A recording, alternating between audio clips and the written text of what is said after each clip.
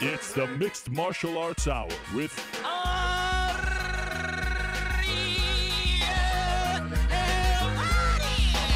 The Mixed Martial Arts Hour back in your life on this Monday, April 11th, 2016. Hello again, everyone. I'm Ariel Helwani inside our New York City studio. Another week, another episode of the show. I'm excited about this weekend. Wow, another crazy seven days between today and the last time we spoke last week. Remember when we said goodbye last week? The uh, the back and forth between Jon Jones and Daniel Cormier on Twitter had not yet started, and wow, was that? Whew, that was a, an entertaining couple hours on Twitter, wasn't it? The gloves were officially off. Maybe not for the first time, but a lot of it stemming from what transpired on this very program. So I guess we puffed our chest out a little bit. It, it was fun. It was nice. They were going back and forth, and they even it was notable because they even addressed each other for the first time on Twitter. Usually it's a bunch of subtweeting going on, but last Monday they actually addressed each other. It it pretty much died off after Monday, but for that stretch on Monday evening, as a result of this very program, it was a lot of fun. Now, a lot of noteworthy things happened last week. Again, a, a, very busy week in the world of MMA. The fun never stops. On Tuesday, if you recall, Khabib Nurmagomedov found out, much to everyone's dismay, that Tony Ferguson was out of their fight this coming weekend in Tampa Bay, UFC on Fox 19. He was injured, and for a minute, we didn't know if Khabib was going to remain on the card. There was some talk of Donald Cerrone. BJ Penn threw his name in the hat. In the end, two days later, they found relatively unknown Darrell Horcher, 12 and 1, the CFFC, the Cage Fighting Fury Championship lightweight champion. He will be fighting Khabib Nurmagomedov this Saturday night in Tampa Bay on nine days' notice. He'll be making his UFC debut. We don't need to hear the music again. It was good the first time, but you can cut the music this time. There we go. Just once is good enough for me. Um, so yeah, Darrell Horcher, he's stepping in. He's fighting Khabib Nurmagomedov on Saturday, and Tony Ferguson, at least for the time being, is out on Wednesday. We found out that uh, Cat Zingano will be fighting Julianna Peña. Um, did we find that out on? No, we found that out on Thursday, I think it was. On Wednesday, we found out that Miesha Tate will be fighting Amanda Nunes at UFC 200. Zingano and Peña, that came out, if my memory serves me correct, Thursday. In in um, in short, we, we got some more fights for UFC 200. Some were met with enthusiasm, I think, the Cat Zingano fight in particular. Some were met with, again, some criticism, the Miesha Tate fight. And of course, we'll be talking about that on this very show as well. Uh, Frank Mir on Friday. The news comes out late Friday. I don't know if that was strategic or not, but they always say in the in the PR business, if you want to break some not so positive news, do so Friday night.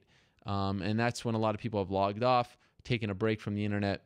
Well, late, late Friday, word came out that Frank Mir, coming off his loss to Mark Hunt, uh, word came out that uh, he has been provisionally suspended by USADA for potentially violating their anti doping policy. And again, hopefully, we've learned something from the Yoel Romero case. Let's not call someone guilty before the facts come out before he has a chance to test his B sample, before really he has an opportunity to investigate what went on here, because a lot of people threw some mud towards Yoel Romero, and and some of it is deserved because if you're putting something in your body, you got to know what's in it. But uh, as as we came to find out around this time last week, Romero was was pretty much you know let go with a slap on the wrist, six month suspension. So we'll see what happens to Frank. He spoke about it on his podcast, uh, Phone Booth Fighting, and he said if he gets the two year suspension that they um, that that he is potentially facing and and that they are suggesting for an offense like this, then his career might be over. That would be a very sad way to end his Hall of Fame worthy career. So that came out on Friday. And then, of course, uh, Sunday afternoon in Zagreb, Croatia, Junior Dos Santos turns back the clock, perhaps his most dominant and impressive performance since UFC 146, his win over Frank Mir, maybe even UFC 160 against Mark Hunt. But certainly, he has not looked like that over the last three or so fights. His face was relatively intact afterwards, a, a, a, virtuoso performance. He turns back the clock against Ben Rothwell, skunks him five rounds to none, and uh, wow, went to the body, something that we don't often see. He he had the perfect game plan, and that was a much much needed win for Cigano. So kudos to him. A massive massive victory for the former UFC heavyweight champion Derrick Lewis, picking up a big win. Now it looks like he'll be fighting Roy Nelson uh, this time, uh, maybe around this summer, I should say. Um, we'll see what happens there. But those were the two notable performances, in my opinion, from Zagreb on a Sunday afternoon card here in the United States. We'll talk about all that and a whole lot more. Let me quickly run down today's lineup and then get into our first guest of the day. At around 3.05, we'll be talking to the aforementioned Cat Zingano about her fight against Julianna Peña. Remember, she she teased that this would be an epic fight, an epic matchup. Does it live up to those standards? It's a great one. It makes all the sense to a degree. Not sure if I'd use the word epic. We'll talk to her about the fight and why she's been out for so long as well. 245, we're going to talk to Tony Ferguson and what I believe is his first interview since he had to pull out of that fight against Khabib Nurmagomedov. So we'll talk to him about that at 245. At 225, we're going to talk to Holly Holm about not getting the rematch against Miesha Tate. We've heard from everyone but Holly, so very thankful that she would come on the program. 225. At 205, we'll talk to Khabib Nurmagomedov about fighting the little-known Darrell Horcher on just nine days' notice. At 145, we'll talk to Court McGee.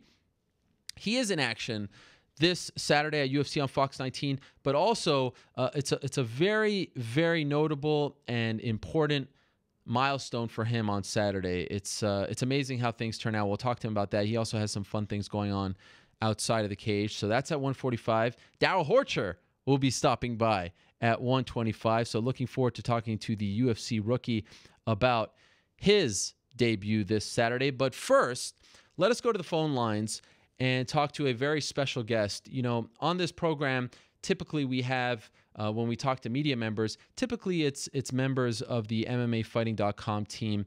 Essentially, because we have a lot of members on the team, want to give them all a chance to to come on the show and and and, and break things down and whatnot. But I really wanted to start this week off with Jeff Sherwood. Jeff Sherwood is the founder of Sherdog.com. And uh, a couple of years ago, the great Jack Encarnação of the Sherdog Rewind show uh, pretty much put it like this when it comes to Sherdog.com. He said, if you were a fan way back in the day when this sport was just, you know, blowing up, when it was evolving, when it was growing, if you wanted to know if a fan was on your level as far as, you know, being a hardcore into the day-to-day stuff of the sport, if you wanted to know if they were on your level, just ask them if they knew what Sherdog.com was. It was the site of record. It was the very first site that I ever went to as a fan.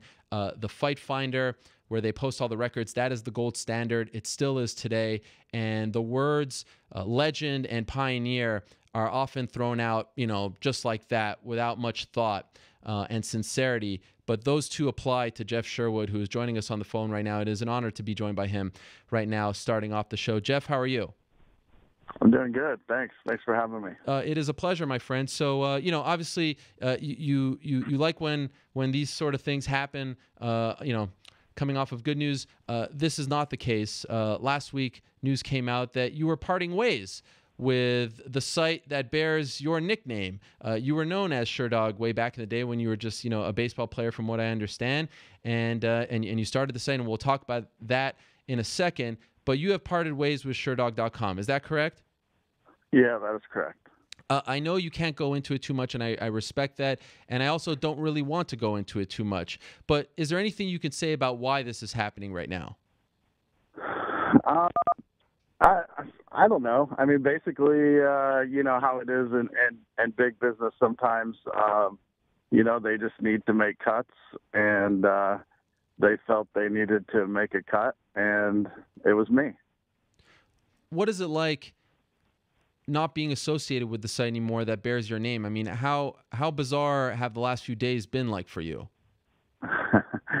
um, it's been really crazy. I mean, especially today. I mean, I woke up this morning and uh, this is basically the first day that I've been unemployed probably uh, since I was 23, 24. Wow. So, um, yeah, it's it's pretty crazy. It, it's I, I don't think it's fully sunk in yet, um, but uh, yeah, it's definitely odd, and that's the question that that everyone's been asking me is, um, you know, how do you feel with this, you know, the site being there and having your name and you not being a part of it, which is a little strange, and I, I I'm not even totally sure uh, how uh, you know how I feel about it. I guess uh, maybe in the next weeks to come, uh, I guess I'll I'll feel I'll I'll figure it out. And and just for some perspective, how old are you now? I'm 48. Wow, so it's over two decades, and um, and and and what a run it has been, and and and the site continues to live on. So let's let's start from the beginning because I find this story fascinating. Like for me, you know, for for someone like me who is an MMA media member, I I don't know if these jobs exist if not for Sherdog.com. And also, I think it's so important that your site and your work in particular is is is noticed because for the longest time, you know this better than anyone. This sport lived online. It, it, was nowhere else. It wasn't on TV. It wasn't in newspapers. It was only online. And I do believe after one press conference many moons ago, even Dana White himself thanked the online media who kept this sport alive for so many years. And that was, again, in large part due to Sherdog.com. From what I understand, and I'd love to hear the story from you, the site was launched in 1997 while you were working for Boeing. And it was really just sort of like a forum, right? Is that accurate? Well, not necessarily a forum. And it was actually like early '96, but uh, it was like on a a free um, a free platform. Back in the day, it was called GeoCities, and you could just go to GeoCities and you can make a website about anything you want, and that's where it started. And uh, that, was sometime in '96. Um, and and but nobody went there then you know it was just me wanting to learn how to uh, build a website and and have fun and and kill some time um and, and that, that's how it started. And, and it started with the news page, um, and then the forum was actually brought in a little bit later. But it was it was it was a it was a very uh, a, a very rough news page at the time. So 96, 97, the UFC is just three, four years old. The sport obviously isn't as big. I don't even know. I mean, MMA is not really a household term. Why are you compelled to start a uh, uh an online uh, website? Is it because there were no other sites that you felt were covering the sport the right way? I mean, you weren't a journalist, you didn't have that background, so why even do this? Yeah, I don't know. It was something fun, and actually, funny. We referred to it back then as No Holds Barred. Right. So you know that that was that was the real old school. But uh, you know, I, I I knew that there was some stuff going on in Japan and things like that, and uh, you know, I took an interest in it. Uh, I started watching at UFC one when it was on, and my buddy called me. He said, "Man, are you watching this?" And and you know those were the times of the black boxes, um, and everyone had one. Um, and he's like, "You need to put this on," and I turn it on, and, and I'm watching this stuff, and I was just like, "Oh my gosh, what is this?" And and uh, I just became a fan instantly, and you know, being uh, being at Boeing and, and being able to go online and look at things and look for news and everything, I was like, you know, there was a couple things out there. Um, and, and there were, you know, uh, the UG was out there for a message board and things like that. But I was like, man, it would be really cool if, if somebody could create something and just have all the news from Japan and all over the world about, you know, what's going on in the sport. So uh, me and my buddy decided to build a website and I built one about no holds barred. And at what point do you start to realize that this is no longer just, you know, a little pet project for you, that this is actually gaining notoriety, people are coming to you for the news, and that more importantly, fighters, managers, etc., are paying attention to what's on the website? Um, it, it's kind of funny because I remember the first day that I got a 100 visitors. Wow! And I thought I thought I was I thought I was you know the site was huge. I was like, oh my gosh, a hundred people looked at the site today. That's crazy. And and then uh, you know I thought that was a big milestone. But uh, you know it, it was it was probably nine, 98 um, where pretty much I could call anyone in the sport and they would take my call. Um, I knew that people were paying attention, meaning fighters, managers. Um, once they would pick up the phone or they would call me back or they would send me an email back, I would be like, okay, people are actually you know taking interest in this site, and that's kind of cool. And that's that's when we uh, when I started to uh, you know try and amp it up a little bit. How long before you leave your full time job at Boeing and invest all your time in the website?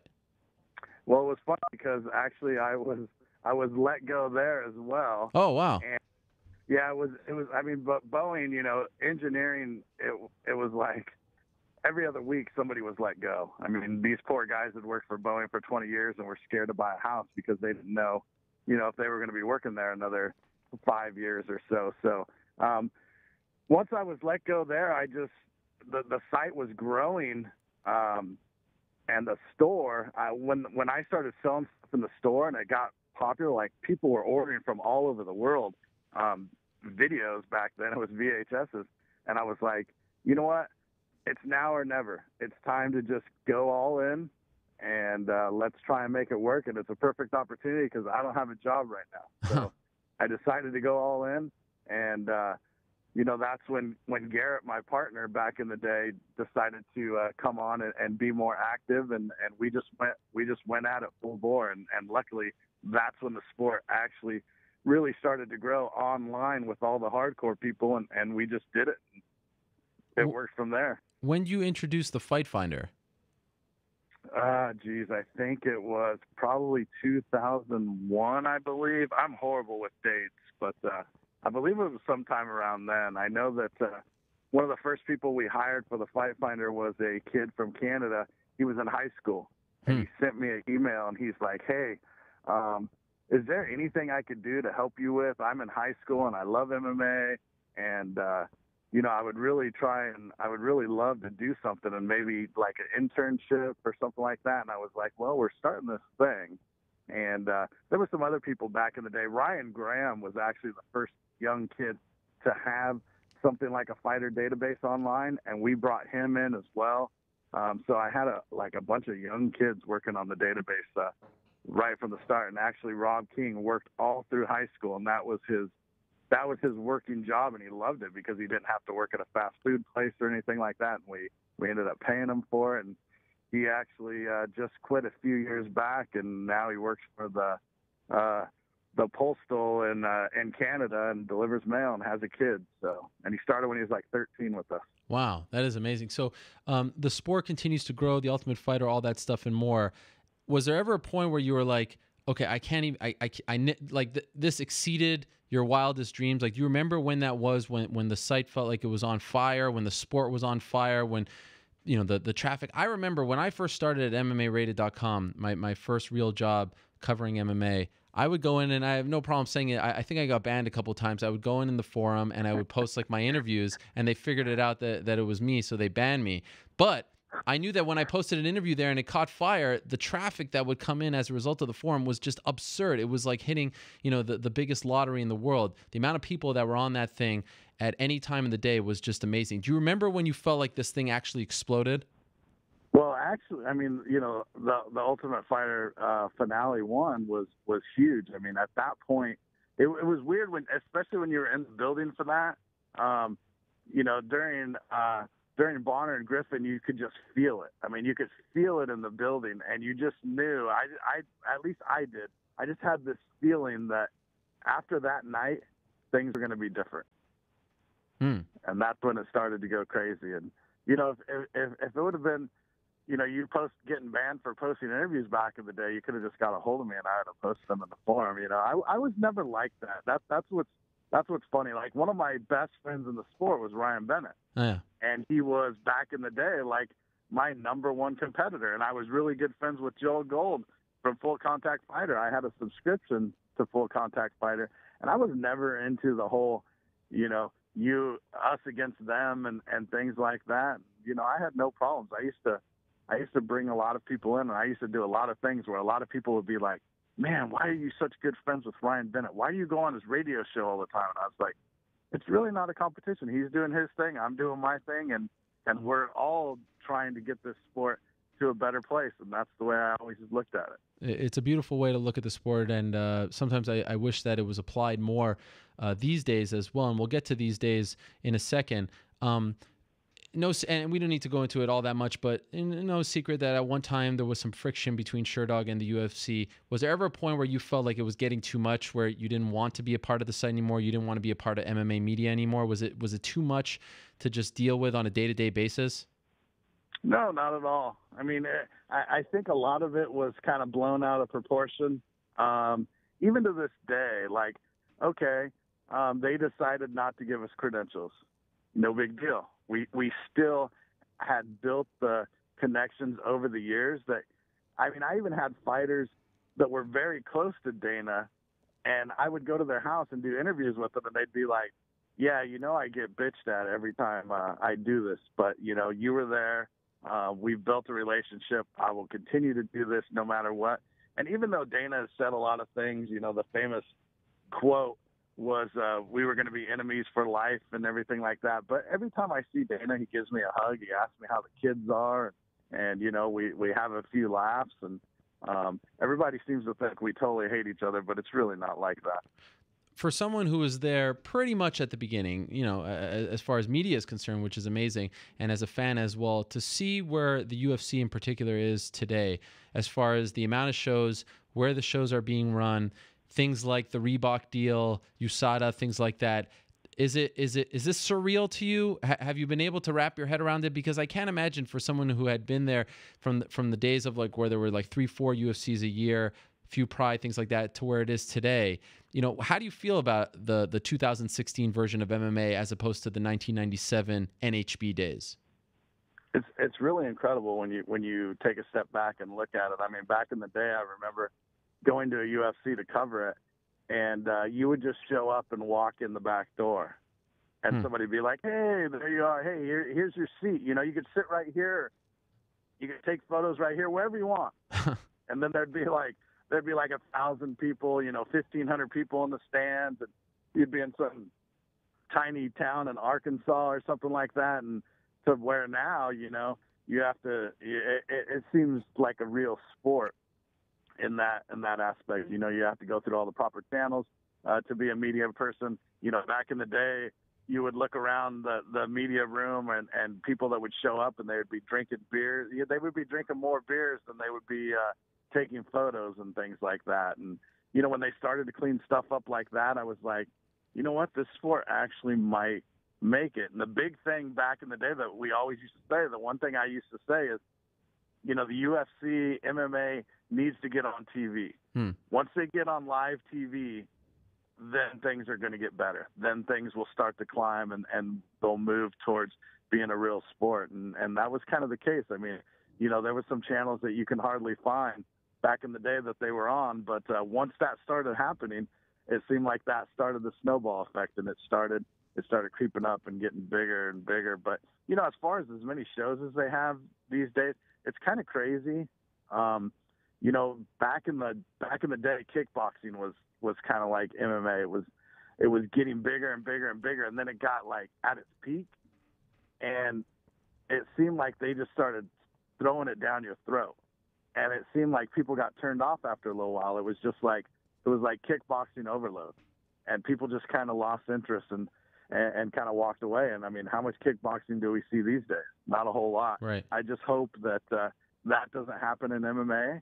Um, but you know, with the Fox deal and and you know the pay per views and everything, and how many fighters they have, you know, they got to pump these shows out. But I just hope that uh, you know a lot of people don't lose interest because there's too much MMA last week's events might um, affect your answer here, but I'm wondering if you enjoy the sport as much as you did back then.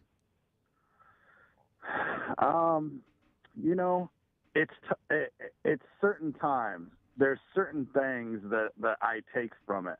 Um, I, I will admit, when there was four shows a year, it's it was so much different because you knew the fights for you know three months, and you could build up. You know, when you're doing radio or you're doing previews or interviews, you can build up to that fight, and you had three months to do it. And and I enjoyed that because it was like it was like building up to the Super Bowl because uh, uh, a UFC back in the day or a Pride back in the day to me was like the Super Bowl.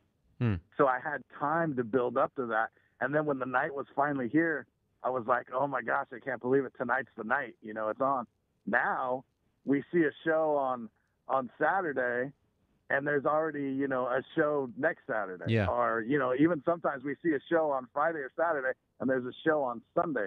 So it's it's a lot different in that aspect. But there are a lot of things, and there are you know certain fights that I really get pumped up for, and events that I really get pumped up for, and yeah. But I, I still love the sport, and I still think that the the fighters um, and the athletes in, in mixed martial arts are the best athletes in the world. How do you feel about the current state of MMA media? Um, it's gotten a lot better. I mean, um, I, I think that there's a lot of there's a lot of bickering and, and and you know us against the world and and you know oh I work I work for for blank website and you're with Sherdog we can't really we can't really be friends and hang out. I think there's still a lot of people like that, and I think it's a lot of the newer guys. Um, but you know, back in the day, all the media used to hang out. Hmm. I mean, that's what we did. We all used to go to you know drink beers after the show or, or after weigh-ins, and it doesn't. There are some like that, but I think it's a very select few. So, do you still want to cover the sport? I would still like to be in the sport um, somehow. I don't know.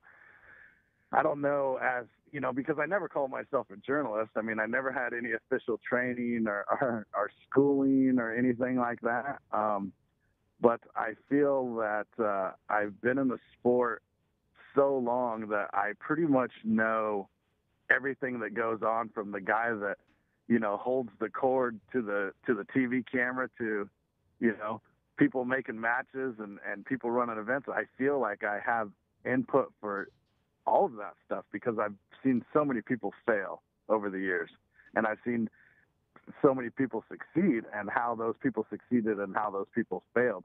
I feel just that I have a lot of knowledge um, in a lot of different aspects that that could possibly be, uh, you know, be be a good thing for somebody. And to be clear, for those that don't know, um, several years back, you sold Sherdog.com to Crave Online, right? When, when was that exactly? Um, that was nine years ago. Wow, nine So, years ago. Holy moly! Nine years. Uh, Yeah. so so some might be confused as to why the the the founder and, and owner of the site would not be there. That that's so you then became an employee. You, that was part of the deal when you sold the site. You Yeah. decided to stick on, right? Yeah, when when that was part of the deal is that when when they came in and they and they purchased the site that uh, I would stay on and, and continue uh, to be obviously Sherdog and uh, you know that that worked great for for nine years. Was there any discussion of, of you know as long as this site is around, you get to stick around? Like, were you completely blindsided by this, or did you see it coming? You know, how, what was your reaction? Um, well, I mean, there's there's always bumps in the road where you kind of see things, and you know, there's there's some things that have happened leading up to this that uh, you know I can't really discuss. But you know, when when things like that happen, you're kind of like, ah, this is this is kind of interesting. Hmm. Um, so I thought, you know, nothing lasts forever, no matter what. I mean, and I knew that uh, going in, and and you know, I that's why I I I was within I was with in negotiations with with them for like two years to sell the site because I really didn't want to Hmm. because I knew that once I did, I was going to lose a lot of a lot of the power and a, a lot of just the say and things, and it's kind of hard to to go from the person that basically you can do whatever you want to having to answer to somebody. Yeah, do you regret it? So, um, at the time, no, because the problem was the way that we used to fund the site was by the Sherdog store, and as you know, as uh, um, there was a time where DVDs just quit selling, and you can get UFC DVDs at Walmart for four bucks, and and then you know just just the little signs. I mean, they I used to sell walkout shirts like crazy. There's no walkout shirts anymore. Right. You know, I'm, you know, you're not going to sell thousands of dollars in Reebok stuff. Um, you know, so there was just little signs that were that were telling us that it was time to do something different. And back in the day, like, you know, me and Charles from from Tap Out were such good friends that I would be like, "Hey, what, you know, what do you got new?" And he would give me something new, and I'd make a banner of it, and I'd throw it on the site. So when that time came where I had to start selling banners and everything, I was always so cool to my friends and let them, you know, I would just put it up there for him. It was kind of hard to ask him for money. It's amazing. So It's amazing how this sounds like it was like 30 years ago, yet it was just like a few years ago when all these things were in play, and now they're, you know, they're they're, Right. they're pretty much not um, a factor anymore in the sport. So what do you do? What do you do now? Like, are you just taking some time off? Um, you know, I'm sure people will be reaching out to you as news starts to trickle out. What's your plan for you know the the foreseeable future? yeah, I'm I'm just gonna relax for for a little while, a couple weeks. Like I didn't even watch the show last night. hmm Um, I kind of I kind of closed my computer um, on Friday at the end of at the end of beatdown, which was my last beatdown, and and uh, I had to close it at that time because the emotions were starting to hit, and I ended it there, and I didn't open my computer all weekend. Wow. And uh, I didn't watch any MMA. I I haven't looked at anything. When you were when when I was on hold and and you were giving out the results, that were that was the first time I heard about what happened. Wow. So so yeah, I just kind of want to you know take a couple steps back and and kind of take a deep breath and and um, you know just relax and and not sit here and, and dwell on it and and hopefully uh, you know everything works out in the end. We'll end on this. I, I could talk to you for an hour about your career, and and again, I appreciate you coming on. Um, I know you said, and and I, and I also suggest everyone who's watching or listening to check out that last beatdown with T.J. DeSantis, a very emotional one, but some nice cameos from the likes of uh, Rampage Jackson and Josh Gross, Jordan Breen, etc. Um, and you said on that show that you hate talking about like your favorite moment, the greatest moment, but I, I'm wondering, is there something that sticks out as your your proudest achievement? As far as Sherdog is concerned. Something when you think back, you're like, I, am really proud of this moment. We did this, this decision, something like that. Does anything come to mind? I know it's a very hard question. We're talking two decades here, but does anything, as I put you on the spot here, come to mind? well, I, I do know that I was very happy the one moment when I had multiple commissioners, and it happened. It happened more than once, obviously. Um, after Sherdog wasn't. Uh, the the date the fighter fight finder wasn't announced as the official record keeper, mm-hmm. uh, and I had multiple uh, commissioners. I had um, just multiple people from the UFC, you know, and all these other events basically tell me, you know, they can they can make me pay these guys to put my results in there, but really you're the official. Mm. We go we go there, and and it's always nice, and I always make fun of people, and it's all in fun. Is when, you know, when I did used to get to sit in press row at the UFCs, you would see everyone's computer open, hmm. and when they would go to look up a fighter, it would always be Sherdog. Yeah. So I would always joke with them, or I'd try and sneak a picture and tweet it or something, and you know, it all it was always funny to see a, a MMA fighting employee or, or MMA junkie, and it was all in fun you know, with the computer open, uh, looking at records on Sherdog, and that always made me happy. One hundred percent. I use it on this show every week. Um, again, man, I, I, really appreciate it. Uh, congratulations on an amazing run, an amazing career. I'm looking forward to your next step. If there ever is an MMA Hall of Fame, uh, you should 100% be in there. You are a pioneer of this sport, and and for a media guy, um, someone you know, I I remember I actually said on the MMA beat a couple weeks ago. I remember sitting down watching Josh's interview with Nick Diaz after the Gomi fight, a video interview, and saying like, "This is so cool to see an interview with a fighter busted up after a fight like that." That's you know, I, I was sitting in my cubicle watching your content. So, uh, congratulations, man. They they can't take any of that away. And uh, I, I, really wish you the best, and and um, I wish you a hearty congratulations on putting together, you know, one of the more important you know pieces in the history of this site. When they talk about the history of mixed martial arts NHB before that sherdog.com has to be a part of that discussion. So kudos to you on that and all the best in the future. Thank you Jeff. Thanks Aaron. I appreciate all those kind words.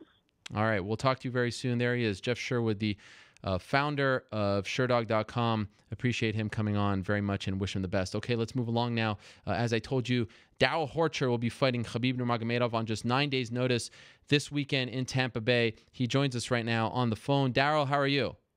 I'm all right. How you doing? I'm doing great. Apologies for uh, the slight delay, but uh, great to have you on the program. Um, you know, it's interesting going through your Twitter timeline, and we have the the handle right over there on our screen if you're watching this live, Horcher MMA, and, and going back to March. You were talking to Dana White. You were tweeting Dana White. I don't think he was replying, but you were out there saying, anytime, anywhere, I will fight on a day's notice, two days' notice, whatever. And, and, you stay true to your word. You got nine days' notice to fight one of the toughest guys in the sport. When did you start to realize, okay, I'm ready for the UFC and I could put this out there, just hoping that they take the bait? Um, probably one or two fights ago, I felt I was I was ready. You know, I was gauging myself to their top guys. I felt I was ready, and uh, yeah, and I I try to stick to my word. If I'm going to tweet about it or say about it, I'm going to do it. So when I said anybody on any notice, I meant it. Obviously, there was better matchups that we could have on nine days' notice than Khabib himself. You know, but anybody, he's just a man. They're all the same. So. So on Tuesday, this news comes out that he is looking for an opponent, and in fact, your your one of your managers, Brian Hamper, tweets out to both Damon Martin and I that he has thrown a name in the hat, but you're you're you know uh, um, an outsider. You don't have any UFC fights on your record. And I asked him who it was, and he said you. On Tuesday, when you guys did that, did you think you had a shot? No, honestly, my honest thoughts about that were we would throw my head in the my hat in the ring for for Khabib. They would pull somebody else for him, and hey, maybe that would give me my chance at that gentleman's opponent. So when did that was my thought on that was eh, they'll pull somebody else a little more experienced for a ranked guy, and they'll throw me in there with the other guy. when did you start to feel like you had a chance?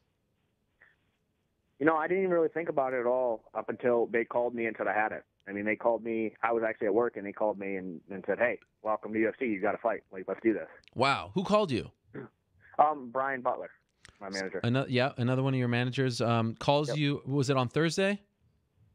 Yeah, it was Thursday. Thursday morning. So, from what I understand, according to UFC.com, you are a project manager for a sheet metal company. Is that accurate?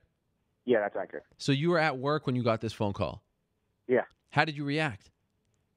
You know, at first I was kind of, I didn't really believe it. You're like, yeah, okay. I'm waiting for for the call back to be like, oh, never mind. They found somebody else, and then that didn't really happen. So then I left work. Wait, so so did you just like walk out of work? Like you you didn't fulfill your hours? You just left? Oh, I didn't quit. I work for family, so I was able to just leave and, and go get ready and get prepared and get, get things in line and get things in order. I had to do a lot of medicals. I had to do all my medicals Thursday and Friday.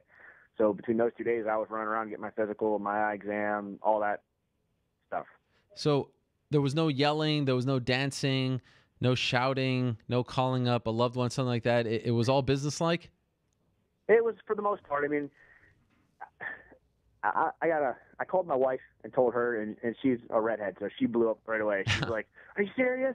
No way!" So I mean, she was the one yelling. I was more like, "I'll believe it when it happens."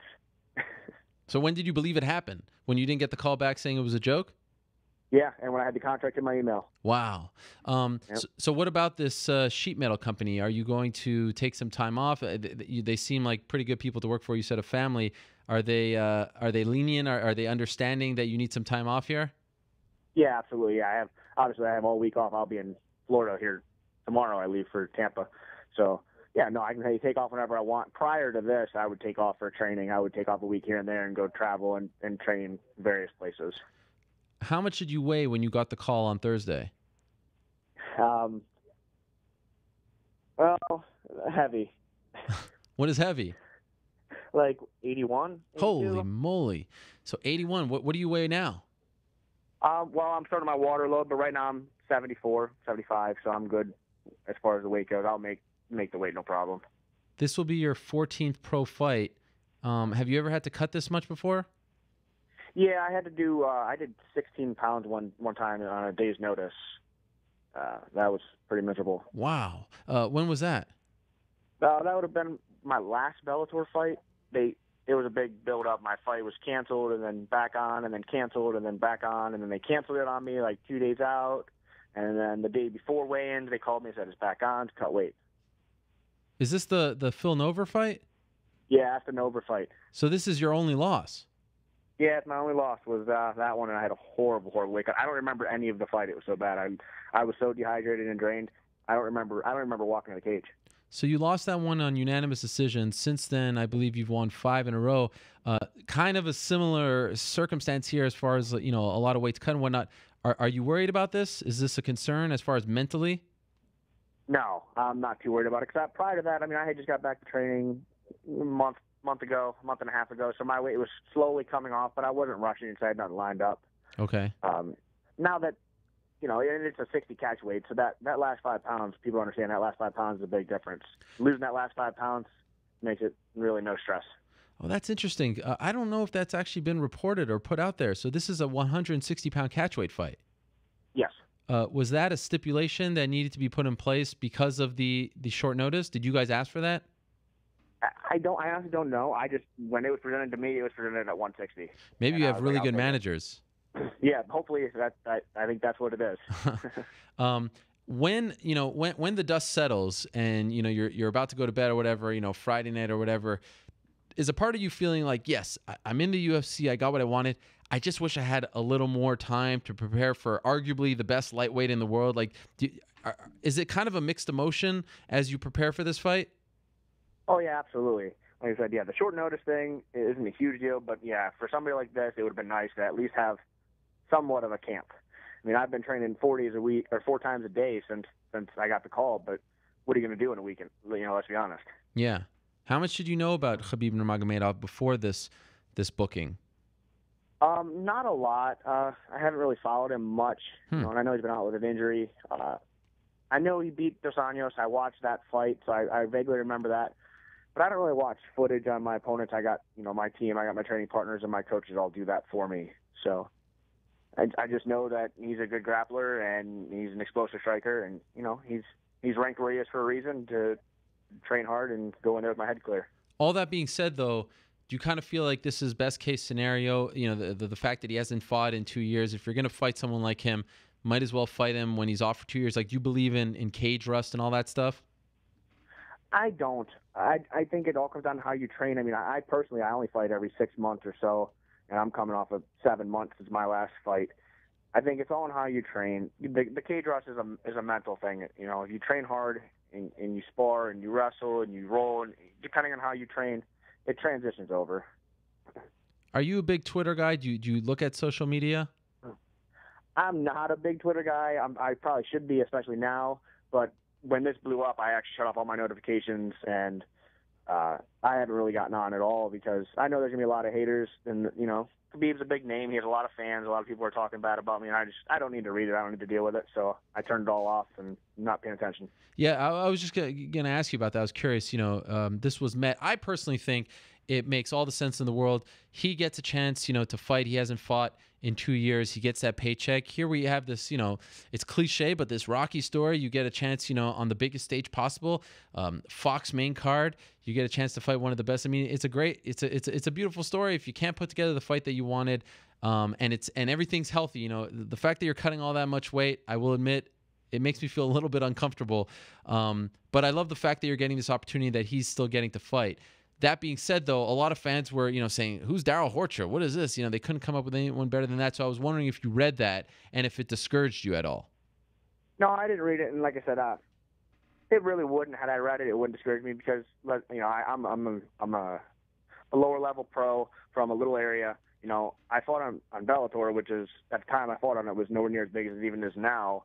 Um, but prior to that, I've been fighting regionally. So a lot of these guys, you know, the fanboys and the, the keyboard warriors aren't really going to know who I am, and that's okay. You know, I I understand that, and I would just, you know, brush that off and ignore it and move on. Is it true that uh, you tried out for the Ultimate Fighter and would have got on the show had had it not been for an injury? For this season, Uh, yeah, I, I tried out the Ultimate Fighter and would have been on the show. It wasn't an injury; it was. uh I, was injured going in, so I was heavy. It was really more or less the stress of making weight every two weeks I, or every week. I didn't think I could do it, and I'm not going to take a chance and go on to a show like that and not make weight, and then be blackballed and pushed aside and, Yeah. and never looked at. Um, what what season was that? Was that this past one?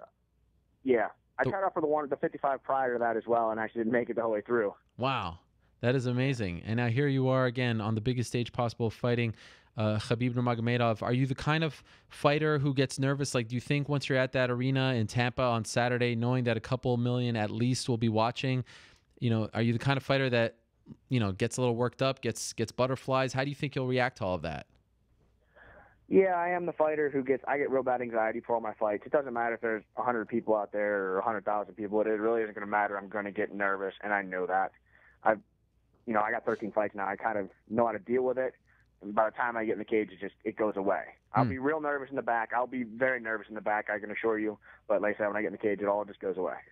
do you think that you'll be able to even enjoy this like going you know it's it's a lot and and from what i understand i've never been backstage at a cffc event but i, I hear that they run a fantastic show i know the great burt watson works for them backstage so you know you get some of that you know that big league experience when it comes to dealing with the officials and whatnot but are you do you think that you'll be able to enjoy this week tampa doing the photo shoots the media things like that do you think that you'll be able to enjoy that or is this too big happening too fast for you I think it's happening too fast. I can't really settle in and enjoy any of it. But on the other hand, with it happening so fast, I also don't have that build up to get that anxiety, those nerves, the stress.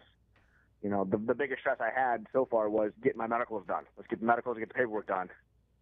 You know. Yeah. Um, do you get to keep your, your lightweight title, your CFFC lightweight title, or, or, or do you have to uh, relinquish that now? Yeah, I've, I've vacated that. Obviously, they gave me uh, with the contract from the UFC. I've, I've vacated that and moved on. Okay. But I still have a nice little belt. It sits on my shelf. Uh-huh. and and and what about you know the future? Um, you know, of course, you you hope for the win, but have you been assured that you'll get another fight regardless of what happens on Saturday because you are stepping up on on such short notice? I do believe so. Yeah, I mean it's a it's not a one fight contract; it's a multiple fight contract. Okay. So yeah, I do believe so, and and I, I don't really see personally, I don't really see how, regardless of the outcome, how that would be possible. I mean, I'm stepping up on nine days' notice when nobody else would to fight, like you said, arguably the number one ranked lightweight in the world. is your is your wife coming to watch?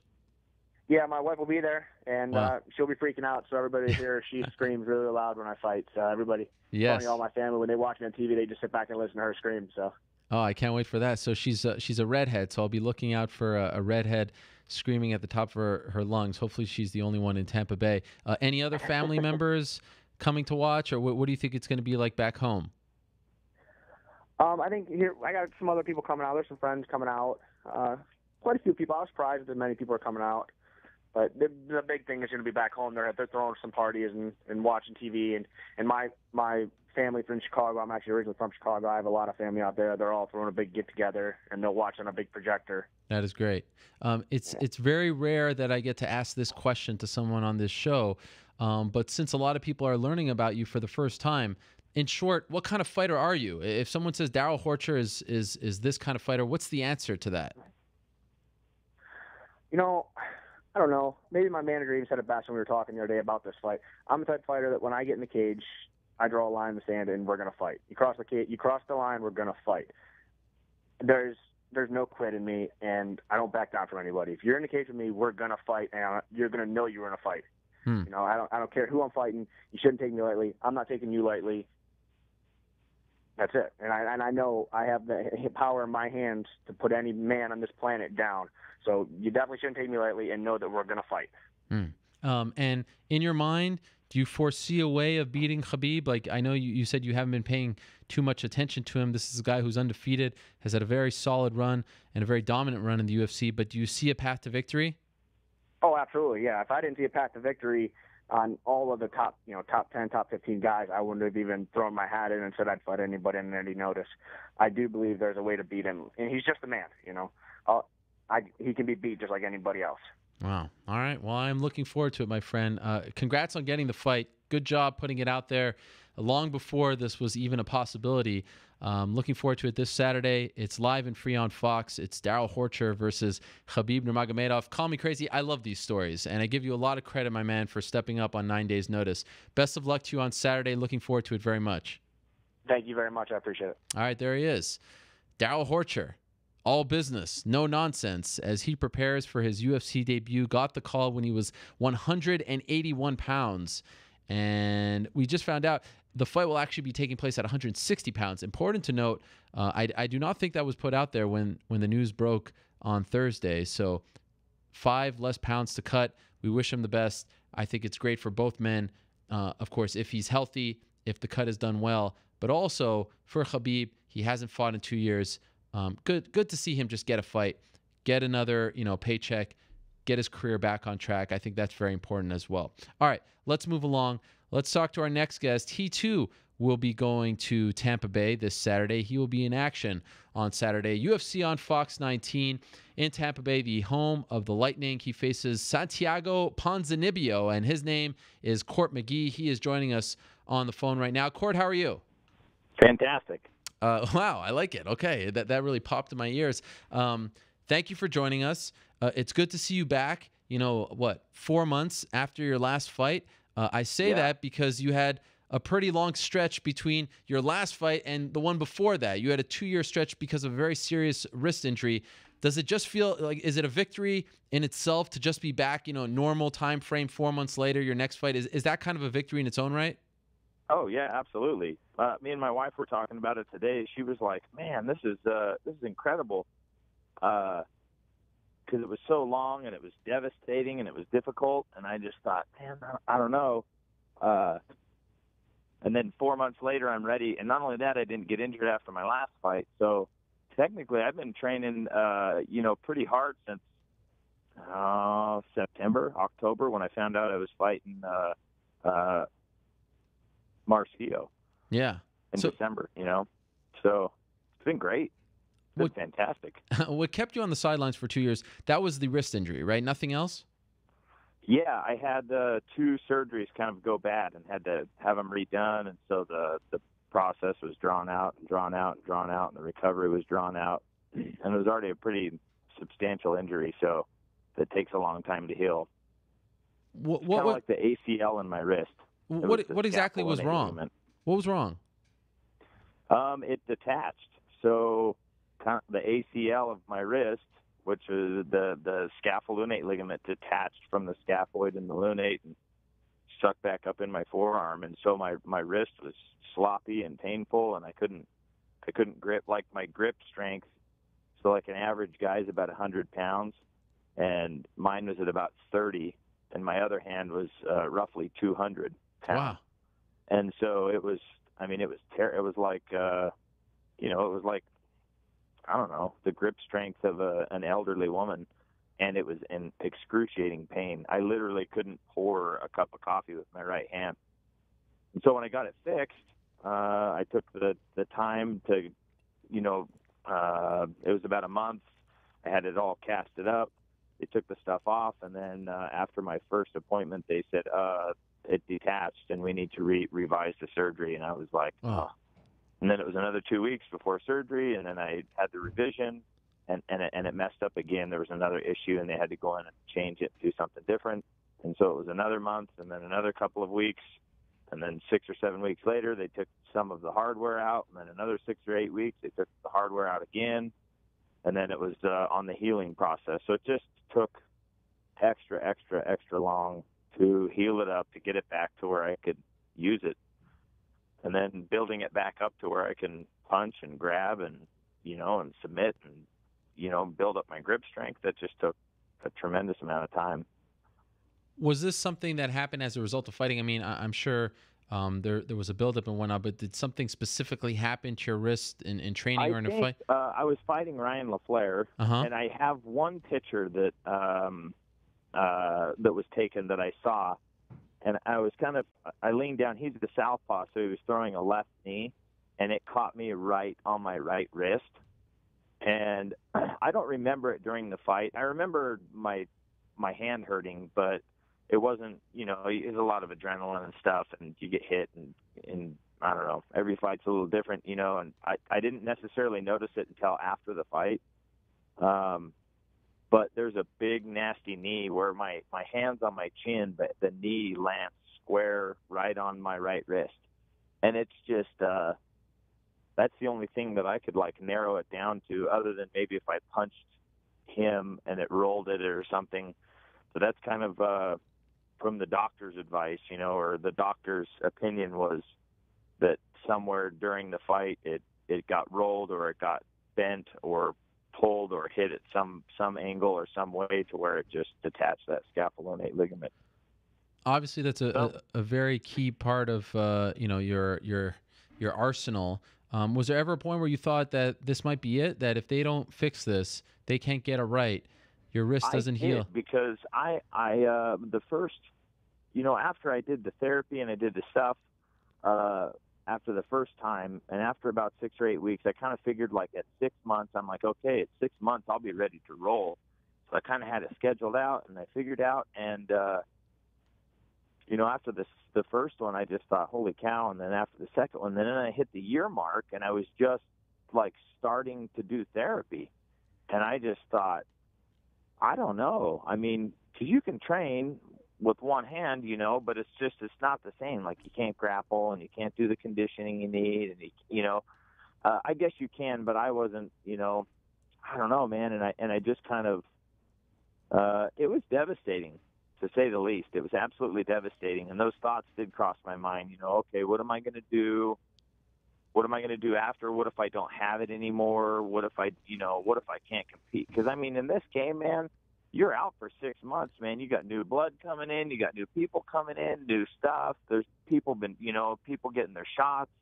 Uh, and everybody's so good now and everybody has such great training that it's just like uh I don't know, I started feeling a little less than, you know, and I just thought, shit, man, I don't know if I have it and you know, at about that year mark is when I said, you know what?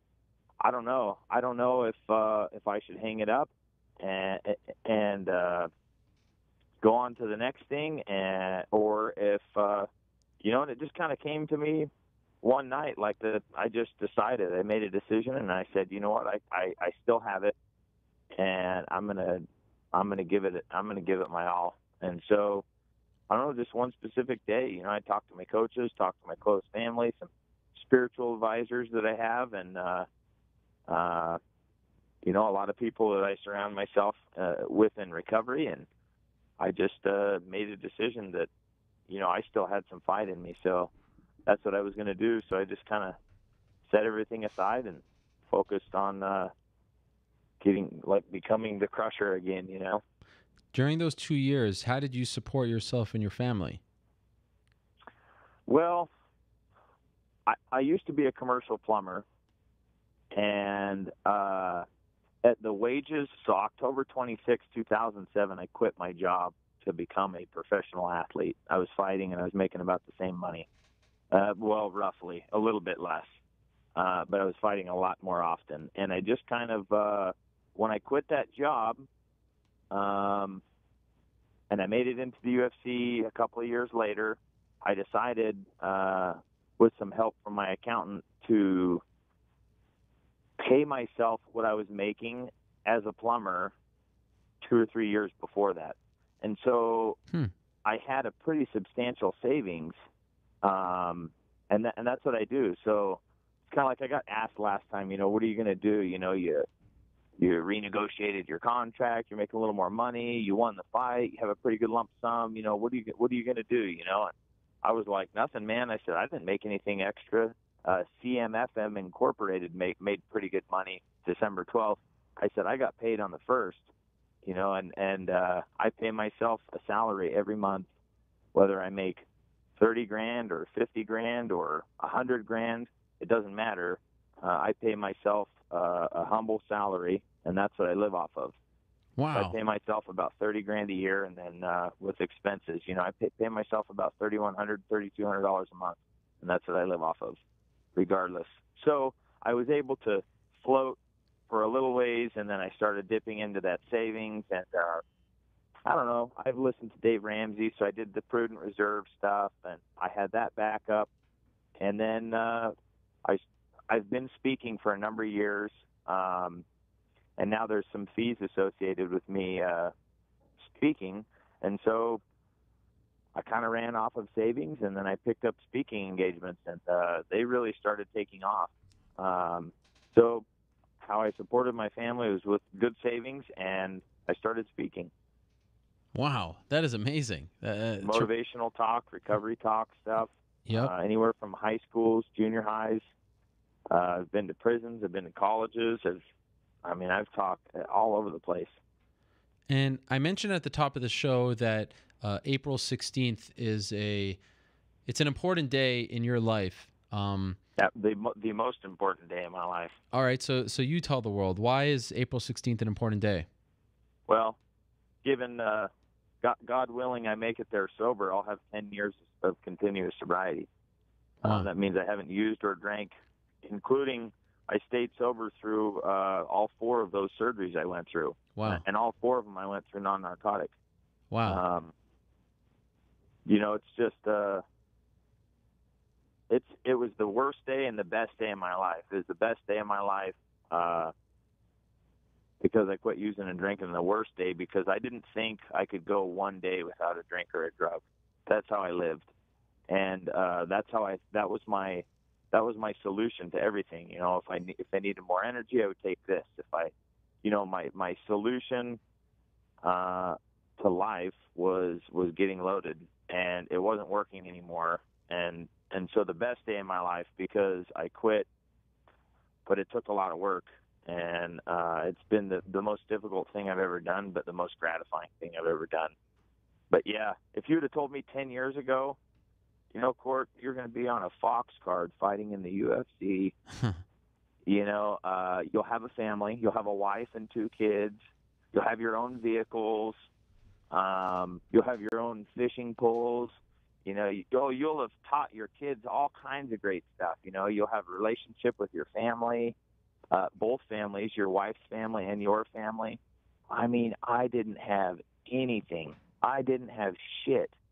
I was homeless, uh, unemployable. I had nothing, man.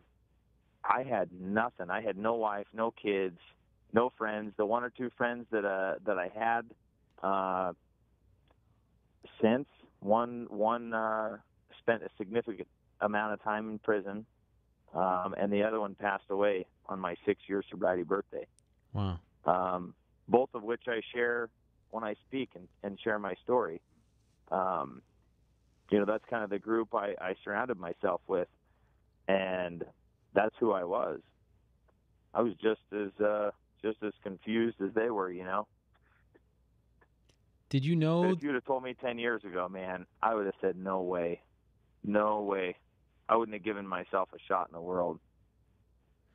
Did you did you know that the UFC had a card on April 16th, or did they offer you that and then you? No, I had no idea. wow. As a matter of fact, uh, uh, I asked for uh, um, uh, Tim Means got injured and he was fighting at 170 against uh, Donald Cerrone. Yep. and uh, I had been helping Steve Siler train for his title fight. And Steve Siler and, and my other teammate Dana Aristizabal have uh, went and trained with Benson Henderson when he was fighting Donald Cerrone. So they're they're like a good. Uh, I'm not going to say they mimic, but their style is a lot like Donald Cerrone. Um, so I'd been helping him train for a title fight um, outside of the UFC in Titan, and uh, so we were going for five rounds, you know. And when Tim Means dropped out, Steve was like, "You should ask for that fight." So uh, I asked for it, and they said there's a possibility. So just uh, be ready. And I said, absolutely, you know. And and uh, uh, I just offered offered to take that fight. So I started training for that that title fight. Uh, or not title fight, but main event fight, because it was going to be five rounds, and I was already training for it. So like, I was ready. I was uh, I was really, you know, stepped up and ready to go. And then uh, uh, the other cowboy got to fight. Um, and I don't know, man. I just been I just been ready to roll. Wow. Um, and then when you when you realized that it was April 16th, you know, you got that offer and that it coincides with the potential 10 year anniversary of this incredible milestone. How did you react to that? Do you believe in these kind of weird coincidences? I don't know, man. Uh, there's been a lot of coincidences in the last, you know, almost 10 years, but uh, Joe Silva said, you know, uh, we're not going to have you for this fight. Uh, maybe we'll schedule you for March or April. And so I said, okay, cool. And I remember uh, I didn't hear much about it, and then I just had a feeling like, I bet you money that uh, they're going to schedule me for uh, April 16th. I Hmm. just have a feeling. And then uh, I booked a speaking engagement here in Utah. So I'm speaking for the juvenile justice, uh, everything. So this this big assembly they have once a year, um, and it'll be kind of my foot in the door to every juvenile justice center in Utah, so I can talk to the the, the kids who are already struggling, that are uh, you know locked up in facilities, that are that are going through the things that I went through when I was young, and uh, so I'm speaking to you know that group. It's it's uh, it's everybody who runs juvenile justice. I mean, there there'll be all kinds of you know probation officers and this and that there. So I booked that for the 22nd, and I thought, you know what, they're going to schedule it for the 23rd, and I'm not going to be able to speak. I hope that doesn't happen. And then I got the text message, hey, April 16th, and I was like, no shit. Wow. And then I text back, back to Joe, and I said, uh, if I make it, I said, uh, that'll be my 10 year sobriety birthday, man. And he said, wow, really? And I said, yep. So, um, I don't know, man. It's pretty crazy. Yeah, to say the least. How do you, and and forgive my ignorance, um, I, th- this is just a little new to me. How do you, for lack of a better word, celebrate that day? Like on Saturday, do you do anything to? I, I don't know. Is that just a? I mean, obviously, it's not just another day, but do you do anything to honor the day? How how will you be on Saturday, and especially now as you are preparing to actually fight on the same day? Well, I mean,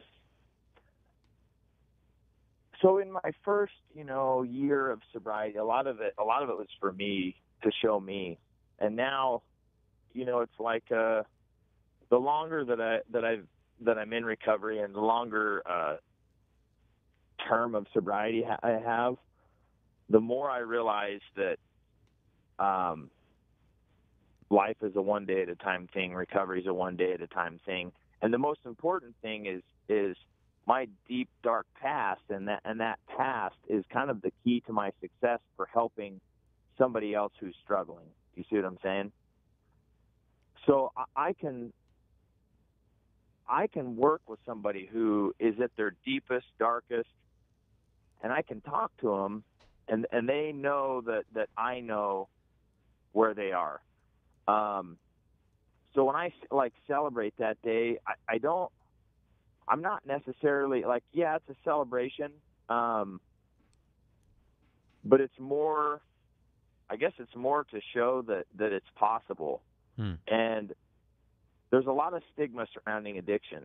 You think of an alcoholic, you think of the guy panhandling on the street. When you think of a drug addict, you think of the guy breaking into my house, stealing shit out of my garage, shooting dope. And like when I stand up and I speak and I say I'm court and I'm a person in long term recovery, you know, when I tell my neighbor, you know, it's like I'm an alcoholic and a drug addict. They're just like, no, you know, you're such a good guy and you're why and I said, Yeah, man, I'm I'm in recovery and I said, uh, you know, a lot of people like that are are are I mean, everybody that I know who's in recovery are incredible people. And we are. We're incredible people. We can do incredible things, but when we're not, you know, loaded, when we're not drunk, when we're not, you know, uh shooting dope. You know, I'm I'm a great person and I can do great things, uh, but I can't when I'm on heroin. I Hmm. can't when I'm when I'm when I'm snorting oxycontin, you know. Um and my and I'm one of those people who can't drink normally. And I have friends who do drink, you know. My my dad is a is a normal drinker. Um, you know, I have family members that are normal drinkers. People I just can't do it. I can't have one. It leads to one more and it leads to there's not enough in this world. And then it leads to the the, the chaos that I that I'm, you know, that I came from. Part of the reason why I speak, man, it's to to not forget where I came from. Hmm. You know, and I relive a lot of those things that happened. I used the that little sports center piece that ESPN did on me Hmm. uh, as my introduction. Yeah. And when I see that, man, I just see the devastation I put my family through. My mom standing over me at the ER, you know, after they'd done defibrillations and CPR, and just thinking like, you know, now me as a parent, you know, I think of what I put my dad through, you know, standing over me, and my dad is, you like, he's been the hero of the city. He's donated almost 60 gallons of blood. He retired. You know, he's one of the most wonderful individuals and caring individuals in the world. You know, I look up to my dad uh, more than anybody else in this world. And the same thing goes for my mom. She's a nurse. She's a caregiver. She's phenomenal. They've been married almost 40 years. They didn't do anything wrong. I mean, they raised me right, more than right. Um, I'm an alcoholic. You know, that's the only thing. That's the thing. It's nothing they did. You know, there wasn't one specific time in my life where something happened that made me like I think it was inherent in my personality long before I drank or used. And so when I drank at 15, 16 years old and smoked the marijuana and took the pills, you know, it's like I triggered an allergy. And you know, right at first it was fun, but as soon as I left high school and found out that I wasn't going to be able to wrestle in college, um, you know, the next best thing was like, okay, let's numb out with some alcohol. Let's start partying. And my party just didn't stop.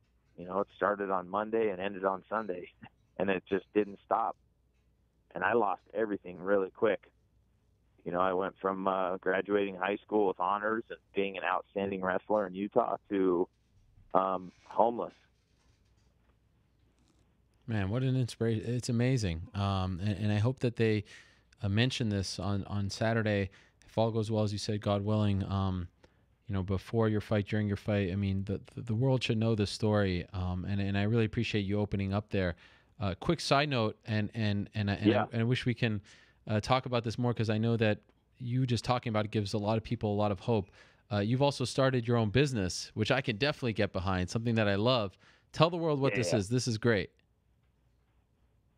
The Old Abe Beard Co. Yes. Yes. So we started uh, we started an Instagram, Old Abe Beard Co. Uh huh. and uh, you can kind of check it out on there. Yes, we, we're Um, actually showing a picture of it right now. Oh, nice. Okay. Yeah, and then uh, oldabebeardco.com. It's our website, and I want to apologize in advance. It's uh, less than satisfactory. It's a Square Up account, but we had to start somewhere, and those uh, the product photography came from my iPhone. Uh, that's fine. So, um, but it works. It's effective, um, and there'll be lots of little things to figure out and fix. But it's uh, we wanted to start with. I mean, we wanted to start with something that that worked. So we wanted to start that. A lot of my friends that I don't know, man. I've been the beard guy. I've been kicking people and punching people in the face for you know eight or nine years now, and I've always had a beard. I've always rocked a beard. That's my thing. Uh, since I was a little kid, you know, after my grandpa retired, uh, lieutenant colonel military, grew his beard out. He was a farmer, and I was like, I want to be like my grandpa. Hmm. And my, my my dad, you know, every six months he had to have a respirator fit up on Hill Air Force Base, so he would grow his beard out and then have to shave it, you know. And when he retired, he's got this great big beard. And I just always knew as soon as I could grow a beard, I'm going to grow it. And I've only shaved it once since I could grow a beard, uh, and that was when my first son was born. And then my wife never asked me to shave it again. So I will always have facial hair, and I've been rocking the beard since I could. And uh, I don't know. I've been sponsored by a couple of beard products and beard product uh, companies, and I finally, just between me and my friend, uh, we've been talking about it for a while. We decided to start something, so we started, and uh, we wanted something that that was effective, that would stop the itching and and like beard dander. We wanted it to work, number one, and then number two, we wanted it to like not smell like fish or lasagna. I used a couple of them, man, and I would wear it and it smelled good at first, and then, you know, an hour later it was kind of like it would smell fishy, like it smashed up an omega three into my beard. And so I just thought, man, there's a got to be a better way. So we found, uh, you know, a blend that we liked. We started uh, messing around, tinkering around with it, and we got it worked out so that, that it was effective and then we started to work out, you know, with some essential oils and some smells, and uh, came up with a pretty good proprietary blend. And um, I mean, it was just, uh, you know, it took a lot of work. So we did a beard balm, we did a beard oil, and a beard wash, wow. and uh, that was kind of what we started with. We just came out with our second oil, the Kentucky Bloodline. Our first one's smoking smoking jacket, so it's a tobacco and vanilla. Um, but our our, our kind of our base like that's good for your skin mixes well with those and we wanted to mix those with a smell that that was like hey this is the smell we're going for and when you smell it you you automatically think okay that yeah that's smoking jacket not to mention the effectiveness you know nice soft beard clean looks good but is it effective you know um yeah so i don't know we did a lot of work and a lot of uh uh, we put a ton of time into it, and uh, there it is. Well, I, I wish you the best with it, uh, Court. That is a that is a great idea. Old Abe Beard Co. And uh, you know, if you want to support one of the good guys in the sport, definitely support that. Whether you have facial hair yourself or someone that you know, uh, it's a fantastic idea, and I'd love to try some. I don't have a beard quite like yours, but I'd love to try some as well. I wish you the best, Uh, Court. You, you know what? You got the best journalist beard. oh, thank you. That that means There's a lot. an award for that. Th- Boom. Thank you, my Done. friend. Um, good luck on Saturday. Again, thank you for sharing Thank the story. Um, what an inspiration you are, and I'm looking forward to seeing you in action in Tampa on Saturday. Thank you, Court. Hey, thank you for having me. All right, there he is, Court McGee stopping by. Okay, the original main event for that card, Saturday in Tampa Bay. As you know by now, it was supposed to be Khabib Nurmagomedov versus Tony Ferguson. That fight is no longer happening. It's now Darrell Horcher versus Khabib Nurmagomedov. Wanted to have Khabib on to talk about this news and a whole lot more. It has been a while since we have seen this man in action. We are now just five days away from finally, finally realizing that Khabib is on the phone right now. Khabib, how are you? Hey, assalamu alaikum? Salam alaikum, my brother. Thank you so much uh, for coming on. Wow, what a last few days it has been for you. Uh, you thought you were going to fight Tony. A lot of people were looking forward to this. A lot of you know friction there, and then he gets injured. What was your reaction when you found out that Tony was pulling out of the fight? You know, uh, Ariel, I'm so upset about this because I finally want to fight with uh, Tony Ferguson. And before, in December, we were supposed to fight with him. And I, I have injured now. He have injured, you know. I'm I'm a little bit upset because he one of the best lightweight in the world now. He has seven win streak in lightweight division, and uh, I really want this fight, you know. But he have injured. I I I I hope we we shall cover and now I have new opponent. So for two days, there was a lot of speculation as to who you will face, if anyone. And as you know, for a minute, it seemed like uh, Donald Cerrone was going to be the guy. And of course, you have a history with him as well. On Wednesday, everything blew up. You guys were going back and forth on Twitter. From from your perspective, were you told that Cerrone was going to fight you on April 16th? Nah, I, I I call him. I call him. You know, uh, for this fight, I'm I beginning my training camp January. You know, Uh-huh. I'm training almost 100 days for this fight, and I am I am in my best shape in all my career. Um, I feel very good.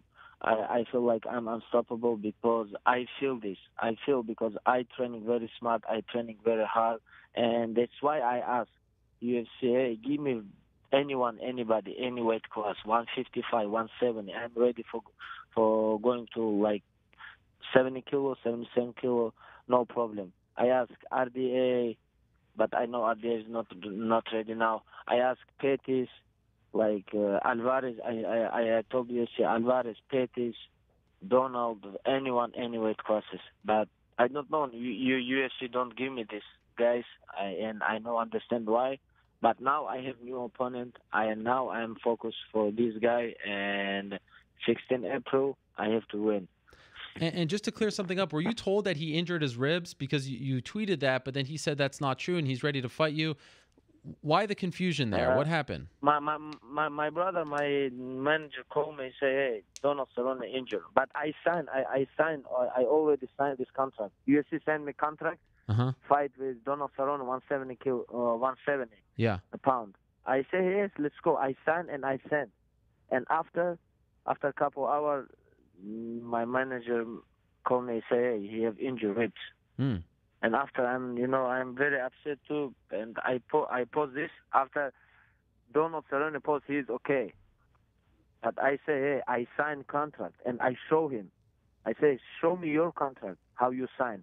But he didn't show me, and I know understand who play game, UFC or Donald Cerrone. I don't understand, but UFC give me new opponent in catchweight 160. One, two. Yep. And now I'm focused, and I want to say thank you for Dana, Lorenzo, UFC, Joe Silva for giving for me this chance because I don't fight two years. I need fight with somebody. I need fight because my old friends waiting for my fight.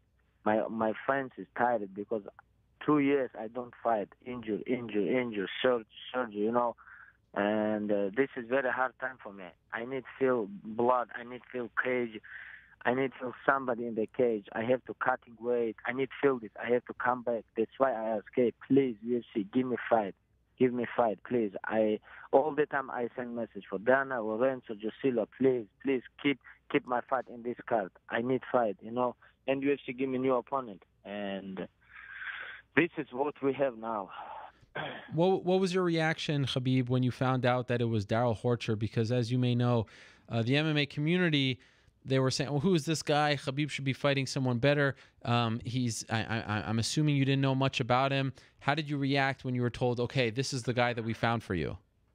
Um, I have new opponent. I have new name. You you know, I have new weight classes, 160, and uh, um, my reaction, like, uh, I think, oh, I have to watch this guy. Who this guy? 12 win, one lose. He have not bad record.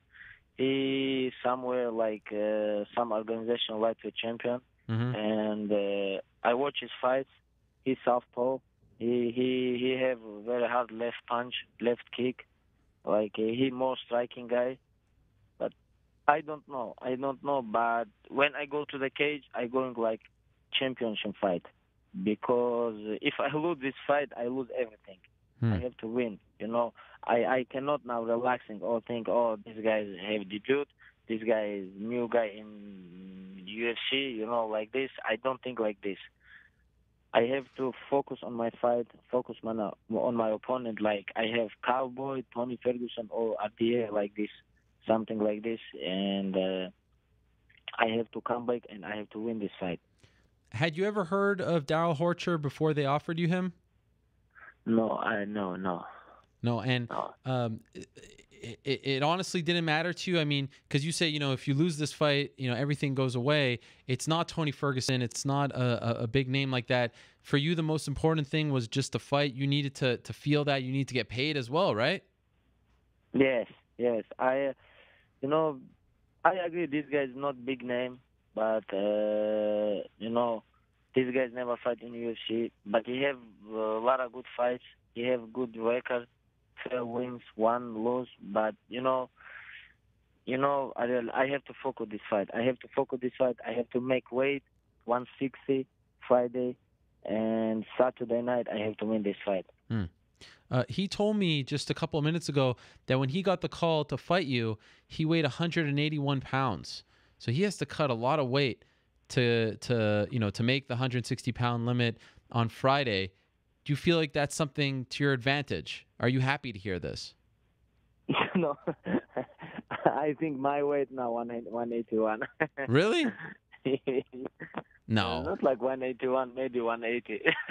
I don't believe you. I Did you start eating a lot? don't but but you know I'm very big watcher too. You know, Yeah.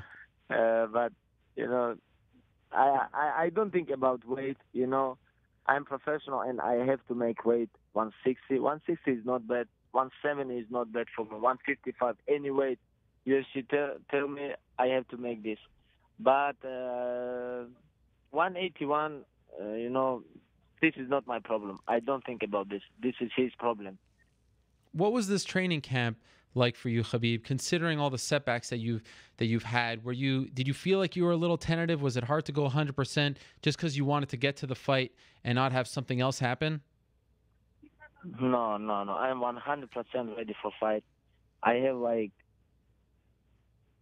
you know, like 12, 14 hard training week, hard and smart training week, and you know, I'm very excited about my comeback because two years this is long time, you know, long and hard time for me.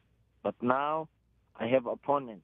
I don't think about my opponent top 10 or top 20, top 50.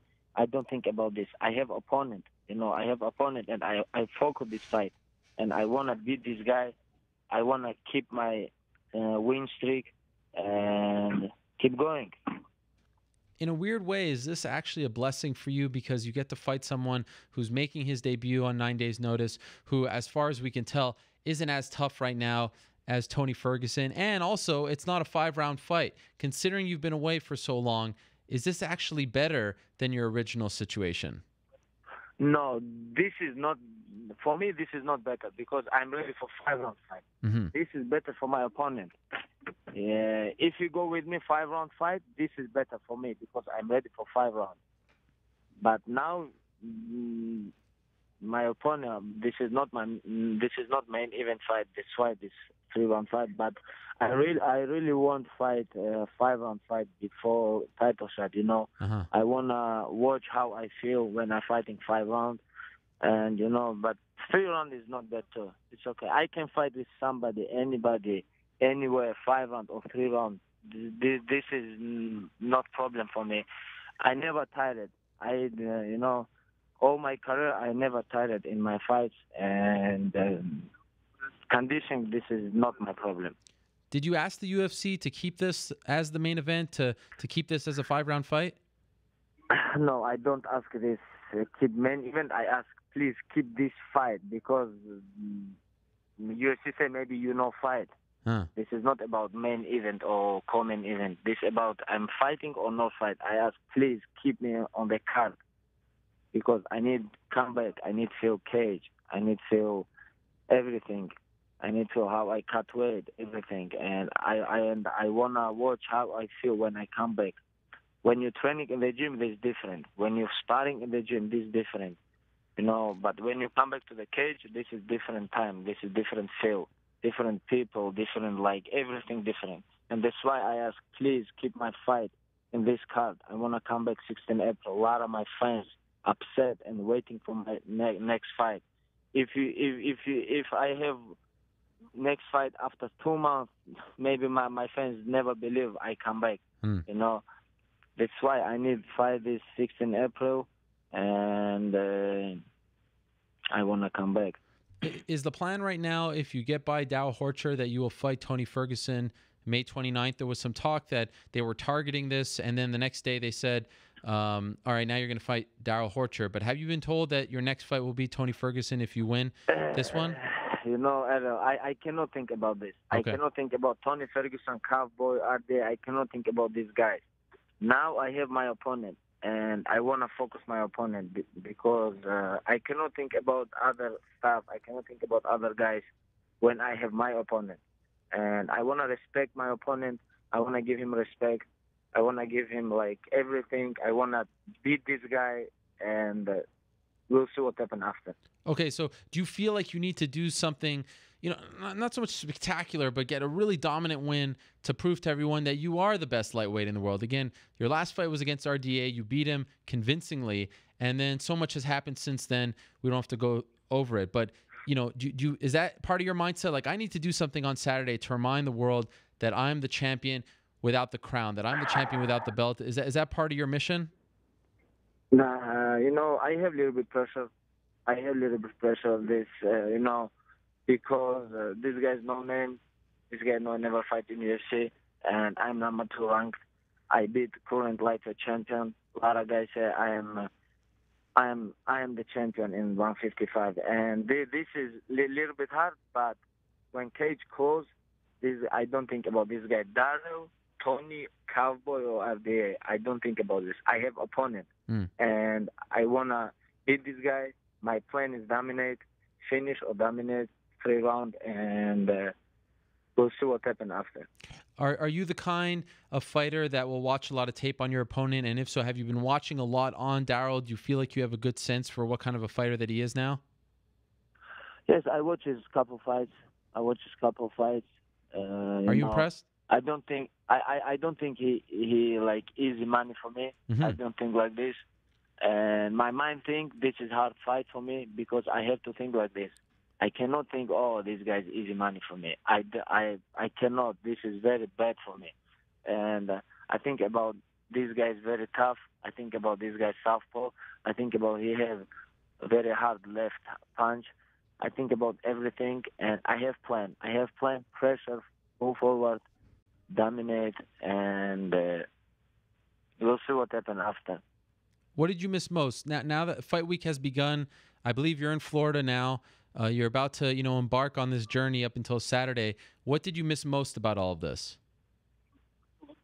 I don't understand. I don't understand. I, Is What do you there is there something about preparing for the fight? You know, now you you- you've made it to to to the the site of the fight. You've made it to Florida. You're just five days away from the fight.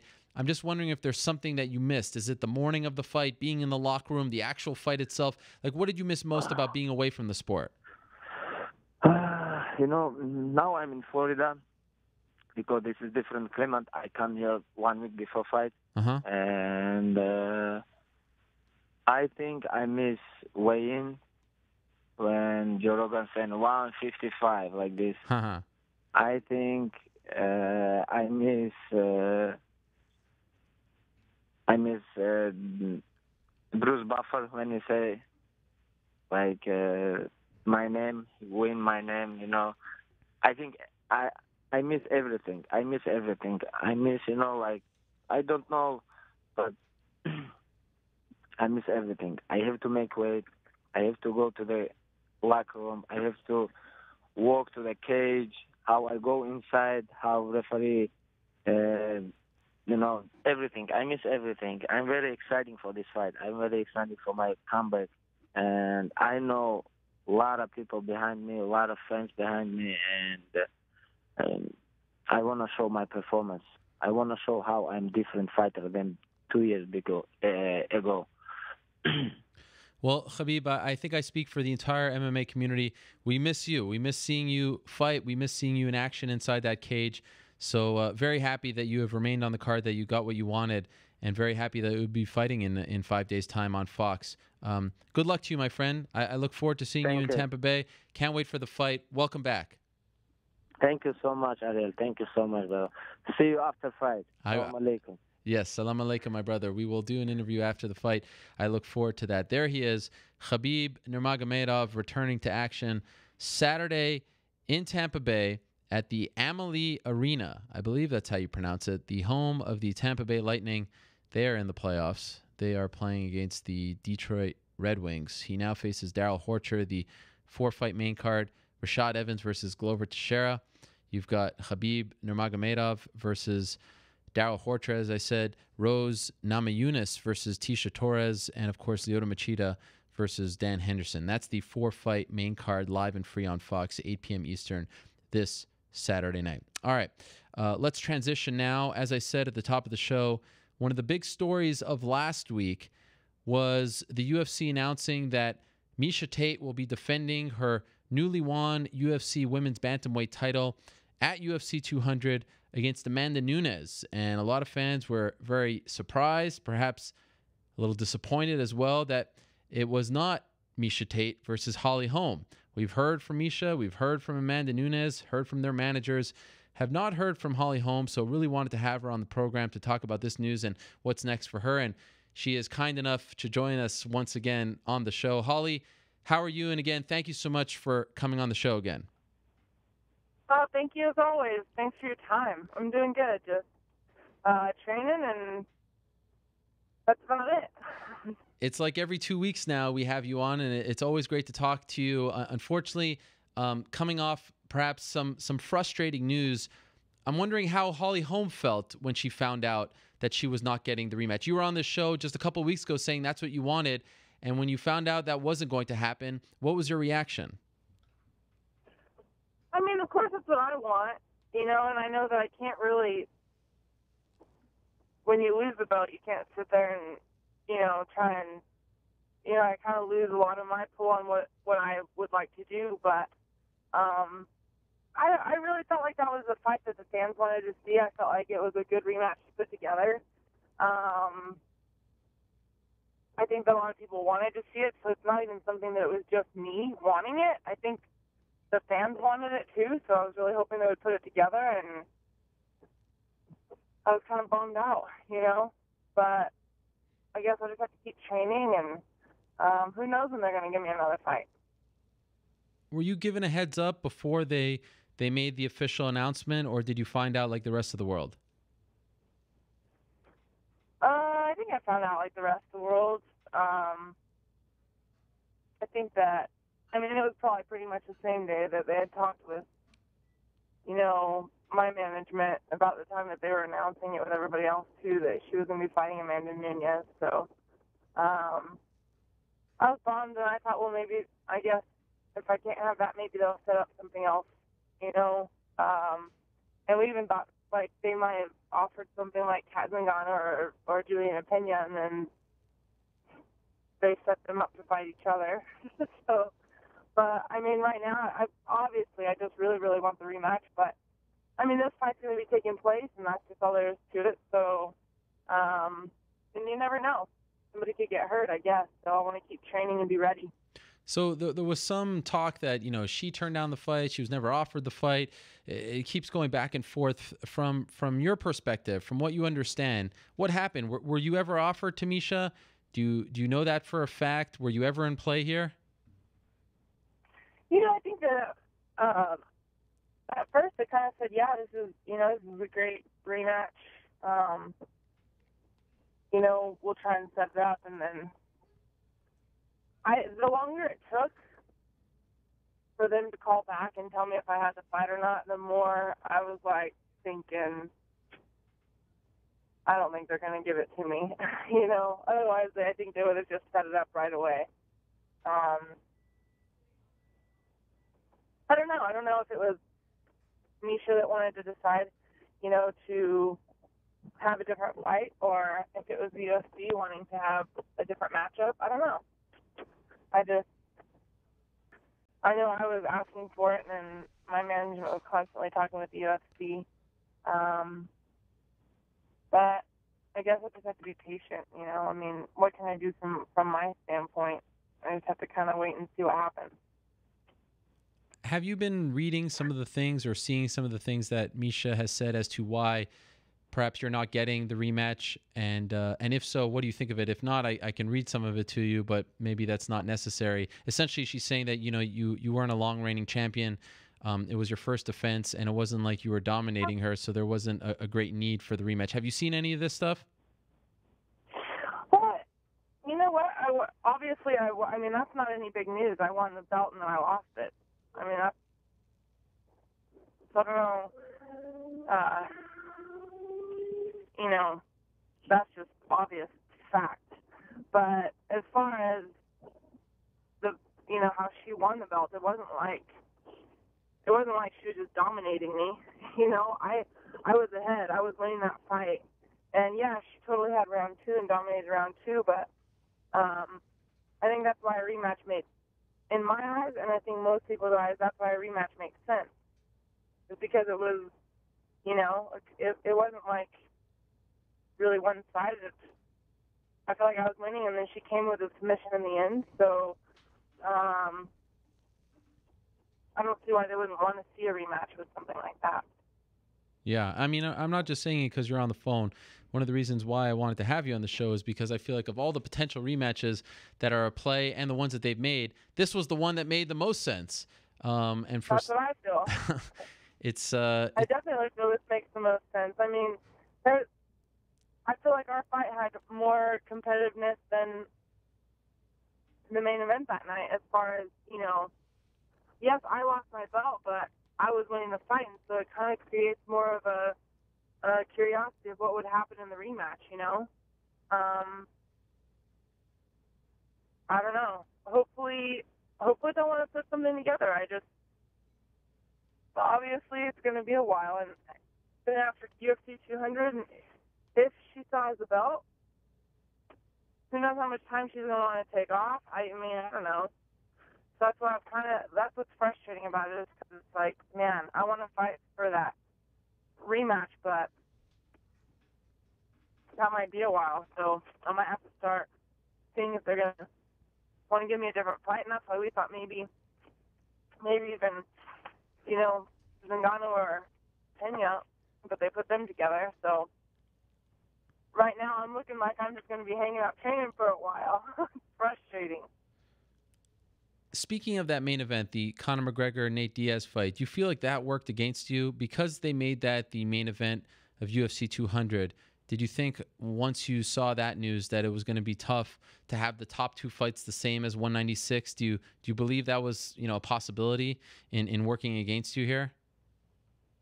I do feel like that's um, who wants to pretty much see a repeat Yeah. exactly the same. Right. you know. So yeah, I think that, and and you know what, Conor sells a lot of tickets. So I guess as a promotion, I can see why they would want to put him on, you know, for UFC 200. I'm, I mean, I'm not, I'm not trying to say that what they did is wrong. I mean, if, if you're in a in a promotion, you're going to try and, you know, make them most successful. And so I'm sure that that's why they want to put him there. But I do know that with Miesha and I on the card, it, it was, you know, record setting. So I know that we had a little bit of pull on that. It wasn't all just one person, you know. So, but yeah, I, once they put that one together, I figured I don't know if they're gonna if they're gonna do the same all over again, you know. do you believe, uh, you know, to, to be as blunt as possible, do you believe Miesha should return the favor? You gave her the title fight um, when you could have waited for Ronda Rousey, and you know your bosses think you should have waited for Ronda Rousey, um, and you fought her four months later. Do you believe that she should have done the same? She should have given you the fight next in her defense, first defense. I feel like it's. I mean, I I feel like it's something that would be like in the sport and and like a, in a in a way, yeah. I would I would hope that she would want to give me the chance like I gave her the chance, but um, I also feel like I. I mean, I, I like to take responsibility for a lot of the things that I do, and I'm the one that lost the belt, so I feel like I've lost a lot of my kind of I don't know, kind of my pool of what what I can wish and hope for and push for. Um, yeah, I hope that she. I, I was hoping she would give me that chance, but she's also got her own career she's going to focus on and what maybe what she wants to aspire to do. So I can't really judge her for that either. But I guess on my part, I was just hoping she would. You know. Um, I guess I'm not going to be mad at her about it or anything like that. I just I was hoping she would. So you look at the uh, the the rankings right now, and Miesha Tate is the champ. Obviously, you're number one, and then Ronda's two.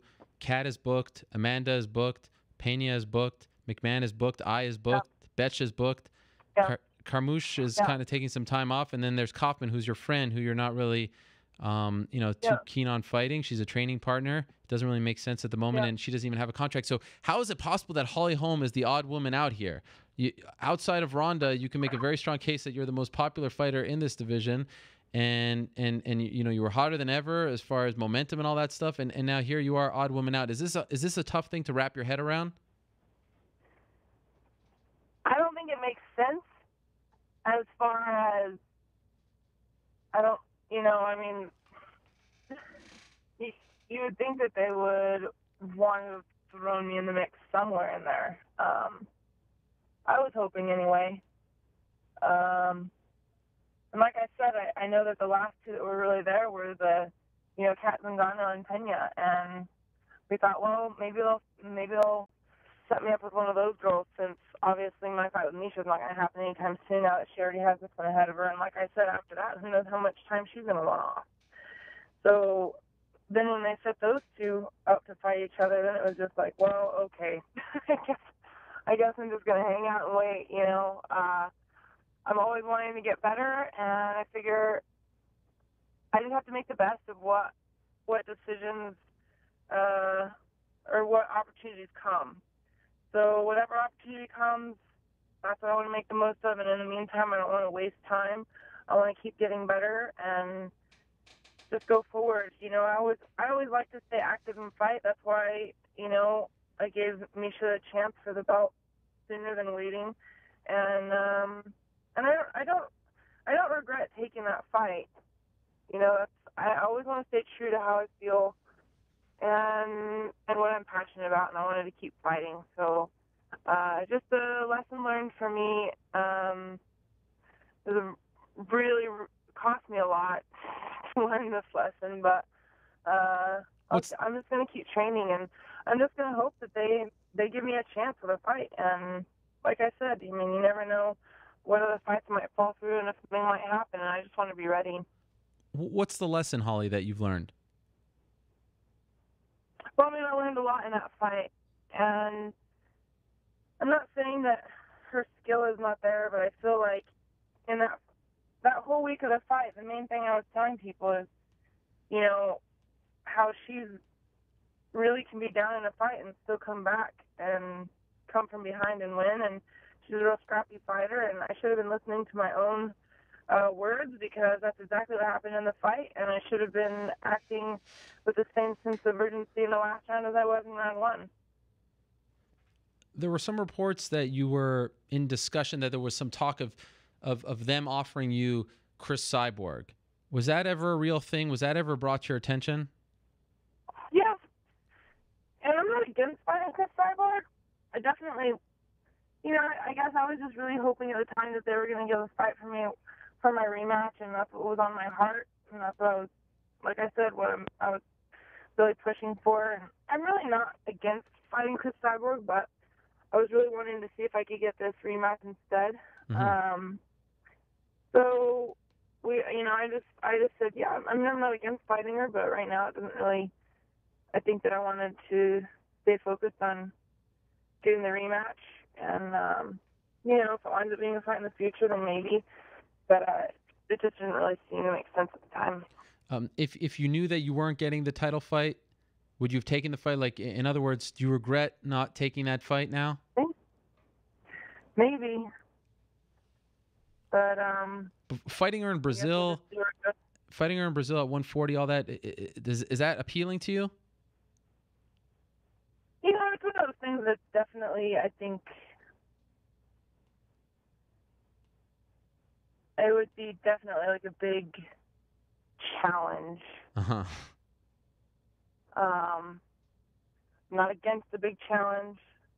Um, and when that with that fight, I kind of just let my management kind of. I said, you know, if you guys think let's do it, do it, and if not, then, you know, like I was like, I, I kind of want your guidance on this one. hmm and um, we just kind of felt like, you know what, maybe that fight would be for a better uh, situation in the future, um, you know, and kind of see how things go right now. Uh, like I said, I, I really was so focused on really wanting to get this rematch, but uh, guess we'll just see what's next. Now, here's my crazy theory. I'm trying to have a silver lining in all of this. Is it possible that they're saving you for Ronda Rousey? That they're just gonna they're gonna have you guys fight right away to not you know screw this up and and and, and just finally capitalize on this rematch, even if it's not for the belt right now? Is that possible? Do you think that's that that's why you didn't get booked in this rematch? You know, it's very possible. It's very possible. You know, I I don't I don't know uh, what their real thinking is, but they're obviously a successful business for a reason. You know, they're a successful promotion, and um, so they usually have their reasons behind everything. And you know, I, I'll be ready either way. If I have a rematch with Ronda, I'm to train my butt off. If I have a rematch with you know Tate, I'm to train my butt off. If they give give me one of the other top girls in the meantime, I'm to train my butt off. And I feel like at this point, not having the rematch, which is what I really wanted, I just I, I kind of have to change my train of thought that just be open to whatever. Um, you know, I don't want to be so focused on that that if something else comes my way that I don't take advantage of the opportunity. So, uh, and that could be it. They could be waiting for that. And then, you know, because it has created around Robin, really, by me being beating Ronda and Miesha beating me, it's kind of created that that trio there, that round robin, to see who's going to be the one to come out on top in the end. And uh, you know, they could be waiting. Who knows? Maybe they'll put Ronda and I together, and then the winner of that go for the belt. Who knows? But but to be clear, you haven't been told that, right? No. Okay. Um, is it hard to go to the gym now and, and, and be motivated knowing that you lost out on, you know, the rematch that you wanted right away, which was the the Miesha Tate fight? Like, did you need to lick your wounds No. for a second, or, or you were right back in there? No, no. I have no problem going to the gym and training and getting better. Um, I just left the gym right now. Uh, I'm motivated to train, whether it's you know for a fight or not. And actually, sometimes when I don't have a fight scheduled, I tend to work on more of a variety of things and not just you know game plan for that specific you know opponent. So in, in ways it can be even more fun to train when you don't have a fight coming up. Um, I like having a goal. I like having a fighter uh, and a fight to look forward to. But if not, um, I just like to enjoy training. Have you uh, read your? I don't know. And by the way, did you notice that your Twitter is now at Holly Holm no more underscore? I'm sure you noticed that, right? You know what? They told me they kept trying to fix it, and so I guess they finally did it. Wait a second. They didn't tell you why they fixed it when they fixed it. I just told them, yeah, that'd be cool if you set it up. I don't know when they No, no, it no. over. That's not cool. That's not cool. When you won the belt, I said it's about time that the champion of the UFC's women's bantamweight division has a proper Twitter handle. So I said it's time to get rid of the underscore. I called them out, and then they fixed it like two days later. We moved mountains for you, Holly. I just I just wanted to point that out. I'm not the kind. Thank you. I'm not asking for a pat on the back, but I just you you know want to know what else would help me out? yes. Okay, so they keep saying that they're gonna take care of my UFC fight pass, but I still pay for it all the time. Are you kidding me? Holly Holmes still Yeah. pays for her UFC fight pass. That is that is absurd. That is Every month. sacrilege. Every month, nine ninety nine. UFC fight pass, I pay for every month, and they always tell me they're gonna go and fix it. Okay, Eric Winter, who I know listens to this show, watches it every week. You heard it right there from the the the, the true number one contender in the division. She needs to get comped UFC Pipe Pass. Come on, let's let's make this right. I'm starting to think like there's some conspiracy theory against you here, Holly. I'm not going to go there, but if you're paying for UFC Fight Pass, that's not cool. Uh, that is not that is that is not cool at all. Um, I'm just wondering though. Actually, I think my uh, my year membership just ran out this month. I tried to log in yesterday, and I was like, "Do I sign up again and pay every month, or should I just call them?" This is, I mean, talk about adding insult to injury. Jeez. Um, Putting salt in my wound. Yes. Uh, but but about the social media stuff, have you read your social media? I see a lot of people supporting you. Do you go on and look at that stuff, or is it is it too crazy now where you don't read that anymore? You know what? I I mostly look at Instagram. Okay. I'm really terrible at Twitter. I'm so bad at that to go through and read. I know I need to be better about it, but I just don't have time to read through all that. And but Instagram, I mostly just look at photos, so then I don't even really read a whole lot of it. Every now and then I see stuff, but I do have to say that across the board, there's always to be negative people out there. There's always going to be what they call, you know, the haters. I really truly feel like I have a very, very positive support from, you know, all the fans, and I feel like majority of it is positive, and I do see them and their support, and they back me up, and um, I really appreciate it. You know, I really do, and uh, it also helps me keep motivated. I don't want to let these people down, the people that support me through thick and thin, uh, good or bad. You know, so uh, I definitely feel like the support's been positive, and and I I don't overlook that at all. I really appreciate it. Yeah, they really had your back last week, so I was curious if you saw that. Uh, final quick thing, and again, thank you so much for the time. It's always great to have you on. You are a class act. Um, Thank you. Are you are you uh, are you are you hoping that Miesha beats Amanda or the opposite? What do you what are you looking for? Like, what do you want to happen at UFC 200 now? Gosh, you know, um, I would like to rematch Miesha, and I would like it to be for the belt because he doesn't want to get that back. So Right. I guess that's what I would want. Okay. I want her to win and have the belt so that I could rematch her and get the belt. Because I want to rematch her regardless. Right. but it'd be even sweeter if it was for the belt. So yeah, I hope she wins. And anybody that beats me better beat everybody else. Fair enough. Fair enough. And I'm guessing you'd rather that Miesha fight than the Ronda fight at this point. You want to beat the person that beat you. Course. that's what that's what the bitter taste in my mouth. You know, that's what I want. But like I said, whatever. If they hand the other one first, then that's fine. All right. Um, Holly, appreciate it. Thank you so much. Uh, I know it's not the best of times. Thank you. I'm sure it'll all work out. Really appreciate you coming on and talking about all of this. And uh, best of luck to you Thank and you. keep up the great training. Thank you. I appreciate it. Thank you. All right, there she is, Holly Holm, the former women's bantamweight champion. Uh, I, I, I thought, with all due respect to Amanda Nunes, who's had a nice run, I thought they got it wrong on this one, but I wonder how much Conor Diaz affected that. Crazier things have happened, so let's see how it all pans out. All right, let's move along. Let's welcome in our next guest. As we've been talking about all show long, it was supposed to be Khabib Nurmagomedov versus Tony Ferguson in Tampa Bay, one of the more anticipated fights of the 2016 UFC calendar. Unfortunately, we have to wait a little longer to see that fight. Unfortunately, Tony Ferguson had to pull out due to an injury. Really wanted to speak to him about that, how he's feeling, and where he goes from here. So he is joining us on the phone right now. Tony, how are you?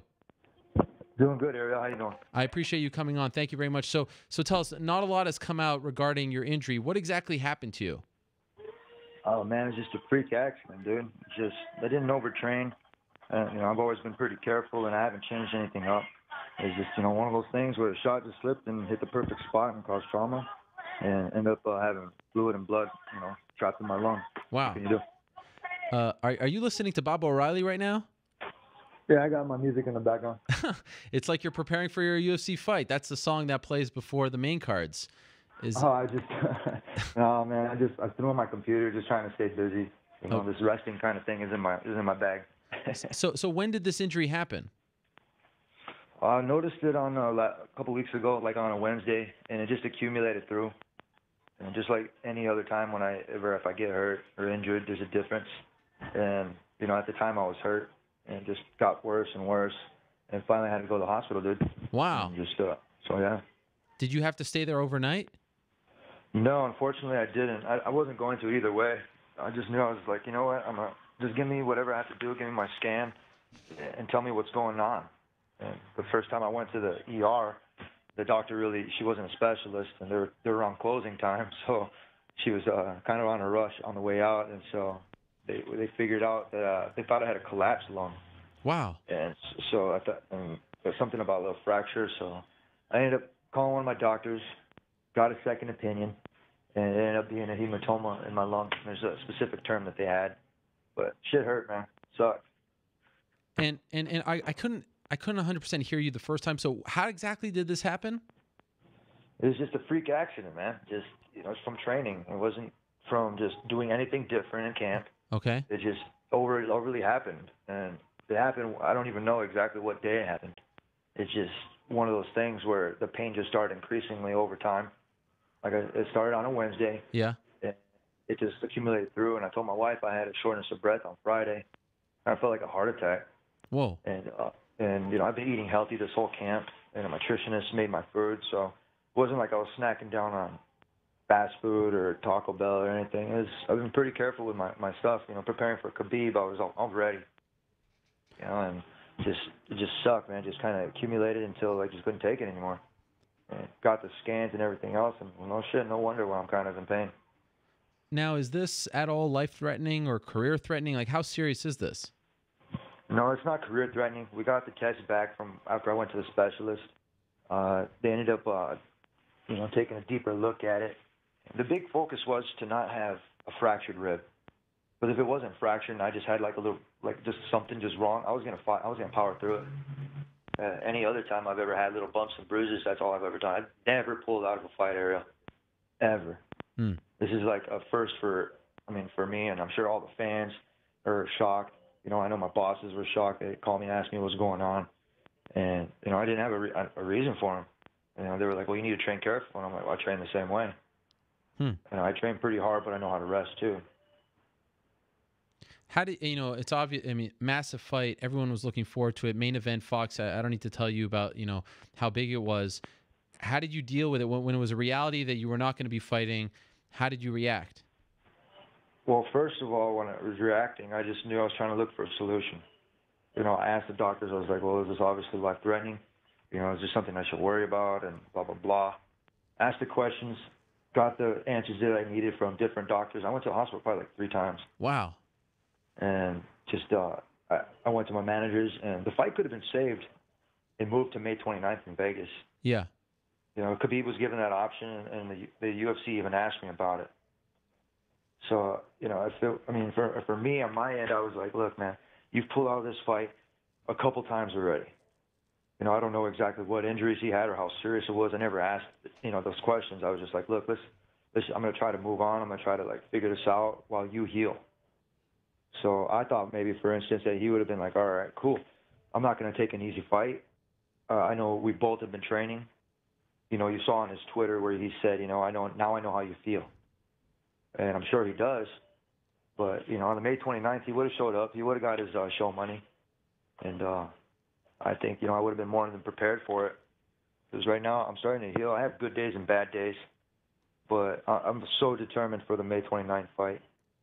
You know, I just kind of bummed that he, you know, he was given that option and he ended up taking a fight with the guy that has half of his fights and making his UFC debut.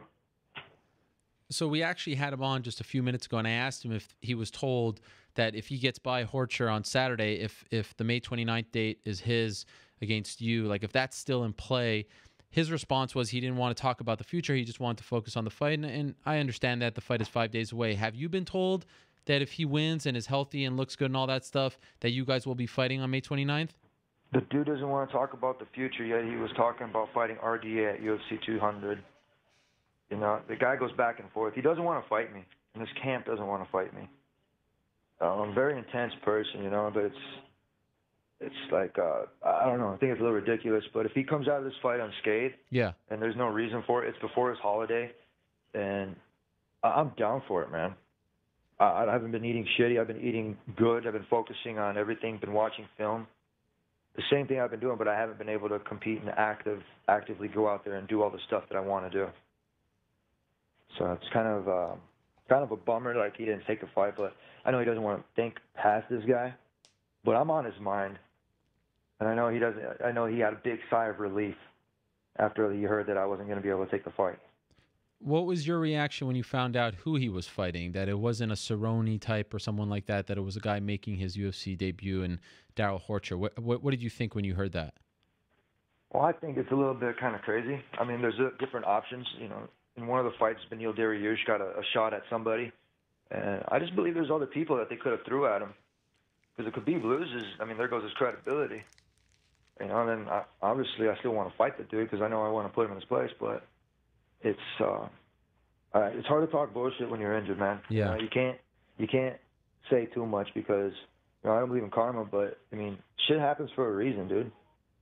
You know, I'm having a baby and and you know with my wife, and these things just like I said, these things just happen for a reason. So, and the reason I, I fight is to provide for my family and to be in the best in the sports history.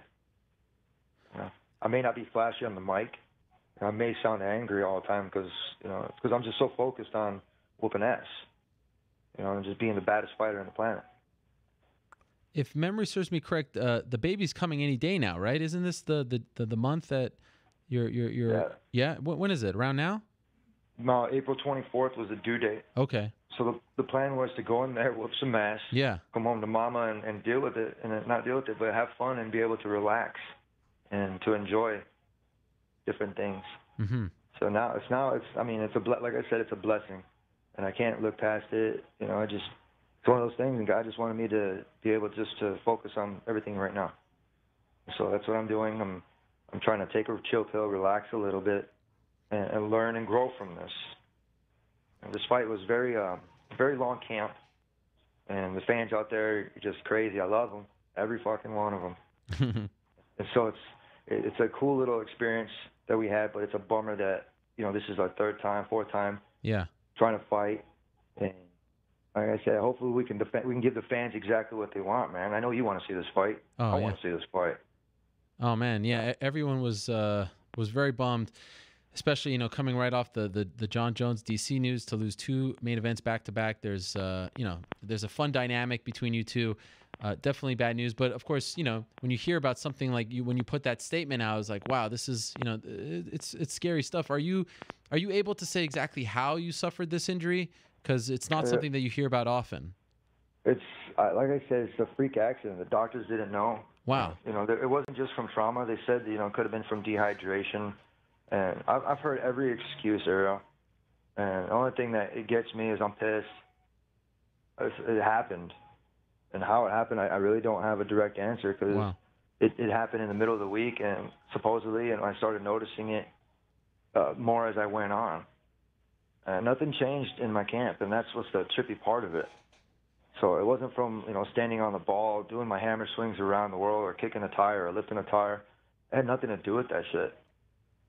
It was just uh, like I said, a freak accident that happened, and you know hopefully, hopefully my body recovers best, you know, better, and I know it will.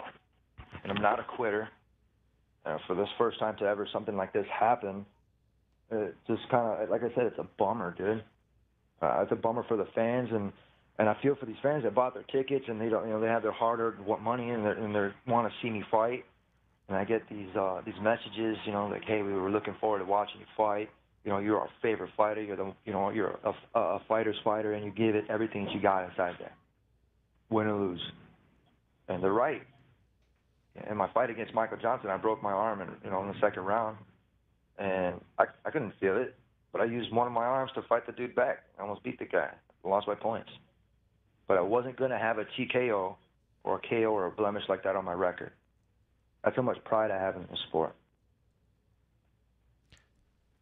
Is there a possibility in your mind, crazier things have happened, that, you know, given the timing and everything, RDA still doesn't have a fight, that you might just get a title shot now? I mean, your resume certainly warrants it given the winning streak and who you've beaten. Is it possible that this thing works out where you don't fight Khabib anymore and they just put you in a title shot? Has that been discussed? I'll whoop his ass too. That's plain and simple, man. Uh, I, I prepare every fight for differently for as far as mentally and, and as far as watching film and I get my game plans. I always go in there with an open mind, and if it's either RDA, even if it's Alvarez, and they want to give me Alvarez in one of the fights, he's not looking to sign on the dotted line anytime quick. You got Pettis fighting Barbosa, and I guarantee you Barbosa's gonna whoop his ass too. Wow. So it's it's it's a hard little one, man, and it, it, I'm I'm ready for whoever they give me. Put it that way, and I have never taken an easy way to the top. Any time that they've ever given me a fight or they ask me who I want to fight, I ask my bosses like, hey, you guys tell me who you want me to fight. You put them on a dotted line, I'll sign it, and we're gonna go in there. We're gonna do business. And I'm a company man, and, and I've always been that way. And my relationship with my bosses have always been pretty serious because they know I'm all about doing taking care of business. You can't bullshit hard work, and you can't bullshit finishes. My record speaks for itself, and I'm a finisher, man. I don't grind out fights just to grind them out. If somebody pisses me off, I'll make them go the full three rounds with me. And it's, you know, like I said, it's, I hate to, to talk like this because I'm injured, you know, and you can't do shit about it. Right. But if they do give me that title shot, I'll take it. And it's no doubt about it, man. I'll go in there and I'll finish that dude. This is MMA, and I'm, I'm a thinker, and I love to go in there, and my conditioning is always on point. Yeah, one thing I found out is I have long lungs. So every one of my Huh. doctors is like, you must have great cardio. I'd imagine though that you you you do want to get that Khabib fight in at some point, right? I mean, too much has happened. It's been you know discussed for so long. That, that's something that you want to see happen. I would imagine, right? Yeah, I want to see it happen.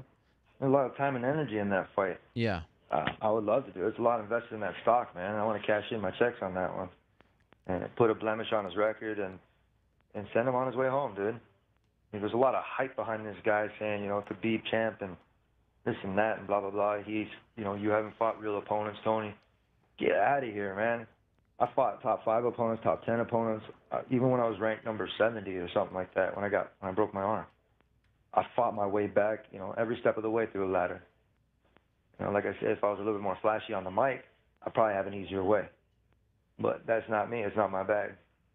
I'm about being focused, taking my skills to a new level, getting that mat time during certain fights, and then when when the real fights come around, it's it's about dealing damage and, and going in there and finishing these guys. So that way, there's no object objection to that. That they don't want to rematch, they don't want to face me again, and they're looking for different weight classes to go and fight. Will you be watching his fight on Saturday? And if so, are you rooting for Khabib to win so that you know your fight with him can remain intact? Nah, man, I'm gonna go for the underdog. of course, I'm gonna go for the underdog. this dude's 12 and one. I don't, even care about odds or betting things. I don't really pay attention to that. But this kid's got a shot, man. and It's his debut. Uh, I wish all the best luck to both of them. I hope none of them get hurt. You never wish that. Yeah. And uh, I, I really hope that uh, we see a good fight. I don't want to see a lame ass fight with somebody I got replaced by. Uh, hopefully, this dude's in shape and he's got his technique down on pat, and he's avoiding all the negative talk from all the all the fans, which I'm sure he's probably gotten attacked because they kind of used up on me. Yeah. Which honestly, I love it. you know, it, it, it grinds, man. I, I don't think the fans realize it that when you do something like that, it fuels the fire to train and to prepare, even if your opponent's not, you know, saying anything. Well, the Ultimate Fighter in the Ultimate Fighter house, I had everybody against me, and then I knocked everyone out. This this is a fight game, man. and It is what it is. so th- they're talking smack to you about pulling out. That's what happened. I get it either way, man. It's, it doesn't even matter. Fans are gonna be fans, and trolls are gonna be trolls. Right. And keyboard warriors hide behind their desk and with their Cheeto fingers and whatever else they do behind that desk. But I'm here doing what I do best, and it's preparing for the next opponent. So, you know, I have my home gym right here, and I haven't been able to do it because the doctor says I need to rest. But as soon as I get a little bit of just that, that little bit of okay from the doc, and he says go ahead and start training, Yeah. I'm back after it, dude. I'm gonna realign all of my camp. I'm gonna pull in some. Actually, I'm gonna pull in some different UFC fighters for this. I'm gonna hire a couple different trainers, and uh, I'm gonna make this shit happen, dude. I'm I'm one of the world's best fighters, you know, with a great finishing rate, and I aim to please when I go out there. And I, I hate being a boring fighter. Put it that way. I'm a flow fighter. Uh, and, and speaking of that, do you have any kind of timetable as to when you will be 100%, when you can go, you know, full on as far as training and all that? Have they told you that yet? Well, it would either be two to four weeks, is what they said. They said four weeks probably max, and that's why I said the May 29th card would have been perfect. Uh huh. If I did that, it would have gave me like what four or five weeks to train, including fight week. And I'm already in shape, dude. Like I- I'm in great shape. I was close to weight. I was fighting to make 170 for the fight. You know, eating as much as I could, and staying hydrated, drinking my gallon of water a day, and getting all my you know my supplements in. And dude, I was prepared for this guy, and I'm I still am. I'm not gonna get unprepared and start eating shit and, and start feeling sorry for myself because that's not how I am. Hmm. I'm a champ. I'm a champion, dude, and, and a lot of people just don't know it, and it's fine with me. So as long as uh, I have a job here, providing for my family, and being able to go out there and kick some ass, I'm gonna do what I do best and finish these guys. Uh, final thing, it's obviously a setback. It's a slight setback, but you're you appear to be oh so close to reaching that promised land.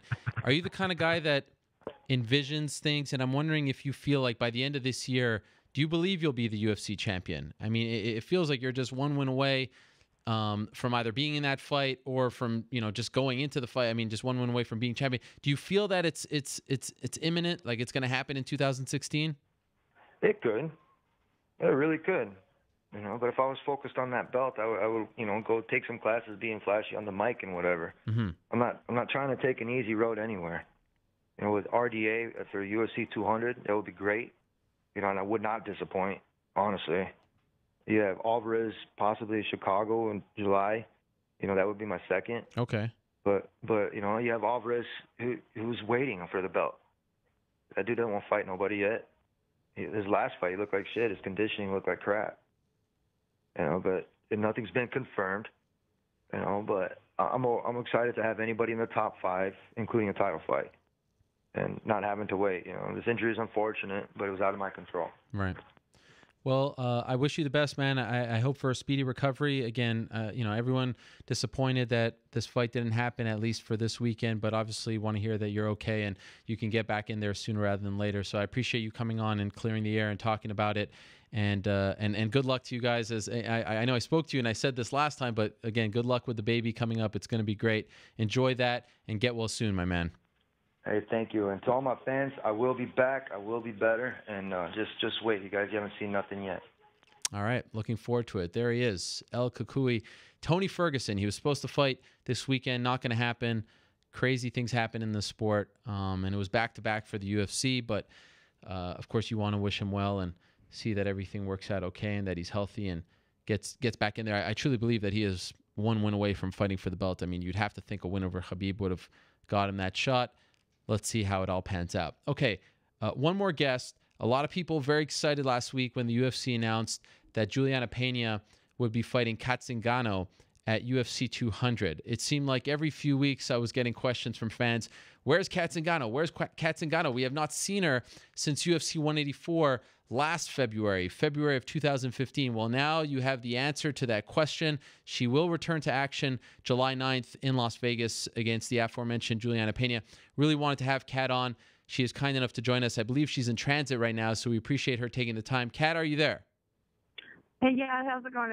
I, I am uh, I am doing great. Thank you for the time. You're, you're coming back from the Olympic trials, right? Yeah, yeah, I was out in Iowa City this weekend. My best friend was uh, wrestling at the Olympic trials, and so I went out there to support her and, you know, kind of revisit and reunite with all of my old uh, wrestling colleagues, and um, I don't know, watch some awesome matches. And now I'm on my way home. Uh, what is your best friend's name, and, and how did she do? Randi Miller, she lost one match, uh, so she ended up taking third. Um, not, you know, the plan, but sometimes that just happens. She lost to someone she doesn't uh, lose to typically, but um, it's anyone's day, anyone's game these days so with uh, these sports. So, you know, it's all right. She did good, and, and I know she'll be back doing what she loves. All right. Well, uh, that is good to hear, and of course, it's great to hear that you're you're back in action. I was saying that I used to get questions every you know so often. Where's Cat? Where's Cat? When's she coming back? Is it nice that you can finally give people an answer that you can stop getting those questions? Because I would imagine you were getting those multiple times a day.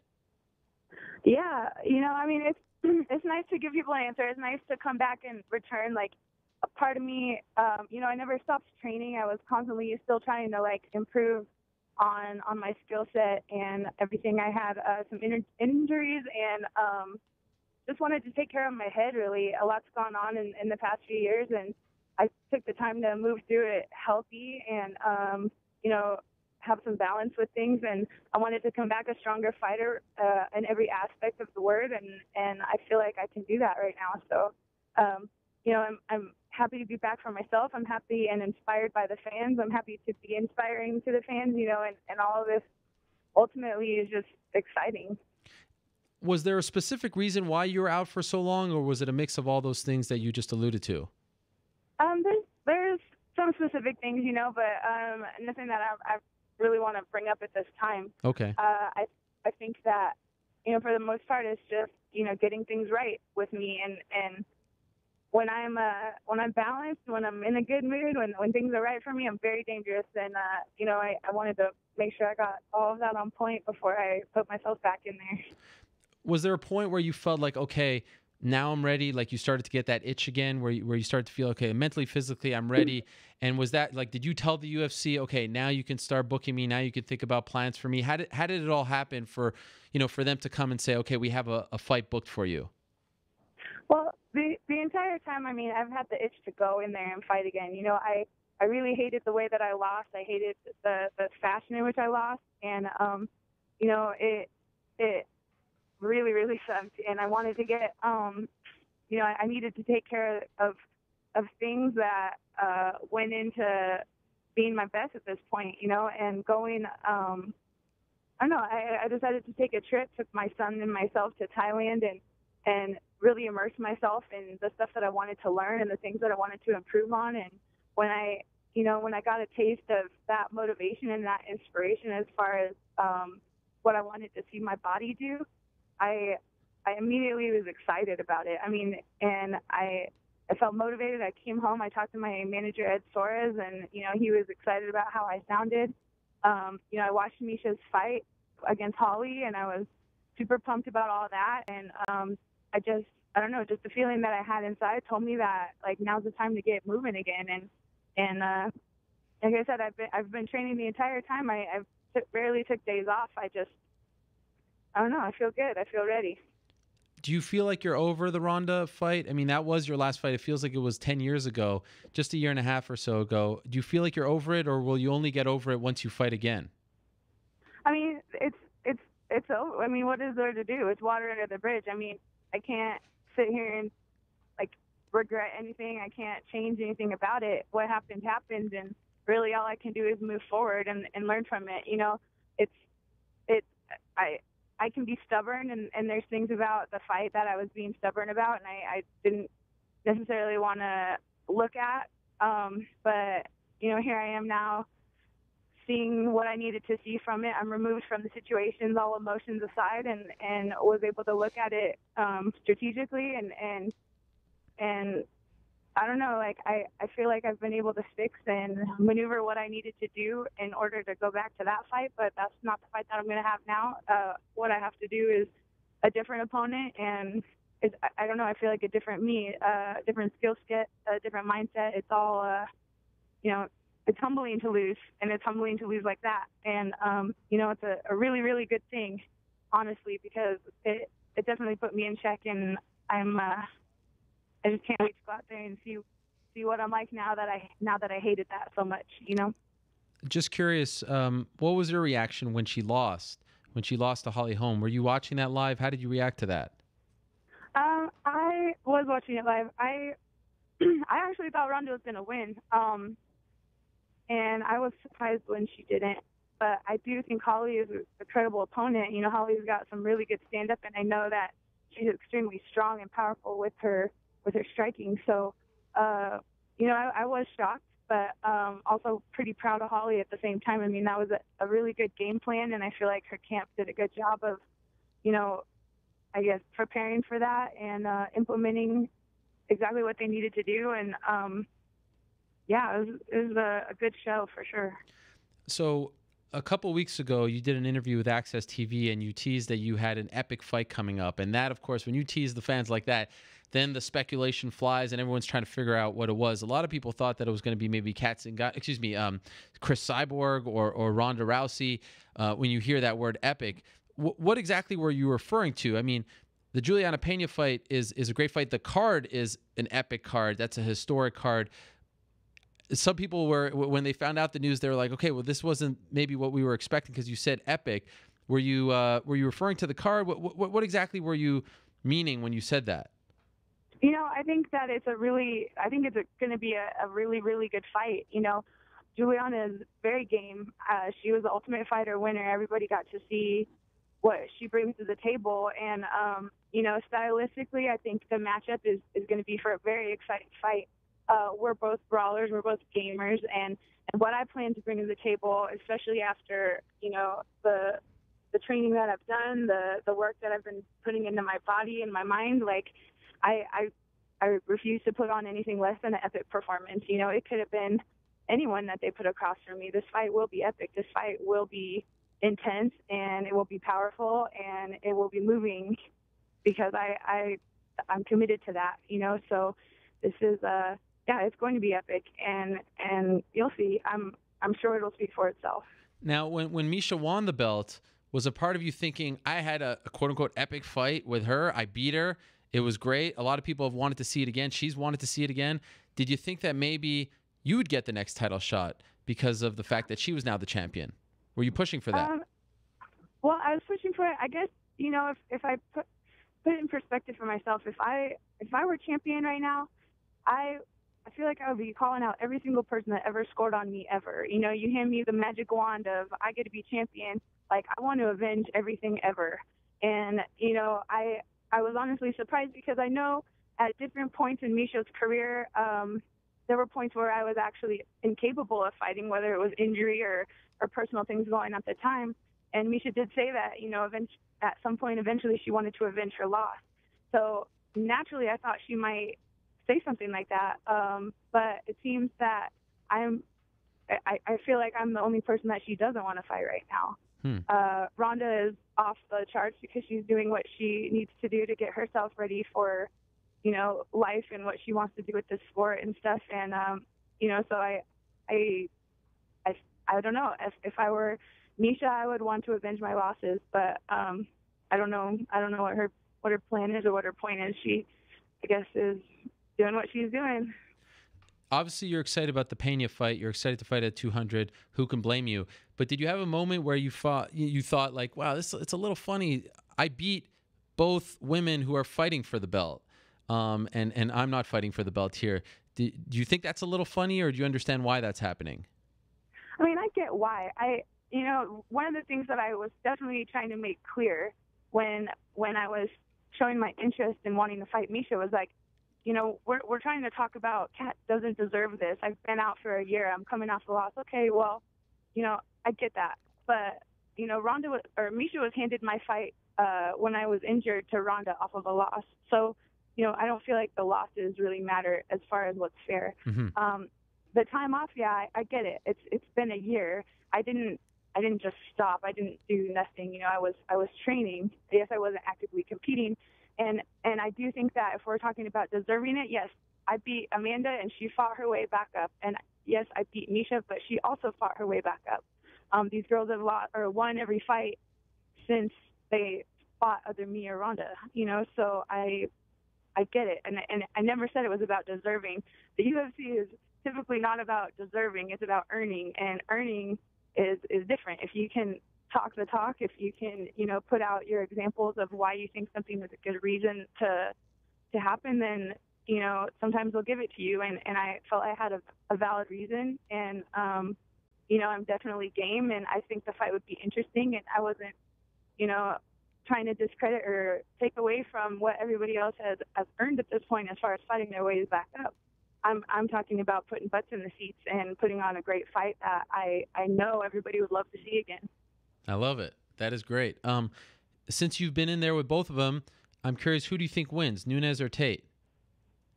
You know, um, man, they're both warriors. That's that's the thing is is I feel like um, Miesha is really good at taking a hit, you know, and she'll just go go go. You know, she'll she'll stay in there. And uh, Amanda, she she can deliver a beating. And um, I don't know. I think stylistically, like you have two extremely tough women. They're both very powerful, and they're both very game. So uh, I don't know. I see Miesha winning it. Um, just out of pure experience and her knowledge and just like I think she wants to be champion longer, you know. But if uh, if Amanda is a champion, she will definitely be a um, a good champion too. So um, either way, I I would really want to be considered in what happens next with that after that fight. Oh, have you have you been told that that if you beat Julianna Peña, you're the number one contender? Have they said anything like that to you? No, I haven't been told that, but that's definitely something that I'm I'm going to be trying to fight for. Right. Uh, how much did you miss all of this? Like just being, you know, having a fight, having to think about an opponent, you know, counting down the the, the months, the weeks, and, and then actually getting to fight week and all that. Can you sincerely say that you missed all of this? Oh yeah, absolutely. I mean, it was grueling. It was grueling, and to watch the show go on without me. Yeah. But at the same time, I, you know, I know I was doing what I needed to do to come back at my best. I didn't want to come back, you know, a 50% happy athlete. I didn't want to come back with, you know, all this other stuff on my plate and just make it work. Like I wanted to come back like hungry for it and and missing it and desperate for it and longing for it and and that's what I did and and I waited long enough and when the time was right it just hit me like a ton of bricks and and I knew you know and that was the the pinnacle I was waiting for. That was the moment that I was waiting for you know and it happened to be at Miesha's fight and I was like I'm ready. I can do this. I can beat her. Like I'm ready. And that's that's that was the bam I needed to hear and I heard it. So I I'm excited. I'm excited to be back in the mix. I'm excited to be inspired by the fans. Um, I think it's a great time for for women's MMA right now, and and this is it's just great and it's epic. All of it is epic. So you were at UFC 196. You were there in person? No. Oh, okay. I thought you meant okay. You were just watching the Miesha Tate fight. Yeah, yeah. I, I was watching the fight. Okay, okay. Um, and and now you come back. Your team is is on fire as well. I feel like you guys are getting a lot more attention. Uh, you know, TJ joined the team, and Neil Magny has been killing it as of late. Would you agree that it feels like when you fought for the belt, the the the team that you were training out of in Colorado wasn't getting as much attention as as it currently does. Things have changed a little bit since the last time you fought. Yeah, I feel like um, you know, elevation was in a kind of a, a transitional period. You know, we had just gotten everything kind of consolidated at Muscle Farm, um, the Muscle Farm facility. Uh, we were trying to figure out schedules where the coaches fit in at what time, you know, and, and a lot of fighters, I mean, obviously fighters are, they have their individual preferences and, and, um, it was, it was definitely a, a, a, sliding scale as far as a learning, learning grace period for people. So, um, I think they're getting it dialed in, and um, right now I, everybody's excited and happy. Like training's been going good. People are all playful, and and that's what we need. Everybody just likes being in a good mood when they fight because it's you're way more dangerous when you're happy doing this. You know. Yeah. Um, last thing for you, and again, thank you very much for the time. Uh, over the last couple of years since Julianna Peña joined the UFC after winning TUF, how much have you watched her? How much you know about her right now? And and and if you do know a lot, is there anything that she does that concerns you? Um, you know, I'm not focusing on her. I'm focusing on me. I right. I can't really tell you much about her. I, you know, I, I know she's a she's a brawler. I know she's intense, I, and I know I'm a brawler, and I know I'm more intense. You know, so uh, really, I'm just improving, staying and maintain, maintaining everything that I'm doing right now, and um, um, I show up and I plan to take whatever I want. You know, so um, really, I'm just focusing on me right now. All right, we will leave it at that. Uh, Cat, welcome back. It's uh, it's great to have you back in the mix. Looking forward to the fight very much. Of course, UFC 200, great card. A, a very, very, very good addition to the card. Appreciate the time, especially as you're as you're driving back home. And uh, good luck in training. Good luck as you prepare for the fight. Looking forward to it very much. All right, thank you. Thank you so much. All right, there she is. Cat Zingano stopping by. She faces Julianna Peña, UFC 200. That is July 9th in Las Vegas at the new T Mobile Arena. That officially opened last week. Uh, if you're curious, it is right next to New York, New York. If you know anything about the Las Vegas Strip, the T Mobile Arena is right next to the New York, New York Hotel, um, not that far away from the MGM. Uh, from from the looks of the videos, the pictures, it's a it's a real deal arena. Twenty thousand or so seat stadium. Um, you know the MGM and Mandalay, they're smaller. MGM is around like 16, 17,000 seat capacity. Mandalay is around 11 or 12 or so. This is this is legit. They can they built this um, with the possibility of getting an NHL team there in mind. So they, they really want this to be a you know a, a major league arena. So it's that that's another layer to what makes UFC 200 a very interesting event to cover. Of course, they're going to have uh, the event on July 8th. Joanna Jędrzejczyk against Claudia Gadelha for the uh, strawweight title and the TUF finale. That starts April 20, what is it, 26th or something like that? Whatever that week is, 27 uh, on FS1. And then there's supposed to be another event before that on the 7th on Fight Pass. Speaking of Fight Pass, I actually got a text from Eric Winter, uh, the, the executive who heads up Fight Pass. You've heard him on this show. He said, email in human resources inbox for the Holly Holm comp as of 3:18 p.m. Eastern Time. So I told you, I told you Eric Winter listens to the show. We get things done here. We got Holly Holm's Instagram and Twitter name changed, and now eventually we're going to get her comped. He tweeted to me and someone else uh, a few minutes ago that no UFC fighter should have to pay or or or is required to pay for Fight Pass. So this isn't just someone asking for a freebie. Holly Holm deserves it. All right. Okay. Uh, it is Y'all Must Have Forgot time, as Nico the Greek reminds me um, on Twitter. Okay, so uh, last weekend, John Fitch, and, and this this got virtually no fanfare or attention. John Fitch became the World Series of Fighting welterweight champion, and this happened at like 1 a.m.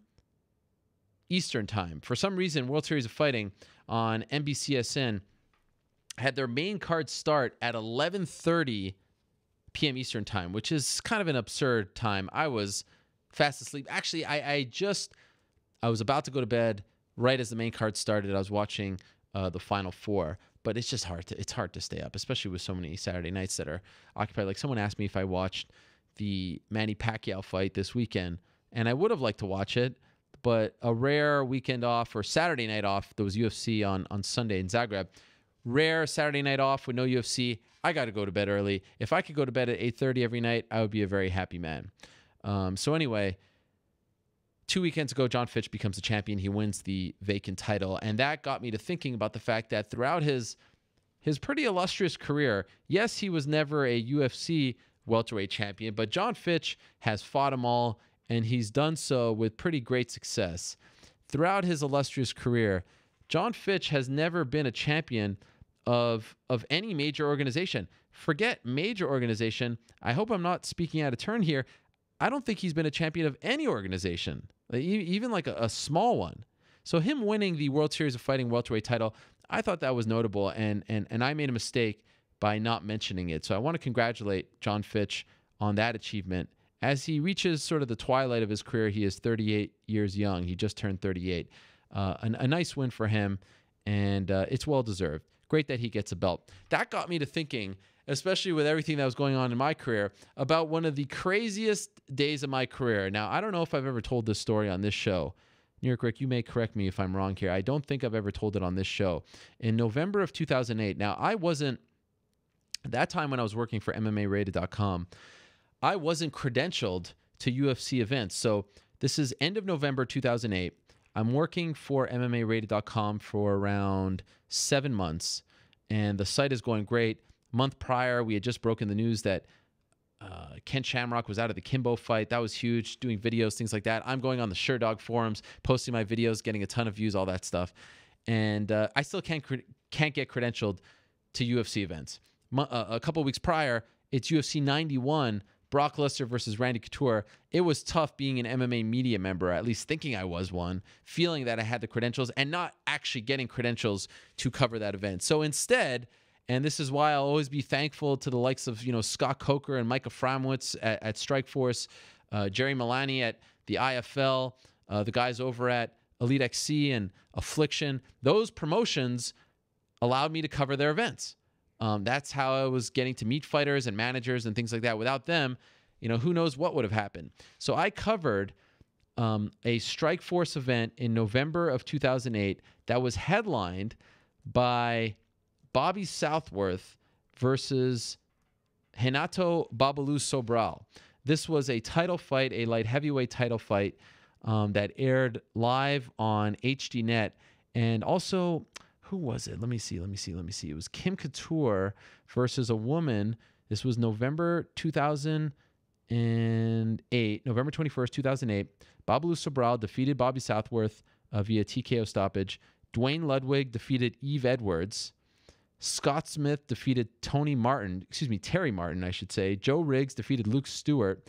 And Luke Rockhold also won via first round rear naked choke. Not a bad card. Kim Couture fought Lena Kavakov. And at the weigh ins, prior to the weigh ins, Lena Kavakov was seen smoking a cigarette. No joke. That's how. That's how uh, you know Wild West this all was. Anyhow, I got to San Jose. This event took place at the HP Pavilion in San Jose. November 21st, 2008. I got to San Jose on, so the 20th is the, the 21st is the Friday, 20th is the Thursday, 19th is the Wednesday. I got there on the 19th.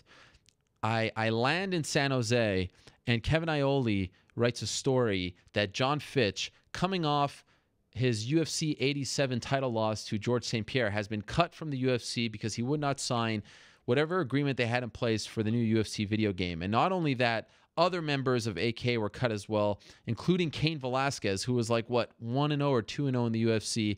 Mike Swick decided to sign it. It was a tumultuous time. John Fitch was one of the best welterweights not named GSP, and all of a sudden he was gone. And I just so happened to be in San Jose, home of the American Kickboxing Academy. Wow, just my luck. So the next morning, uh, November 20th, that Thursday morning, I believe it was either the 20th or the 19th. I can't get it exactly right, but you get you get the point. I go to AK and I just kind of chill out there. And it was a crazy scene. Everyone's on edge. Some are disappointed. Feels like there's a there's a line in the sand that has been drawn.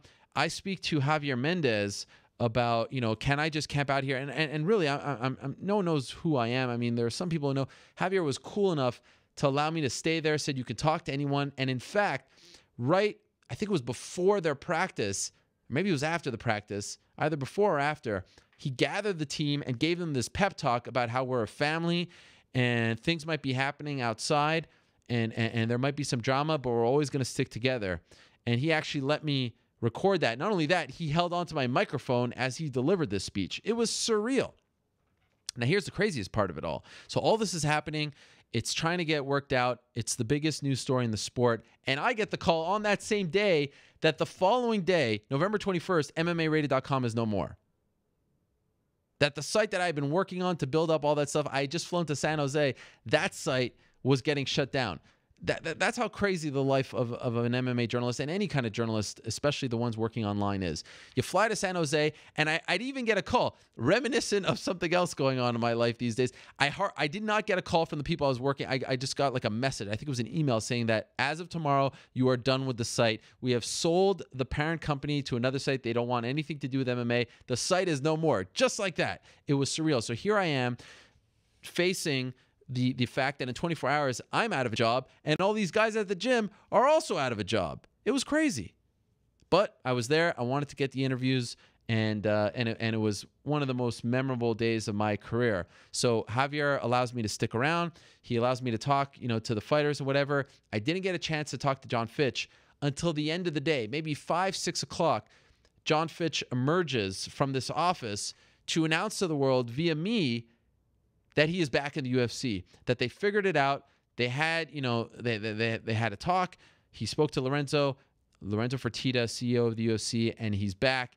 And, and, and, and that's my y'all must have forgotten. You could see on his face that he is drained. He is emotional. He doesn't know what to make of this whole situation.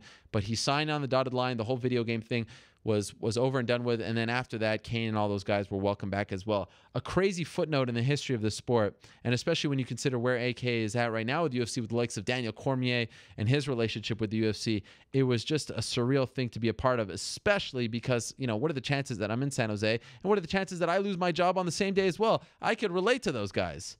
And then the next day, I covered the Strikeforce event, and that was pretty much it. I think the last interview that I ever did for MMARated.com was a Gina Carano interview. Fittingly enough, because she was one of my first. She was at that event. We spoke about you know what's next for her, um, and and I think Elite XC had already shut down, so there were some rumors of them going to Strikeforce and all that stuff, and going out. It was just crazy. What a time. So, in honor of John Fitch winning that belt, this is my long story to get to the point. In honor of John Fitch winning that belt last week, his very first significant title in MMA, I wanted to go back to that time in his career where things seemed all out of whack. And uh, I just so happened to be at the right place at the right time. Woody Allen once said, 80% of success is just showing up. I was just lucky enough to be there, and it's something that I'll never forget. So here it is, November of 2008. Y'all must have forgot. John Fitch announces to the world that he is back in the UFC. Ariel Helwani here for MMARated.com at the American Kickboxing Academy in San Jose with the most talked about man in MMA in the last 24 hours, John Fitch. So, John, I'll start off. I hear there's a, a new breaking development in this story, so give it to me. Um, yeah, uh, communication kind of broke down with Dana, so uh, we uh, talked to Lorenzo. Um, just got off the phone with him a little bit ago, straightened some things out, and uh, came to an agreement. So we're gonna move ahead, and I, I believe I'm gonna be back in the UFC. So you're back. Yeah. After all that, you are back in the UFC. That's that's the case. Is uh, we're gonna sign off on the video, and um, I'm back. yeah. So. So what was the sticking point? I mean, what what changed between yesterday and today? Uh, like we said before, it was never even about uh, the agreement or the or the contract. It was nothing. We had a problem with that. It was the approach that we felt that uh, Dana was a little hot headed and and was threatening us right off the bat, and um, you know, it didn't didn't seem like a professional way to do things. So uh, that was the big reason why we we didn't sign off it has have the terms of the agreement changed between yesterday and today? No, uh, and we never had a problem with the terms of the agreement.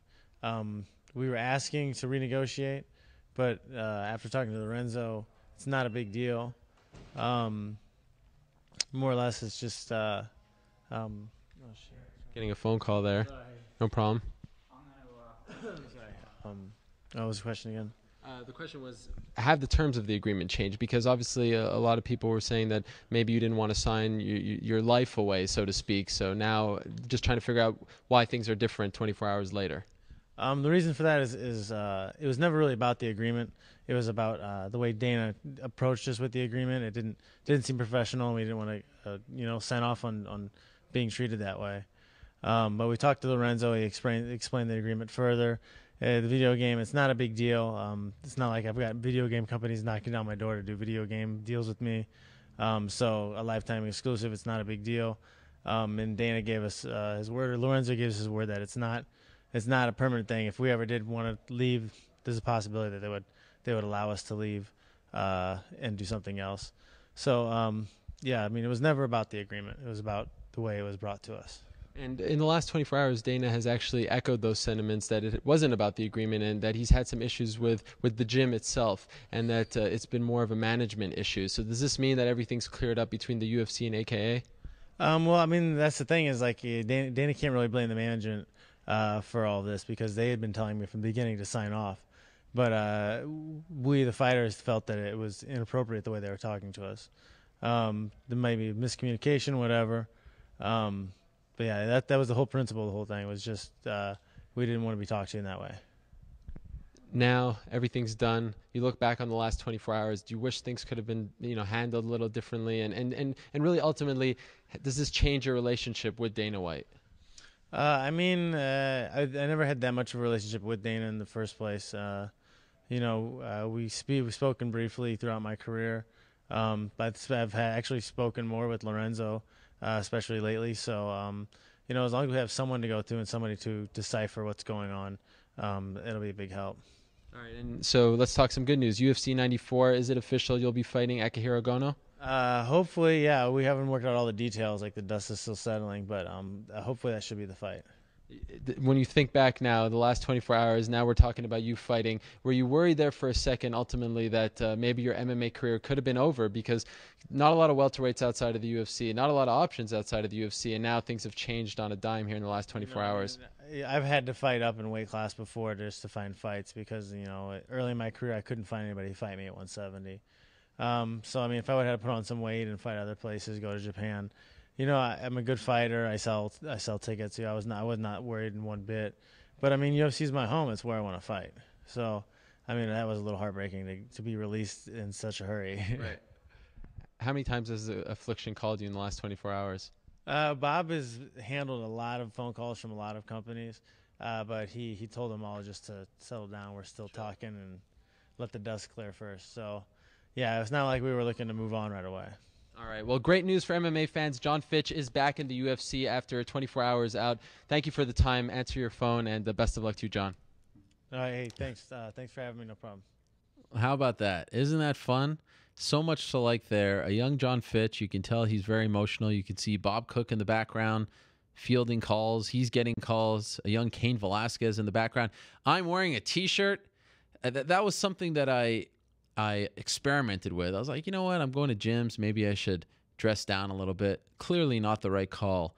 Um, although it was a sweet ass Nomas T-shirt, uh, the best brand out there. The Roots of Fight before there was a Roots of Fight, and that was a Say No to Drugs Barry Bonds shirt. In case you're wondering, which is an all-time classic. Um, but yeah, that was. I mean, just hearing Affliction. I mean, what a crazy time. Eight. What was that? What are we? Yeah, eight years ago. Eight years ago this November. How about that? New York Rick was what? 12 years old when that interview was conducted. How old were you, New York Rick, in 2008? I was in BJ Penn's dad's nuts. You were, that's right. Oh, how about do you even remember that at all? Do you have any recolle- recollection of that? I do. I remember that very well. I don't and also, um, sorry to burst your bubble, but you've told that story not only one time, but multiple times. Come on, well, what- especially when we have Javier Mendez on. You always like to reminisce with him about uh, that time that he he allowed you to stay there. Yes. No, but I think you know we got a little more in depth on this one, and uh, Well, why didn't you interrupt apropos. me? Well, I think I think it's a good story, and I think it's worth telling again. Um, and that mean, clip could- and yeah. that clip um, hasn't been shown when when we've talked about it. So, um, excuse me, I'm Are getting you a getting little emotional? up. wow. How about this? Um, no, it was it, it's a it's a crazy time, and I mean I feel like you know we've had situations where that might have been close to happening before. Um, uh, I'm I'm sorry, not before, uh, since. Oh. Um, so uh, it was definitely an interesting time, and um, probably like the first case of that where where rights came into uh, Yeah. into play. to put it in perspective, I mean, that would be kind of like, I mean, that would be like, uh, what's a, give me a title fight that happened. I was gonna say Holly Holm, but she was the champion. A title fight. What was the title? Okay, so Where it um, was vacant, you mean? No, no, no. Like a title fight where the champion retained. What's a recent title fight where the champion? Jon? Jones versus Daniel Cormier. I mean, I guess uh, that wasn't that recently, but yeah, it's like Daniel Cormier getting released a few months after fighting for the belt. You know, it's just Yeah. John Fitch wasn't. We think you know, obviously it's been a few years later, but John Fitch was the best welterweight in the sport, not named GSP. Um, speaking of which, there's a great documentary about that fight, the road to that fight, which I've definitely mentioned on this show before. It's called Higher. Such great heights. Such great heights. Look at you. Come well on. done. That's a great. Have you seen that one? I have seen it. Yeah. man those times maybe it's it's it's jeff sherwood being on the on the show and i haven't been around as long as him by far i mean he was around 11 years before me which is uh which is crazy um, but that like UFC 107, that was a fun event. They they had a screening for that documentary there. That was in Memphis. That was BJ Penn versus Diego Sanchez, and I remember it's just I don't know. It, it felt a little different. I'm not here to say that I'm reminiscing about the old times, that I miss the old times, that I you know all that stuff, but uh, it definitely was a little bit different back then. I don't even know how to like. I don't even know. I, I don't even know. I, I don't even know what I'm trying to say. uh, a couple things that I wanted to tell you though before we got to the questions. Um, let's see how it plays out. But I'm hearing a lot of chatter that in this neck of the woods, not that far from here, uh, later on this week or maybe next week, that this whole MMA New York thing is going to be signed, sealed, and delivered. That they're going to have a signing. That you know, we said that the last thing that needed to be done was the governor. Andrew Cuomo signing the bill, and then it's in play, and then we got the 120 days before uh, uh, an event can happen.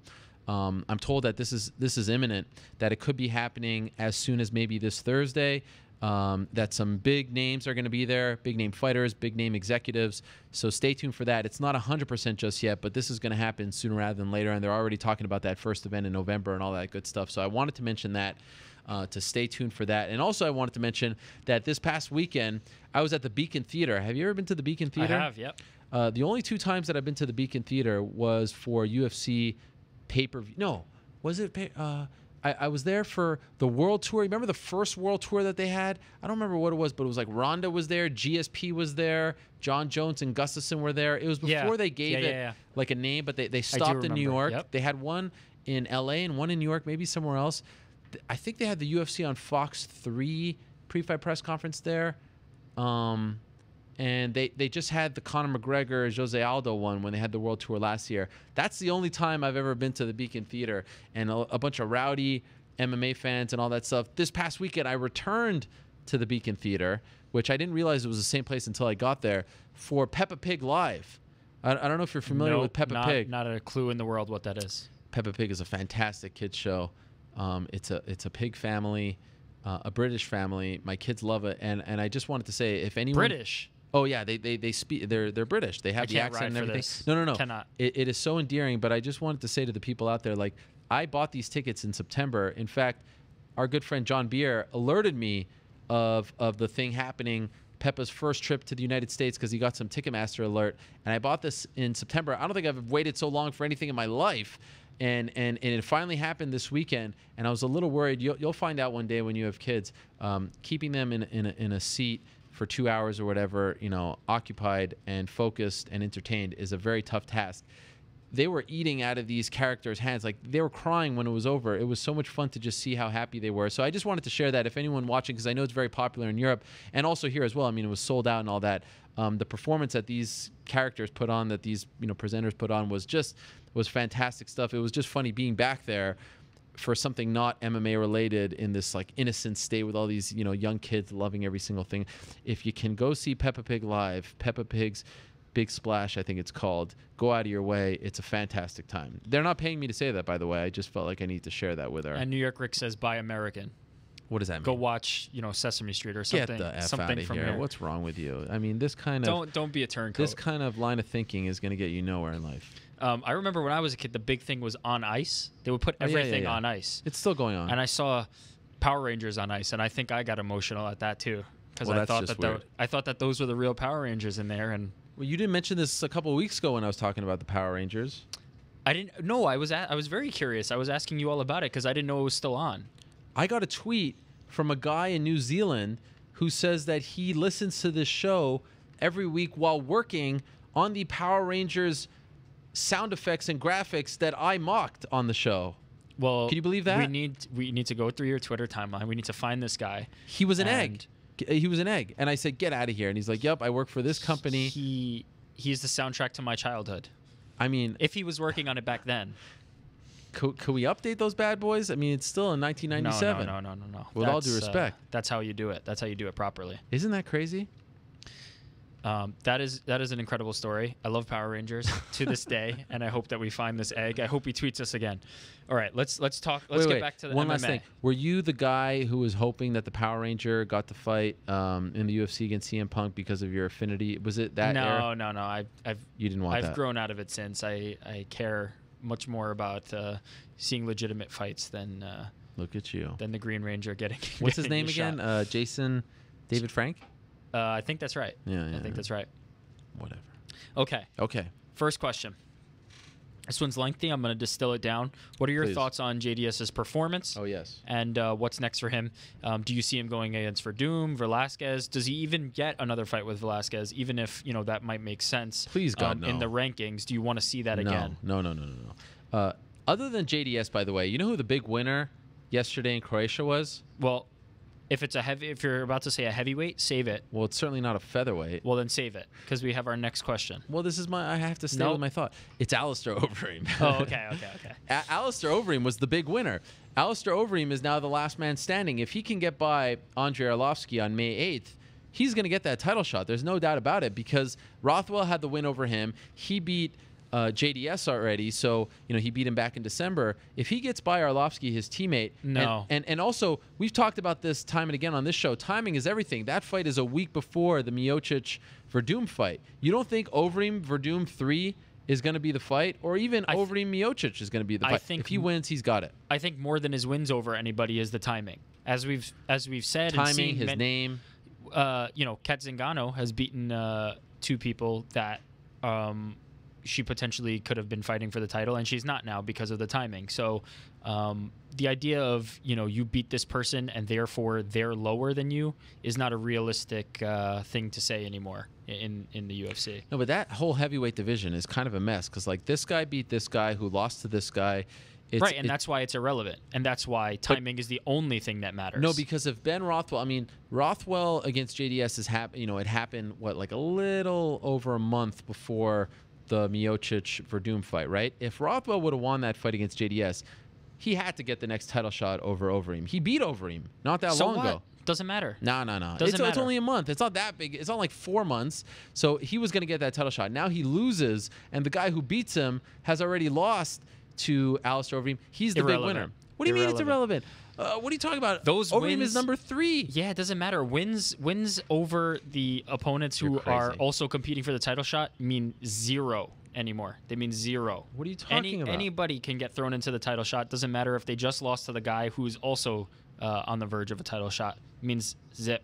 Means nothing. Title shots almost in and of themselves mean nothing anymore. Oh, look at you. Now you're taking shots at the UFC brass. How dare you? Zip. Um, anyway, I thought Overeem was the big winner, but enough of that. JDS, what a performance. I mean, do you agree with me? That was probably his most dominant and impressive performance since UFC 146 against Mir. Maybe 160 against Mark Hunt. I thought Mark Hunt was a better performance. I mean, the ending was great. I felt like it wasn't as one sided. This was a five Yes, but Mark- nothing skunk. Mark Hunt is a significantly better striker and a much more uh, a much harder matchup for for a striker like Junior than Ben Rothwell is. Um, the the Hunt performance is probably Junior's best and and and best in a long time. Um, this one I'd say was a little bit underneath that, uh, just because I don't see Rothwell as as dangerous. Um, but it was certainly good. It was certainly to ni- nice to see this versus what we've been seeing lately. Well, I, I got to tell you, the game plan that they had going to the body like he did. Sure. uh, I think it was end of the first or second, maybe the first. That that that teep. That I mean, it looked Yeah, like kicked him out of the cage Practically, I mean, that was like straight out of Mortal Kombat, right? 300. Kicked him into the pit. Have you ever seen Ben Rothwell? You know, Ben Rothwell when he fought Cain Velasquez in his debut at 104 was kind of ragdoll a little bit, but this was something else. I And mean, new Ben Rothwell. Woo. He's he's completely different. He he's clearly clearly um, a significantly better fighter than that one that faced Cain Velasquez. He's he's come a long way, um, but I don't think he's ready to crack that upper echelon of fighters with Overeem and Junior and Cain and Werdum. I just this? don't think Ben Rothwell. I don't What are you think talking about? He beat Overeem. Mm. What are you talking I, about? I'd, I'd take Overeem Submitted in the Josh rematch. Barnett? I'd take him in the rematch. Uh. He'd be the betting favorite, guaranteed. You think so? Guaranteed. You're saying this is this is revisionist history. You're It's saying a this guarantee. after he lost. It's a guarantee. okay, but He would what be what the- about that game plan? fantastic? I, Going I to the just think body the that- way he did? Who does that? I in think heavyweight that MMA? Roth, you know, if it comes down to uh, a situation where Rothwell is going to be standing with Junior Dos Santos, he's going to lose that fight every time. That's that's the reality of the situation. Um, even if it was Junior that didn't look um, as sharp as he did, but he looked really really good and uh, yeah, completely controlled that fight. It was amazing to see a heavyweight box like that. So how about how about uh, let's say let's say Werdum loses, is that the fight to make for Junior? Uh, Junior versus Miocic. No, Junior versus uh, Werdum. Are you you're saying title shot? I'm saying this thing this thing evolves so crazy. I mean, I don't know what to think at this point. Uh, I'm saying let's say I was ready. I was I was uncomfortable. At, okay, he gets knocked out by Overeem, and it was kind of like this listless fight. They both weren't pulling Yeah. the trigger. I mean, he he criticized it himself on this show, but to see his face after the Miocic fight, to see him getting knocked out, he was concussed afterwards. To see what happened to him after the the last two Velasquez fights, I mean, I thought this guy was pretty much done. I thought he was irrelevant. I'll say this: I do agree. He's made this point before, and I agree with him that he does cut a little. He, he cuts easily, and his he's going to wear some damage um, in a way that some others won't. That that are easier to hide it. So by looking at him, it, it's probably more ghastly and more of a sight thing than necessarily him being beat up. Granted, he was beat up. No, no two ways about it. But I think it looked a little worse than um, perhaps you know somebody else might have, um, and he's gone on to say that himself. Um, but yeah, he did not look like he was you know still relevant in that title picture in the same way he was two years ago. Um, so it, it was good to see him back in that. Uh, but I think that I mean you could sell a rematch with him and Werdum no problem, very Hell easily. Yeah. Hell yeah! I mean, very easily. But here's a question: If if he if Werdum beats Miocic, you do that title fight? Well, you're saying Overeem. It has to be Overeem. You said it has to be. it Overeem. has to, but it is, has to is be it is it a more sellable fight? Is I Werdum, think Junior could get it. And they fought twice. The last one was a little bit of a weird one in Dallas when Werdum kept going to his back. Um, but Werdum versus JDS is the fight that I think a lot of us have, have wanted to see for a long time because if you recall, JDS was the one who knocked Werdum out of the UFC. Yep. Uh, what was it? Uh, UFC.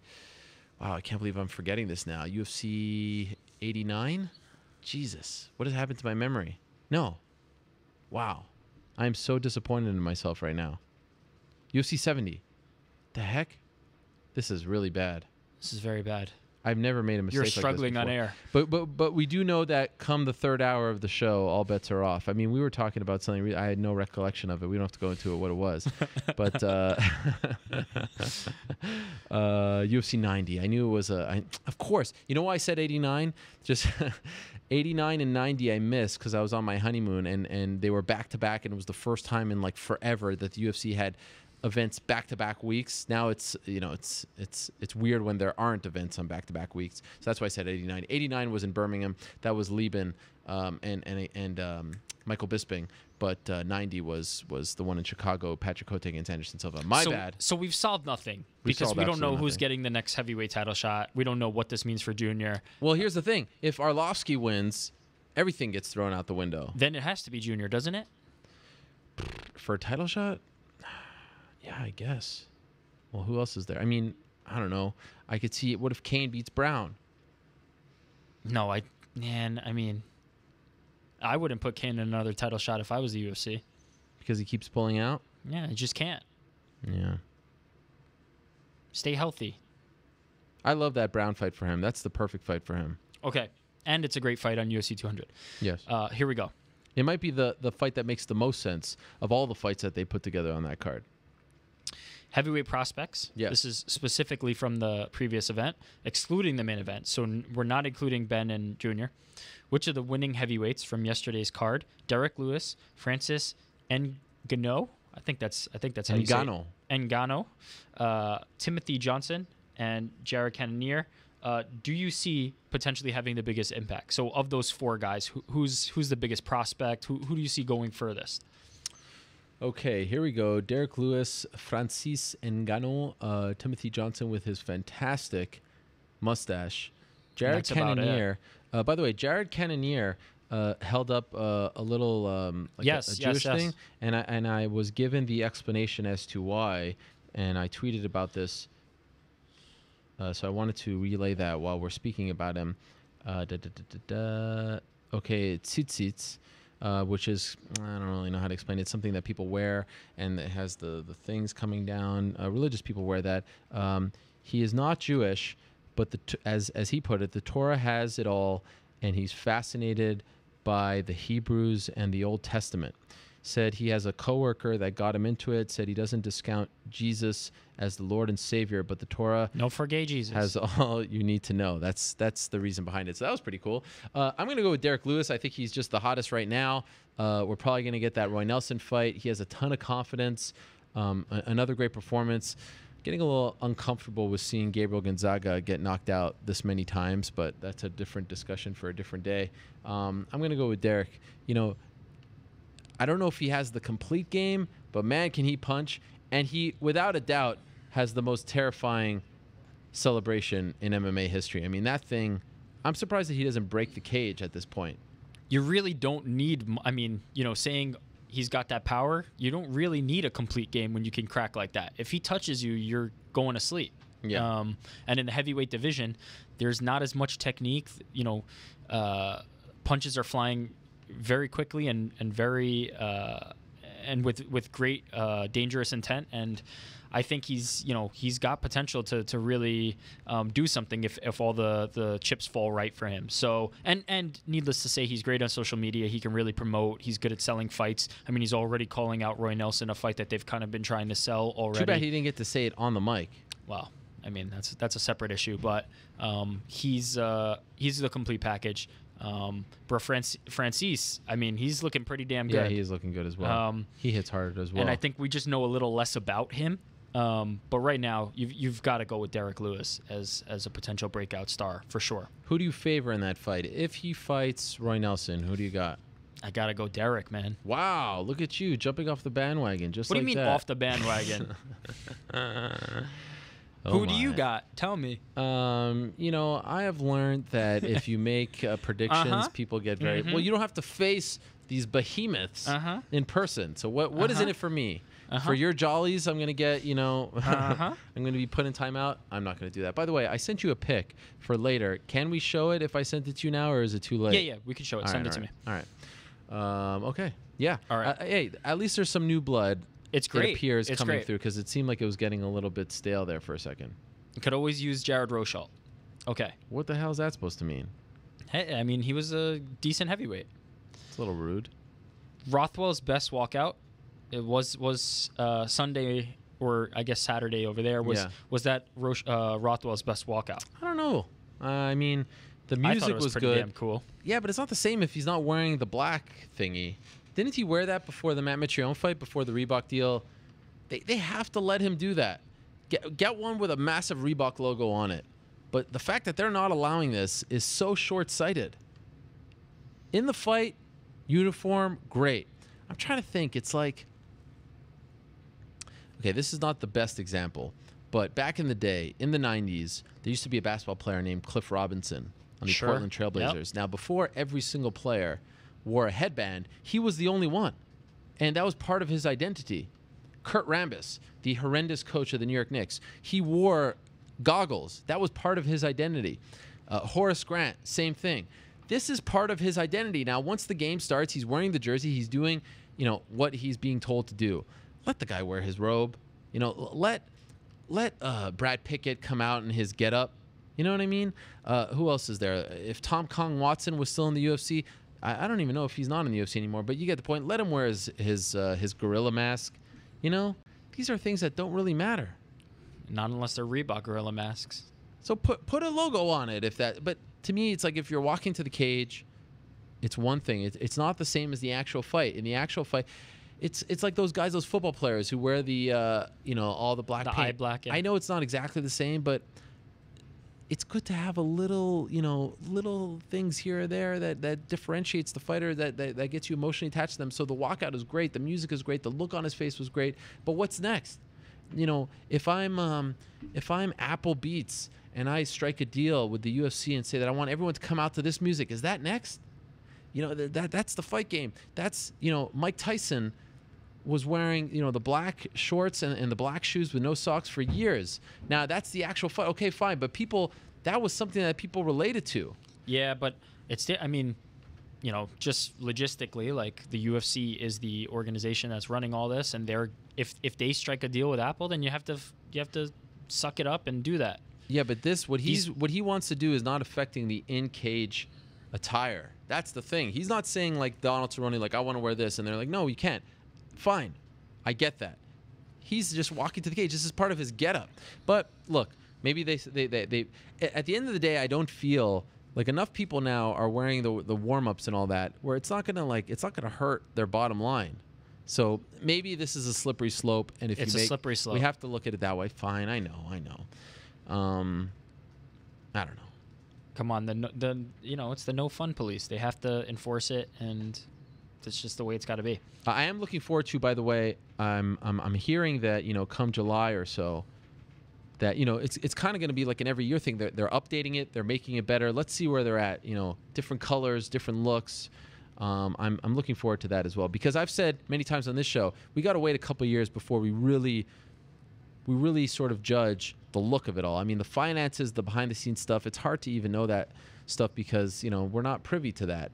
Um, but the, the look hopefully gets better because it just looks to the same. I mean, it's just too similar now.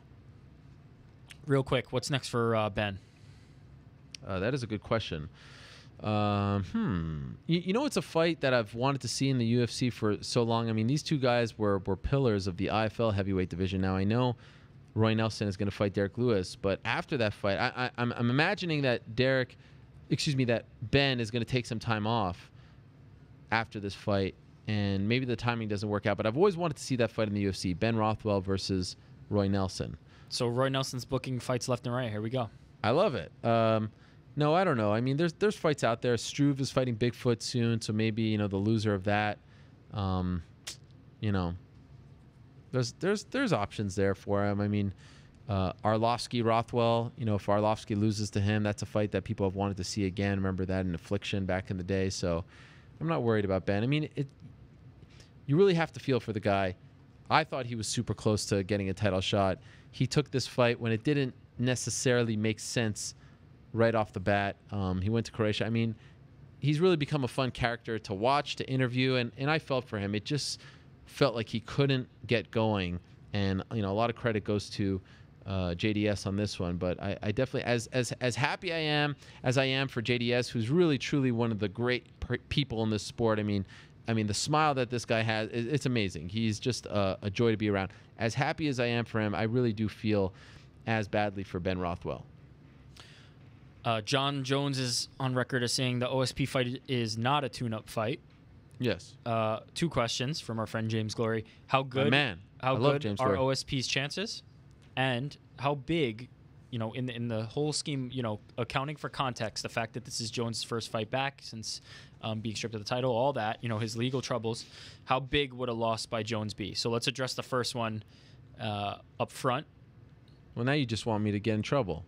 Look, I, I Do you don't think- okay, No, so- I don't think OSP is going to beat Jon Jones. Fair. Uh, Um, I just have too much respect for Jon Jones. Now, is it is it possible that the outside circumstances will affect that? That Jon Jones's time off and Jon Jones's legal issues um, will affect how sharp he looks in the cage. at some point, this is going to catch up to him if he keeps, you know, acting this way. I don't think that time is now, um, and and I don't know if this is the. I don't know if this is the time. You know, I don't know if this is the opponent. Uh, I, I will say this. Do you know? Do you know what the line is? Have you looked at it? Yes, um, when it first came out, uh, OSP was a six to one dog. Let's see where it It's, uh, stands. no, no. now. I, I wanted to play the game. Oh, Uh, well, I mean, I'm he's he's a significant underdog. it's Um, not as big. I mean, he's a plus 450. Yeah, Jones I mean, is a minus 390. I'd I'd I'd be all over Jones at that uh, number. I think Jones is going to smoke him. Um, no, you know, no disrespect to OSP intended. I just don't think. I think Jon Jones is not only going to look good. I think he's he might even look better, um, because I think that he's dedicating himself in the gym in a way that now. Granted, you know, you hear that storyline, you hear that line of BS. This is my best fight camp ever, blah blah blah. But the proof is in the pudding, and I truly actually believe that Jon Jones is really dedicated and focused on this fight um, because he doesn't really have an alternative. The, you, you really he really has had to mind his p's and q's and kind of keep the the outside distractions to a minimum.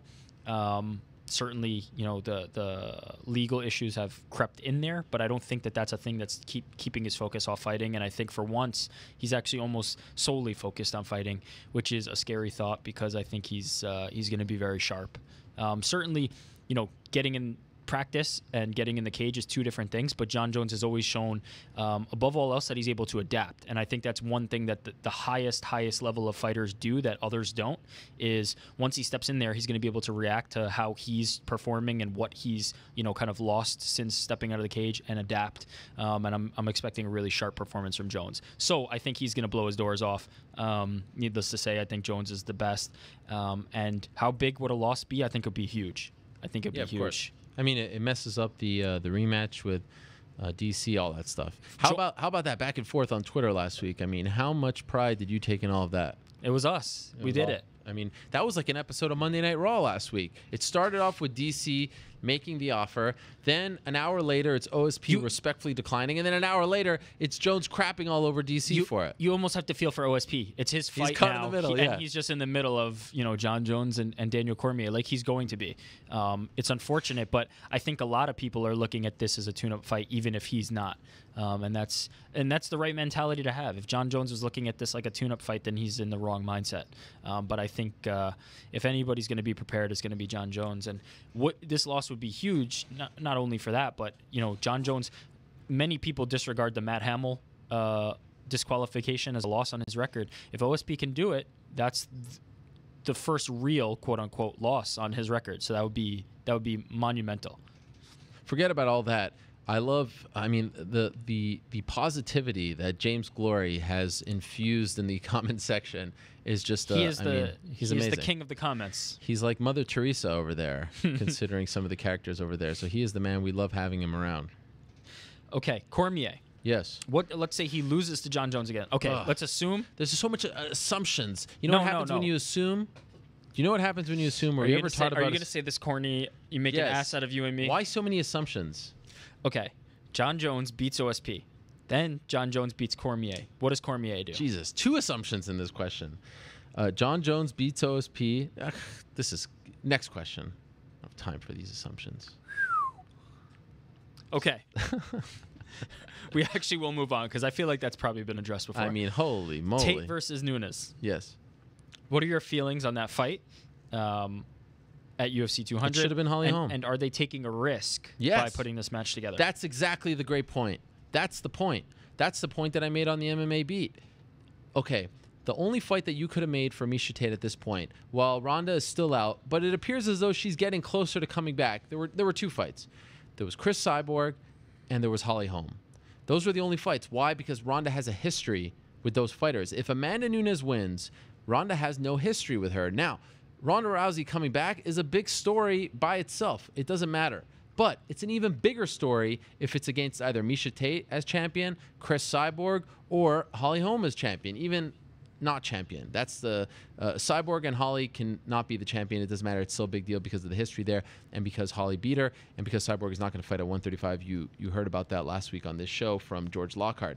To put Amanda Nunes in, who can very well beat Miesha Tate, who's no slouch. This is nothing against her, but you do sometimes have to book with the next fight in mind. I know you don't hope for things. I know you don't like to look too far in advance, but you do have to book with that in mind. Also, of all the rematches available out there, I do kind of feel like Holly Holm versus Miesha Tate is one. With all due respect, again, to Miesha Tate, her reasoning as to why this fight isn't happening is a little bit off. Who cares if she's only defended the title or not defended the title yet successfully? She was she was 90 seconds away from either winning that fight, Holly Holm, or that fight ending in a draw, which means Holly Holm gets to keep the belt. Miesha Tate was not 90 seconds away from winning that fight. If that fight would have went the distance, she does not win that fight. I don't care if you got the 10-8 round. So this this idea, and, and on top of that, Holly Holm is the bigger draw. She is 100% the bigger draw between her and Amanda Nunes. Now, I do think two things came into play here. I, I, I do think that the fact that Conor McGregor and Nate Diaz were the main event or are the main event for UFC 200, I think it, it's a little strange to have you know the top two fights the same as UFC 196. And maybe you know some of the dealings with Holly's management came to uh, you know to bite her in the butt, so to speak. Who knows? But I do think that of all the rematches out there, this was the one that should have happened, and they made some others that were kind of head scratchers. Dillashaw Barão two, uh, Werdum Cain two, many more come to mind. This one, this this was the one to happen for all those reasons. If, if Holm wins, you got the Ronda fight coming up in November or so. If Miesha beats Holm again, tremendous fight. Okay, now you got the. But Amanda c- kind of can screw all that up, and and and and maybe kudos to them for not caring about all of that. If I was in charge, I would have gone with the Holm fight. You don't like UFC 200 run it back? You know, there's a fun theme there that they could have played off of. Um, but uh, I mean, they got the Frankie Edgar fight, the top three fights. There's something to be said for fresh, fa- you know, fresh fights and fresh matchups. I should say. Um, I don't know. Don't you agree with me? Wasn't this the fight? That was the fight for sure. so Um, we may revisit that. Okay. Let's move. Let's move to a different fight. We had Cat Zingano on today. Um, in a normal situation, this is I, I imagine this is an assumption of sorts. Uh, the winner of Cat Zingano versus Julianna Peña would be the number one contender. Um, but with Rousey, Holm, and now Amanda Nunes, what does that mean for the winner? Who knows? I mean, there's so much at play here. Ronda, when does she come back? You know, what happens between Tate and Nunes? What happens with Holly Holm? Um, there's there's too much at play here to even know what this means. I mean, again, I believe UFC 200 is a fun card. If you look at every single fight on that card, there's a name there, at least one, if not two. There's no sort of you know prospect fight. You know, a couple of heavyweights you never heard of. Every single fight on that card is going to mean something from the fight pass prelims to the main event. I just feel like they got this one. Tate versus Nunes. I could have lived with it. I guess if it was you know 201 or whatever, but still it doesn't make sense to me. No, no, no. You're talking about the wrong fight now. We're talking about Peña versus Ngannou. No, I know. I, I'm just saying. I, lo- I, I, this is one of the reasons why I think it's a great card. This is a great fight. It all makes sense, but it just feels like, I don't know. If you're if you're Zingano, you can you know you can look at this fight, uh, you know the the the, the Tate fight, and be like, I beat both these people. Why aren't I This- fighting for the well, belt? this is what I was saying earlier Yeah. when we were talking about how you get a title shot. Zingano has beaten both of these people, but I don't think she's going to end up with the next title shot, even if she wins. Um, it means nothing. It, it really means nothing anymore, um, which is unfortunate. But I understand why Cat's not getting the fight. I mean, she Certainly, it was a long time ago. Yeah, a long time. She's coming off a title fight. Blah blah blah.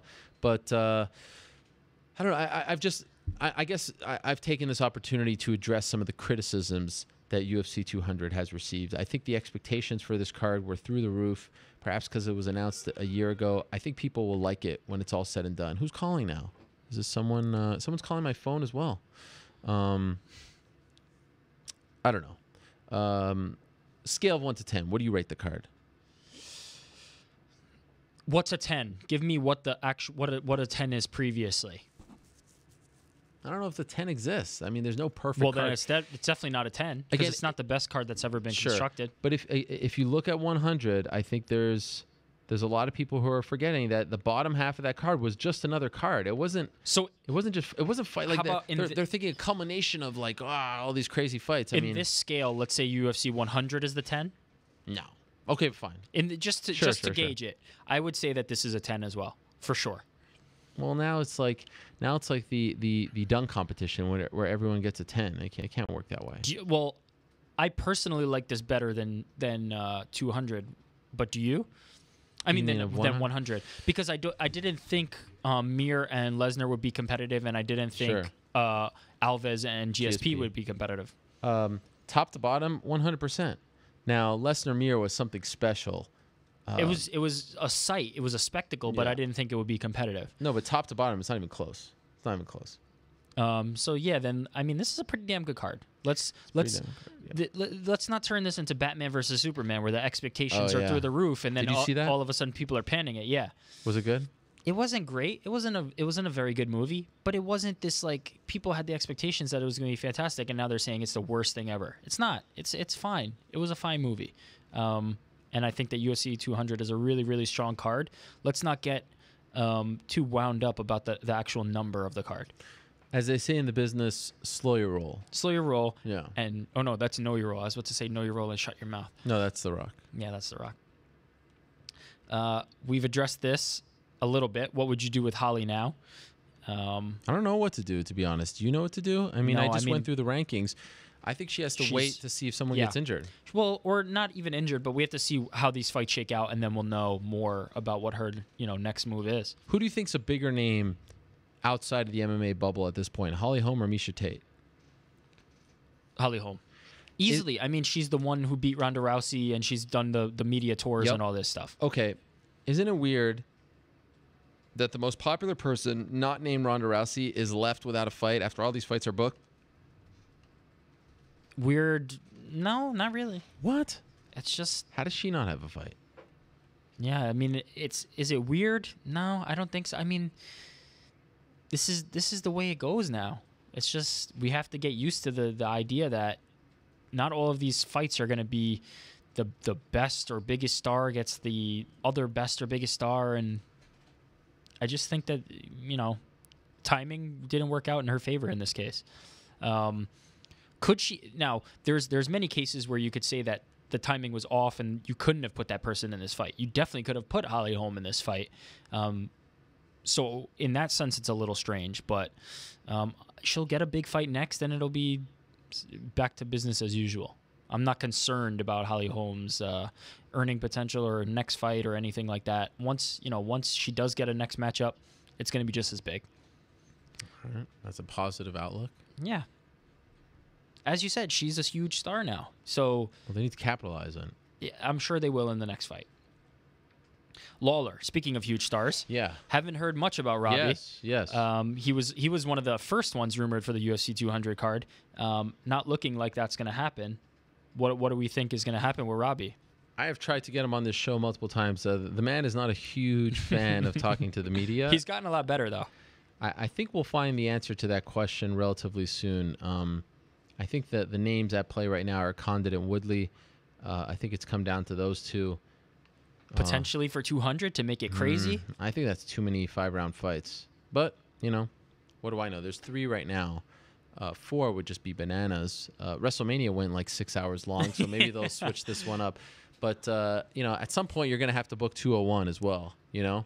So maybe, you know, I, I, this idea of Woodley and, and him at 201. Look, you can make a very strong case that Condit deserves that rematch. I thought he won the fight. It was a tremendous fight. It still might be the fight of the year. It still might be the round of the year, all that stuff. Um, but, you know, you could also make the case that Condit didn't necessarily deserve the fight to begin with, that Woodley deserved it. Woodley beat him. Oh no, enough of that. Anyway, I'm just saying, I don't even know what to. I, I- I just kind of want him to get booked, him and RDA, so that we can stop speculating and, and move on with our lives. Sure. Uh, this is unrelated to anything we've been discussing. Yes. Is Conor McGregor ever going to get it? Let's let's make a Ever? bold prediction. Is he ever going to get that fight in Croke Park? Yes.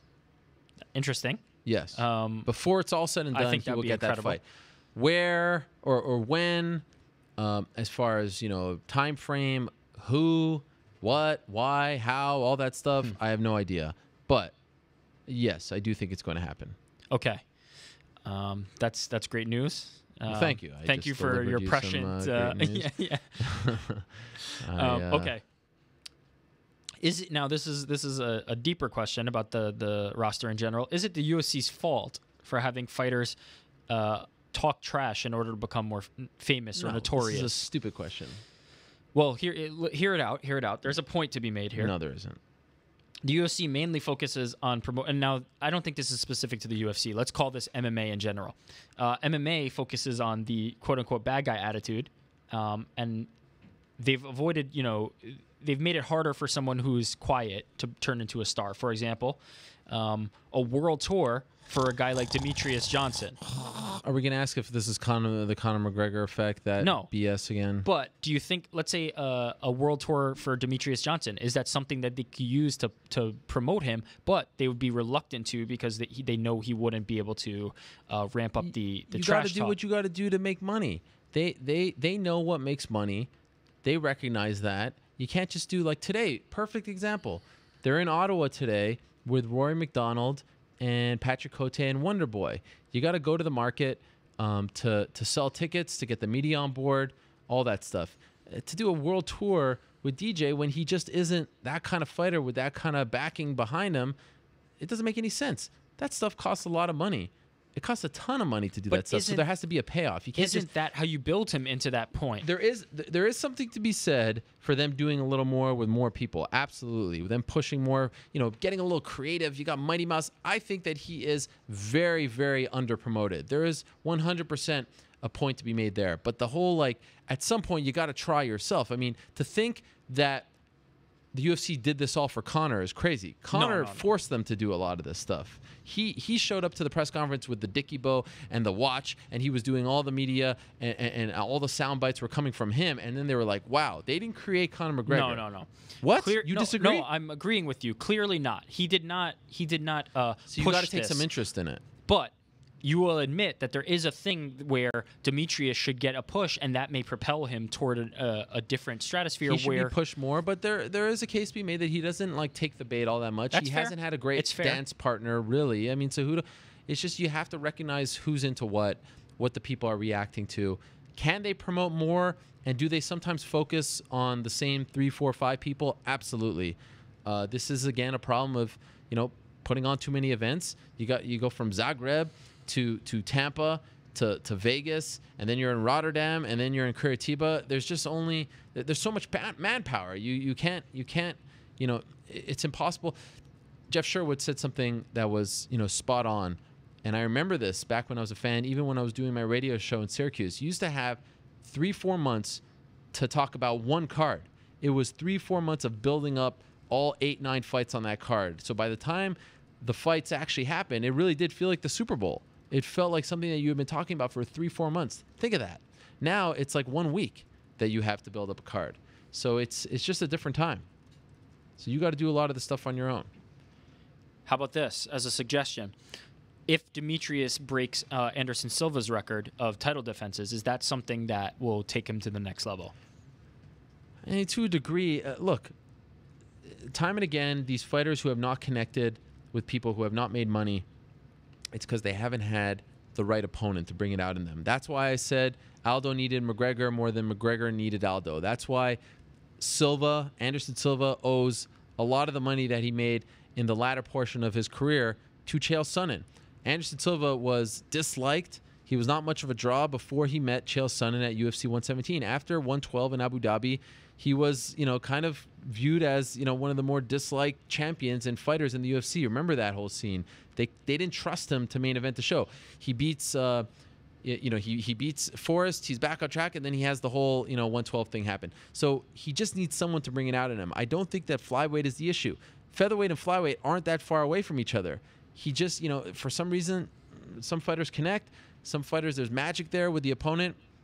It, it will happen. And, and, and if it doesn't happen, as I said to him a couple weeks ago, Demetrious Johnson is going to be a lot more respected and admired once he's long gone. We'll look back on his career with much more admiration than we currently do. That's just the nature of this beast.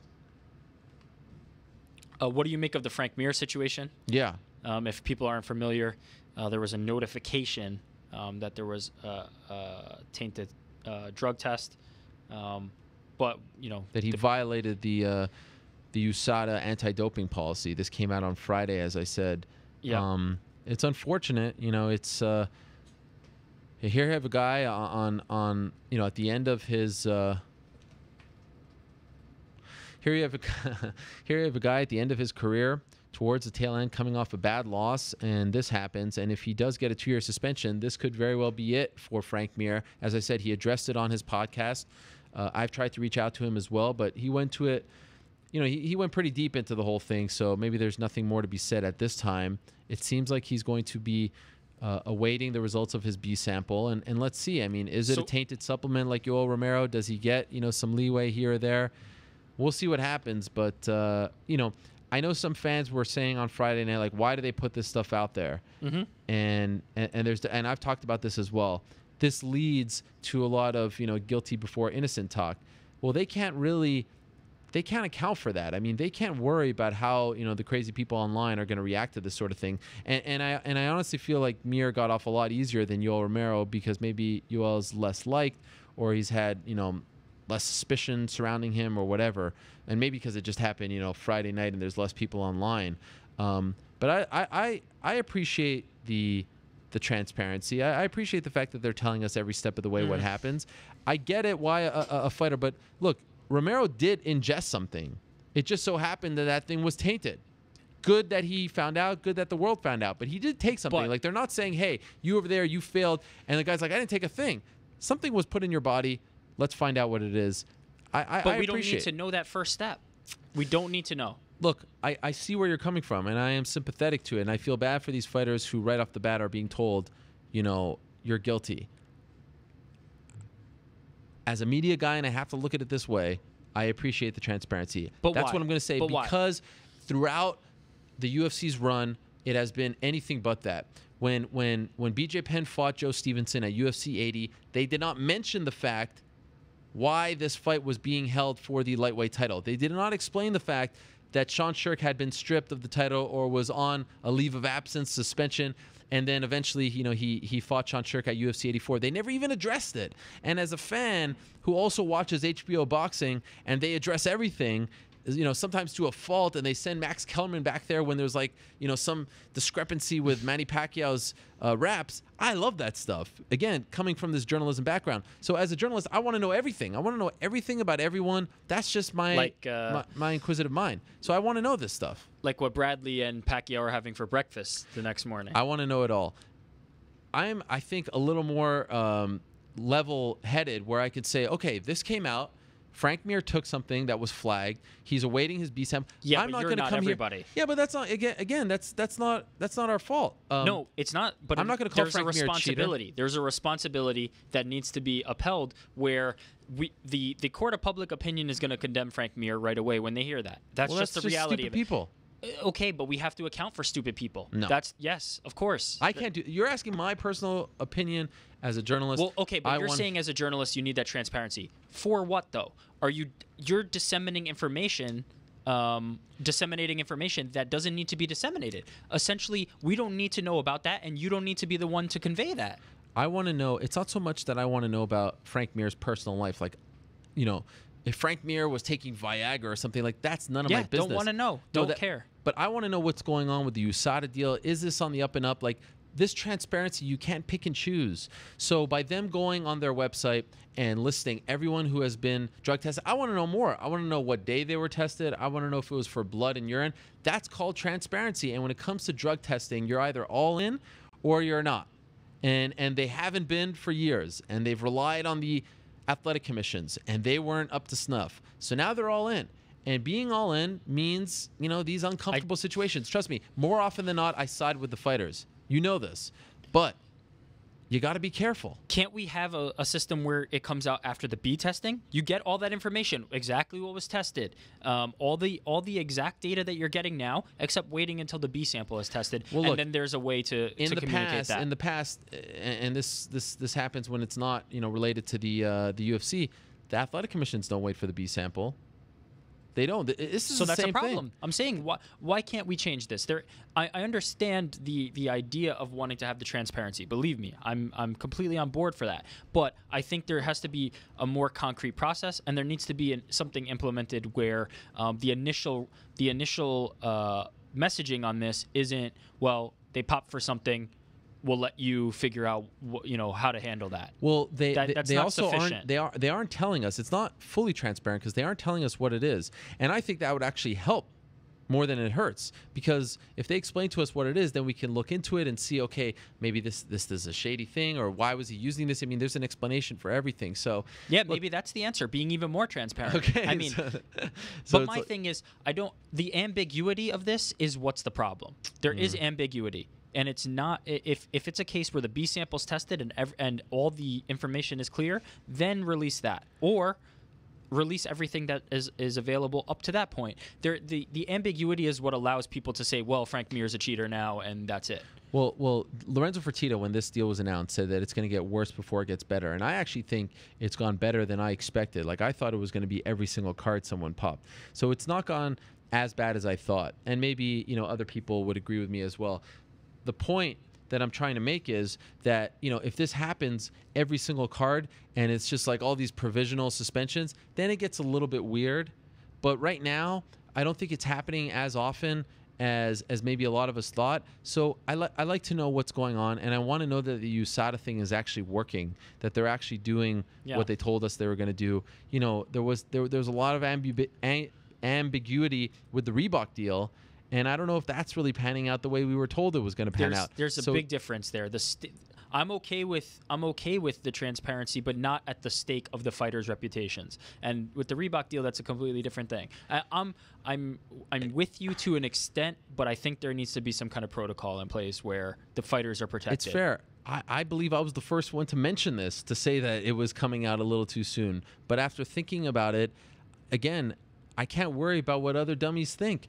I do not think of Frank Mir any different. I want to see what happens with the B sample. I want to see what happens if he appeals this. If he took some supplement from GNC that they find out, like Yo Romero, was tainted, I don't think less of the guy. Yes, I don't think but less you're of saying Yoel, if. Yoel Romero. We don't need the if. This needs to be the full story right at, But the, look, at the same time. You don't think Yo Romero's uh, case taught some fighters a lesson? You got to be careful about what you take. Yes, but that same lesson would have been taught without the initial. I liked. I liked. we need the complete story. I, I like. Yeah, but I like learning every. You know, in journalism and in, in life, we don't get the complete story. Like we didn't find out that OJ was acquitted before finding out about everything else. That's just news. It, it happens in pieces. So I don't like them withholding information and then just telling us, oh, by the way, while you were sleeping, all this stuff was going on. Again, I, am looking at it from a media's perspective. You don't find out the whole story. You find out as we go along, and that's that's just the way you know even I, that though, OJ was judged in the court of public opinion. Even okay, now we're getting crazy. Yeah, I mean, look, it, it's not a it's not a one to one comparison, but I think that the fighters need a little more protection here. That's my well, that's you my know how they can get it. that protection? Not cheating. Well, that too, but you know, if this was any other sport, let's be honest, They'd there would a be an association, Yeah. there would be some collective bargaining, Yeah. and they would say, "Look, this we want out there. This Yeah. we don't want out yeah, there." that's fair. You know that that's, That's a- how this. that's a fair point. That's how this thing is done in other sports. Okay, uh, Dan Hardy. Have you heard anything about Dan uh, returning? I mean, he's talked about wanting to return. I think he has to go through a battery of tests before he's cleared. Wolfhard. So yeah, so until that happens, I mean, he's a great analyst. He does a great Would you- job. Would you be up don't for a fight with Nick Diaz if he came back? Do you like that? Um, I like it. I mean, I don't know if Nick Diaz honestly is going to be up for that. He wants big fights, and you know, this is a big fight. I don't know You if could this sell is the, that. I'd like to work him up a little bit. You know, it's it's not when I think of both guys, it's not the first fight that comes Sure, to mind. that makes sense to me. Sa- Same here. Uh, speaking of BJ Penn, any update on BJ Penn? Well, Uh, I, I tweeted late last week that I think this is imminent. Um, I think the investigation, quote unquote, is coming to a close. I don't want to go into the investigation. I don't think that's fair to BJ. Oh. What? What? No, no, no, no, no. Hey, now you're gonna Oh. now you're actually gonna piss me off because what was you know that's an accusation about a, a very serious thing. By by talking about it, that's lending credibility to that. So do not compare that. Honestly, that that's a ah. very dangerous thing that you just did. I see I'm the being a comparison. What do you mean? You want to get into this? What do you mean? I see the comparison be, where all the info is not out. People aren't privy to this info, right? If all of a sudden people became privy to this info, no, no, no. judgments It is be out made. there. He has been accused, but by me talking about it, a, a very sensitive matter, that give that's giving credibility to it. That's just crazy. That is out there. What do you mean? Th- what is that? The accusation is out Yeah, the there. if you accusation wanna is out find, there. I'm not going to talk about it. No, the accusation is out there. Yeah. But if if all of a sudden there was uh, info without the full story being put out, then people are going to make their own judgment based on that. The same way if if the full sto- the the due process is what's missing in the in the uh, Again, you're accounting the- for dummies. The due process is out there. He does have a chance to get his B sample tested. He does have a chance to appeal. So who cares what other people say about him? That's Mm. just idiots online that you're listening to. The the the the the BJ Penn situation is very different because someone has accused him of something very serious. And again, I I'm- I, I feel uncomfortable even addressing it and talking about it until it's and, and and and from what I understand, it's going to you know come to a close relatively soon there'll be a resolution and hopefully you know for his sake he can get in there and resume his life and his career. Completely different. If if you believe the people around him he did nothing wrong. He did not even you know anyway i don't want to talk about this. I can't even believe that you made that comparison. It's i mean it, it couldn't be more apples and oranges. Are you crazy? I see a similarity. there is no In similarity the, in the release of info, I see the similarity there. no because okay let's move on. I mean this is just in all the years we've done this show that was the dumbest thing you've ever said Disagree. Yes. Uh, B, but what about BJ Penn in It's- terms it's, of it's irresponsible is what it is what about BJ Penn in terms of fighting? Um, it's going to be soon. I- If he gets cleared, it's going to be soon. Uh, it wasn't, you know, it was supposed to be at at uh, 196. Didn't happen. It was supposed to be at um, 197, and then you know they had to go into this investigation, which they did, um, and which was, you know, uh, fine. You know, that's that's an important thing. You have to make sure that everything is is kosher. Um, but he's still, I mean, he's still in Albuquerque. He's still at Jackson's. He still wants to fight. And I even saw him say recently that maybe in hindsight, having a little more time, as we had talked about before, was a blessing for him because being there for just six weeks, just not enough to get back in there when you were out for so long. So he still wants to fight. There's no doubt about that. Uh, okay. Do analysts lose their credibility uh, while they're fighting? So maintaining an analyst role and a fighting role at the same time. I don't think they lose their credibility. I mean, it's different than other sports. Um, these guys are fighting two, three times a year as opposed to competing 82 times a year if you're a basketball or hockey player, 162 if you're a baseball player. So there aren't as many opportunities to just take a step back and start analyzing your teammates or your colleagues. These guys, you know, they, they have to remain active. That being said, I do like it better when it's um, when it's retired fighters because you know you'd think that okay they're not technically working for the UFC so they're not going to be as critical as the retired fighters who are out of the game who don't rely on the UFC booking them in fights and you know giving them bonuses and things of that nature. That's not a factor for an Yves Edwards. That's not a factor for a Kenny Florian. That's not a factor for a a Pat Miletich or you know any other name that make a Bas Rutten. You know what I'm saying? So I like it but sometimes you wonder if they're being you know on the real if they're still an active competitor, especially one in a you know in a top position uh, with something to lose. Uh, I, th- I think it's better for all Is- involved at some point if it's all retired fighters. Isn't there a middle ground where they could just not comment or weigh in on the specific thing that might be related to their fighting career? That way, they can e- they can easily comment on anything that they have you know deep intimate knowledge of on the fight side of it, and then that way they don't have to uh, mention anything that you know involves their division or anything like that. I want an unfiltered analyst. You know, that's what makes Inside the NBA so great. That's Sure. the best studio show in the history of studio shows. It's not even close. And the fact that more people don't try to copy that is just baffling to me. Um, I mean, the blueprint is out there. And yes, you need the chemistry. Yes, you need the names. But the blueprint is out there, and everyone seems to do the opposite.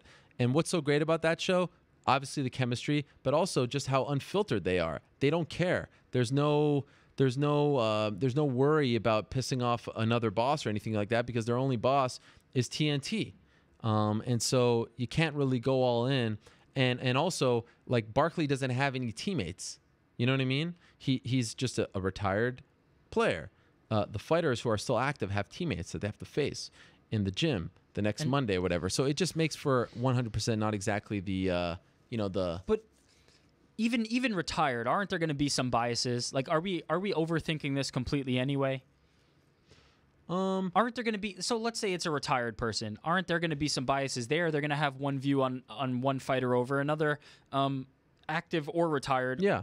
Aren't there going to just be some situations where they're going to like or not like somebody? And, and are we overthinking this? Does it really matter that much if they're still active? look to a degree we are um i don't think this is a huge problem i mean you're the one that asked me the question so it's not like something that was really I'm, on my I'm, mind I'm just uh, asking. yeah the no no no. I, I I do think that it's uh it's not a huge deal i mean look this is getting dangerously cl- close to me talking about uh, my. Okay, I let's- don't know if you're trying to let's, bait me no, into let's, this. Let's move on. But I will. This I- is specifically about fighters. yeah, but a fighter, uh, where are they appearing? Um, so I, I, I will say there there's there's there's more work to be done, and and and and the reason why I don't think it's a huge issue for people is because people know what it is. You know what I mean? People Yeah. people know what they're people, getting beforehand. People know that Dominick Cruz is not going to talk about Uriah Faber and say how great his. is that good or bad? I mean, the fact that I they've think it's. I think it's neither. I really don't think it's either. I don't think the. I think the bias is is something that people will be able to interpret and not. They won't get too lost. Now, if somebody's tuning in casually, they'll be like, "Oh, why does that guy not like that guy?" And maybe that'll lead them to actually look at the fights. I don't. I'm not sure. Um, but I think you know, retired or not retired or. Um, I think it's unavoidable when you're using the athletes. I think it's unavoidable. it's not so much Cruz talking about Faber. It's you know if this is a mismatch, if this guy is coming off a bad performance, if, you know things like that. Yeah. That you know you don't really hear a lot of, and you'd like to. You know, to me. When Barkley says that the Lakers suck and that first half was horrible, it doesn't make me necessarily want to change the channel. You just want to hear the truth. Yeah. And that's why they're put there. So I think sometimes we're afraid of the truth when it comes to these sports shows. And, um, you know, I, I, th- I think the fans, you know, it's, it's not going to turn them off. In fact, I think it would actually draw them in more. Uh, here's a question that you specifically wanted. Oh, yes. Why don't MMA journalists participate in the UFC rankings, but participate in rankings that benefit their their website? So why would MMA fighting uh, do a ranking but not participate for UFC's rankings? Well, for the record, we haven't done a rankings uh, thing in a, in a while, and I think it would be a good thing to come uh, to come Come back. I back. mean, it's it's actually something that I've I've wanted to see happen for a while. Um, but that being said, I mean, the the real question is why don't we participate? Well, I can only speak for myself. Um, first of all, there's just a lot of events, so I feel like it's a lot of work. Now, if you do it once and you just kind of move this guy here or there after each event, it's not as daunting as it may seem but I just don't feel like look, the rankings were, were always something that was talked about that the UFC never wanted to, to put in place because it, it only works against them because a guy can say, look, I'm, I'm the fifth ranked guy and this is the sixth ranked guy. Why isn't he getting, why aren't I getting, you know, this fight and why aren't I getting paid this much? It, it, it's only something that fighters and, uh, and managers can use against them in uh, in negotiations. Not so much the other way around. It has sometimes like the Benson Henderson thing where he was kind of getting split between two divisions, and they were saying, "Look, you're you're 12 in lightweight and 14 in uh, welterweight. You're not that good." That's not the case. It's it's it's it's silly to split a guy because that only hurts him um, in both categories. So. I always felt like they shied away from it because they didn't want that extra headache, and that made sense. But once they got the Fox deal, sports executives they want to see that number because that's something that they're used to seeing when it comes to college football or college basketball. It's an easy thing to sell. This is number five versus four. This is two versus one etc etc and and especially that you know you, you don't you don't rank the champion so now you could say oh this is the number one guy. It's all very sexy for television. And that's why they introduced the 15 because 10 wasn't enough. Oh, this is 13 versus 12. This is, you know, 14 versus 11, et cetera, et cetera. But the UFC is not necessarily the ones who are pushing for this. So it was done for TV purposes. And once they started to do things like take out Nate Diaz because he refused a fight or two, but had fought, you know, four months ago, and and keep Dominick Cruz in, um, even though he was out. I mean, it just felt like it was something that was being used as you know this promotional leverage tool. Uh, Which it's, is- it's not hundred percent. It's it's not. It's it's it's it's it's not as uh, pure as perhaps we were initially convinced that it was going to be. And and to me, it's like what what's honestly what's in it for like when they started to tie the Reebok thing to it, that made Yeah. it even more uncomfortable. To to be fair though, that is I mean, how else would the UFC use it? I don't think that it's being misused. I just think that its application is limited. Um, it's not. It doesn't include people outside of the UFC. Um, I would love it if, if it included people outside the UFC, but I can understand why they wanted this to be the UFC it- rankings. I think it's used in the in the way that it has to be used um, currently, but it's it's limited. It has to be complete. Who is overseeing these rankings? It ha- who who decided that Nate Diaz should be pulled? Well, that's I mean that's one very bad example in in no, not a bad example. That's one very good example of Yeah. a bad thing that was. Well, I mean, done. but that kind of said it all. If they Yeah. appointed someone, if they said, okay, Ariel, we want you to head up the UFC rankings, and we are going to completely let you run this thing, and and and you can, you know, whatever you say goes. This is going to be on our website. It's going to be on Fox, but this is all you. And if a guy gets suspended, you know, we would suggest that blah blah blah. But this is all you, and you get to pick the committee and all that stuff. Yeah, maybe it'd be a lot more appealing.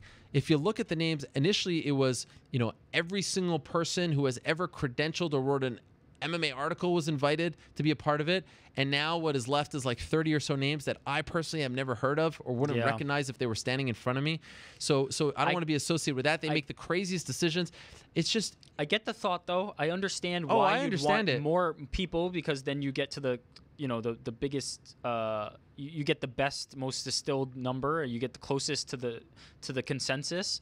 Um I just think it's a difficult thing. It's a difficult thing for an organization to rank their own uh, talent. It's very difficult. And um, It has to be completely impartial, 100% independent, and it would be great if one day the media can get together from from MMA Junkie to Sherdog to Weekly to us, um, and and every other website under the sun included. You know the major Yeah. ones, and and have but then legitimate even then rankings. you're looking at a thing like how do you determine what the major one is there's there's never going to be a perfect system but there is a better system out there that is a better system. Th- there is a better system, but um, it's never going to be perfect because you could say, why is this site on there and this site not? There's there's always going to be um, there's always going to be some upheaval, uh, but as long as there's enough of a, a strong presence where everybody feels like you know everybody who who is in this brain trust or committee or whatever the the decision making is uh, agrees that it's it's the closest to uh, to something fair.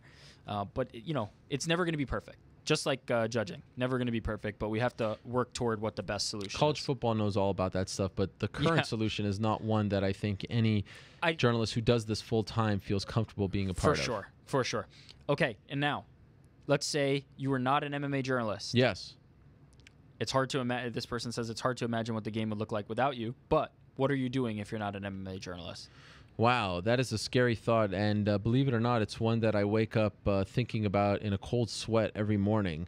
Um, because as I outlined earlier in the show, MMA rated was taken away from me, you know, out of nowhere. I mean, this still doesn't feel like a real job, if I'm being honest. Uh, as great as it is, it just it, it, crazy things happen when you're in media, and in particular MMA media. So, what would I be doing? I probably would still be in uh, TV production. Um, I I was doing that before I got into MMA media. When I graduated from Syracuse in 2004, I went to work for HBO Sports on a great documentary called Perfect Upset about the Villanova Georgetown 1985 NCAA championship game. Villanova, who just won last week, that was the first time that they won back in '85. It was great. I got to meet my main man Patrick Ewing. What a time that was! That's a story for a different day. I also got to work on one about the uh, 1999 women's soccer team. Then I had to leave HBO Sports and I went to work on a show called Classic Now for ESPN Classic. That was um, well, that only lasted like I don't know six or seven months. Then I went to work for a production company, and eventually I ended up at Spike, and that's when I decided it's time to start my MMA journalism career. So when I started that website, jerrypark.com, from a cubicle at Spike TV, I gave myself six months to get noticed. I said, if I don't get noticed by April 1st, 2008, I'm going to go back to TV production. And in fact, come March of 2008, I wasn't getting any jobs, any offers, any opportunities. And I started to look again for more TV jobs. Um, and thankfully, March 28th, as I said a couple of weeks ago, I got that job at MMArated.com. And when the MMArated.com job went you know out the window. I actually went back to tv production. I worked on the very first ufc prime time with my main man jason hare. That was gsp bj penn uh, 2 and i worked on that and that just reminded me that i do not want to work on tv uh, you know shows and tv production. I mean it was just all it, it was that job in particular was really tough. It was like seven days a week for like i don't know 18 hours. It was nuts. It's everything that you've heard about that that show and 24/7 and all that stuff. And then thankfully I got a job at AOL and Versus, et cetera, et cetera, and the rest is history. So to answer the question, I'd probably be doing some TV production stuff, dreaming that I was a journalist, dreaming that I was a media guy. Thankfully, I don't have to worry about that at least right now. I hope I'm not working. There was there was a time where I thought I was going to be working for my dad um, at his textile uh, company, and uh, I actually worked there for one summer. I lasted two weeks, and the guy. Uh, listen to this. The guy that I was working for, who my dad put me, you know, to work for, said that I was sitting on my chair and we are eating lunch, and it was quite depressing. And uh, he told me that he hoped that my chair fell and that I cracked my head open. He's telling this to the boss's son. Sounds like a really, really nice guy. It was awesome. I felt very, uh, very wanted. He really didn't like the fact that he had to show me the ropes was a very strange summer job. I mean, that's just something. why? Uh, why didn't he? You know, take it into his own hands and push you off the chair? Well, that's very passive God. aggressive. Yeah. I just hope you fall off the chair. Um, and now, last thing before we go. Yes. We have this picture that you Okay, wait. Before I go, I wanted to say uh, congratulations to my boys, Leicester City, on winning yesterday. The Foxes are just killing it. Three more wins, and we, we run the table, uh, and we are the uh, champions of the Premiership. So I'm just I'm just so so so so so so praying and, and, and nervous and anxious. I just hope that the Foxes can do it. But what? Wait, wait, wait. nope, nope. Before we move on from that, sorry, we can't. What? What? What is this? What are you talking tell about? Me, tell me what this is about. LCFC. T- tell me. Leicester City. Uh, First of all, you got the you got the initials wrong. No, no, no. Night. It was it was a uh, it was a, a typo on a my typo, iPhone. Yeah, yeah. Uh, where is this coming from? Why, why, why this? Why this? Uh, what are you talking focus about? on Leicester Jamie, FC. Jamie Vardy is, is, is having a party. Also, for and this is only for the hardcore fans out there. Uh, chat shit get banged. You know what I'm talking about. What? You Wait, know what I'm chat shit get banged. You know what I'm talking about. If you're a true Leicester City supporter who has been following the Foxes since day one, living and breathing. Look, I don't want to tell you everything about my life. There's some things I like to keep for myself. My love for Leicester City and and this amazing run that they've been on. I implore you, if you are a fan of Leicester City, yeah, do not let this happen. Do not let him co-opt uh, your team like it's this. Not. Chat S H I T get banged. In case there are any kids okay. listening, let's uh, let's look at this uh, picture we have. Up. This is my good friend Claire Hammond from Australia. This is UFC 127 back in 2011 and this is a longtime friend and supporter of all things MMA Hour, MMAfighting.com, and all things Ariel Helwani as far as Mixed Martial Arts Reporting is concerned, when I got the Helwani Nose t shirt out there, she bought it. When my kids have had birthdays, she has sent me presents from Australia. I kid you not. This is a great person right here. And today is her birthday. Her friend, uh, Ben, who I hope is not upset that I am, uh, you know, putting him out there, Ben Reagan, he alerted me of this and he wanted me to send her a message. But I said, you know what? Let me do one better and give her a shout out on the show. And in fact, she has written to me a bunch of times afterwards, and I had no idea that I've ever met her. Um, and he, he told me about this picture that we did in fact meet, and here she is, Claire Hammond, my good pal from uh, from Australia. I believe she's from Sydney. She is celebrating her birthday, so I want to wish her a happy birthday. Happy birthday, Claire. And uh, all the best and well wishes and all that good stuff and more. So there she is, Claire Hammond. How about that? Happy birthday. That's awesome. Happy birthday, Yeah. Claire. Um, there was another thing I wanted to say before I go, but uh, I think I, I think I forgot about what it was. I think we've said enough. For You got yeah, you got wrapped up in the Leicester City stuff. Leicester you're, City, You're the all you're all caught up. Okay. Uh, Peppa Pig, all that good stuff Peppa and more. Right. yes, there it is. Sean Sheehan, chat S H I T get banged. If you're a Leicester City supporter, you know what that's about. Jamie Vardy, let's do it, boys. Okay, you can hit my music. We have run out of time. UFC on Fox 19 is this Saturday in Tampa Bay. I will be there doing my thing covering the great sport of MMA once again. Uh, I will say this right now. I will say this right now. There's a media day on Thursday. It's Glover Teixeira and Rashad Evans and Lyoto Machida, Dan Henderson. That's the media day as far as workouts. We need to get Rose Namajunas and Tecia Torres. Unless they've said they don't want to be a part of it, uh, okay, then fair play to them. But that is the most intriguing fight now on that main card. I mean, Khabib's involvement on the card is still very, very notable and important. But Rose and Tecia need to be pushed. This is a this is a number one contender fight, in my opinion. Where's the love for the strawweights? So let's see if if that gets fixed. Anyway, uh, we are done. Thank you very much to Jeff Sherwood. Again, I echo everything that I said earlier in the show. A pioneer, a legend. Um, not exactly sure, and I didn't want to pry um, what happened there, but uh, I wish him well, and I thank him for everything that he has done for MMA fans and MMA media alike. Thank you very much to Darrell Horcher. Good luck to him this Saturday. What a story that would be. We'll talk about it next week, good or bad. Thank you very much to Court McGee. Fantastic stuff, riveting stuff. Appreciate that very much as well. Thank you very much, and good luck to him. Good luck to Khabib Nurmagomedov this weekend. Long time coming. Wish him the best on Saturday. Thank you very much to Holly Holm. Thank you very much to Tony Ferguson. Get well soon. And again, thank you very much to Cat Zingano for stopping by as well. Back next week. Don't forget to rate us on iTunes. Until then, I say peace. I'm out of here.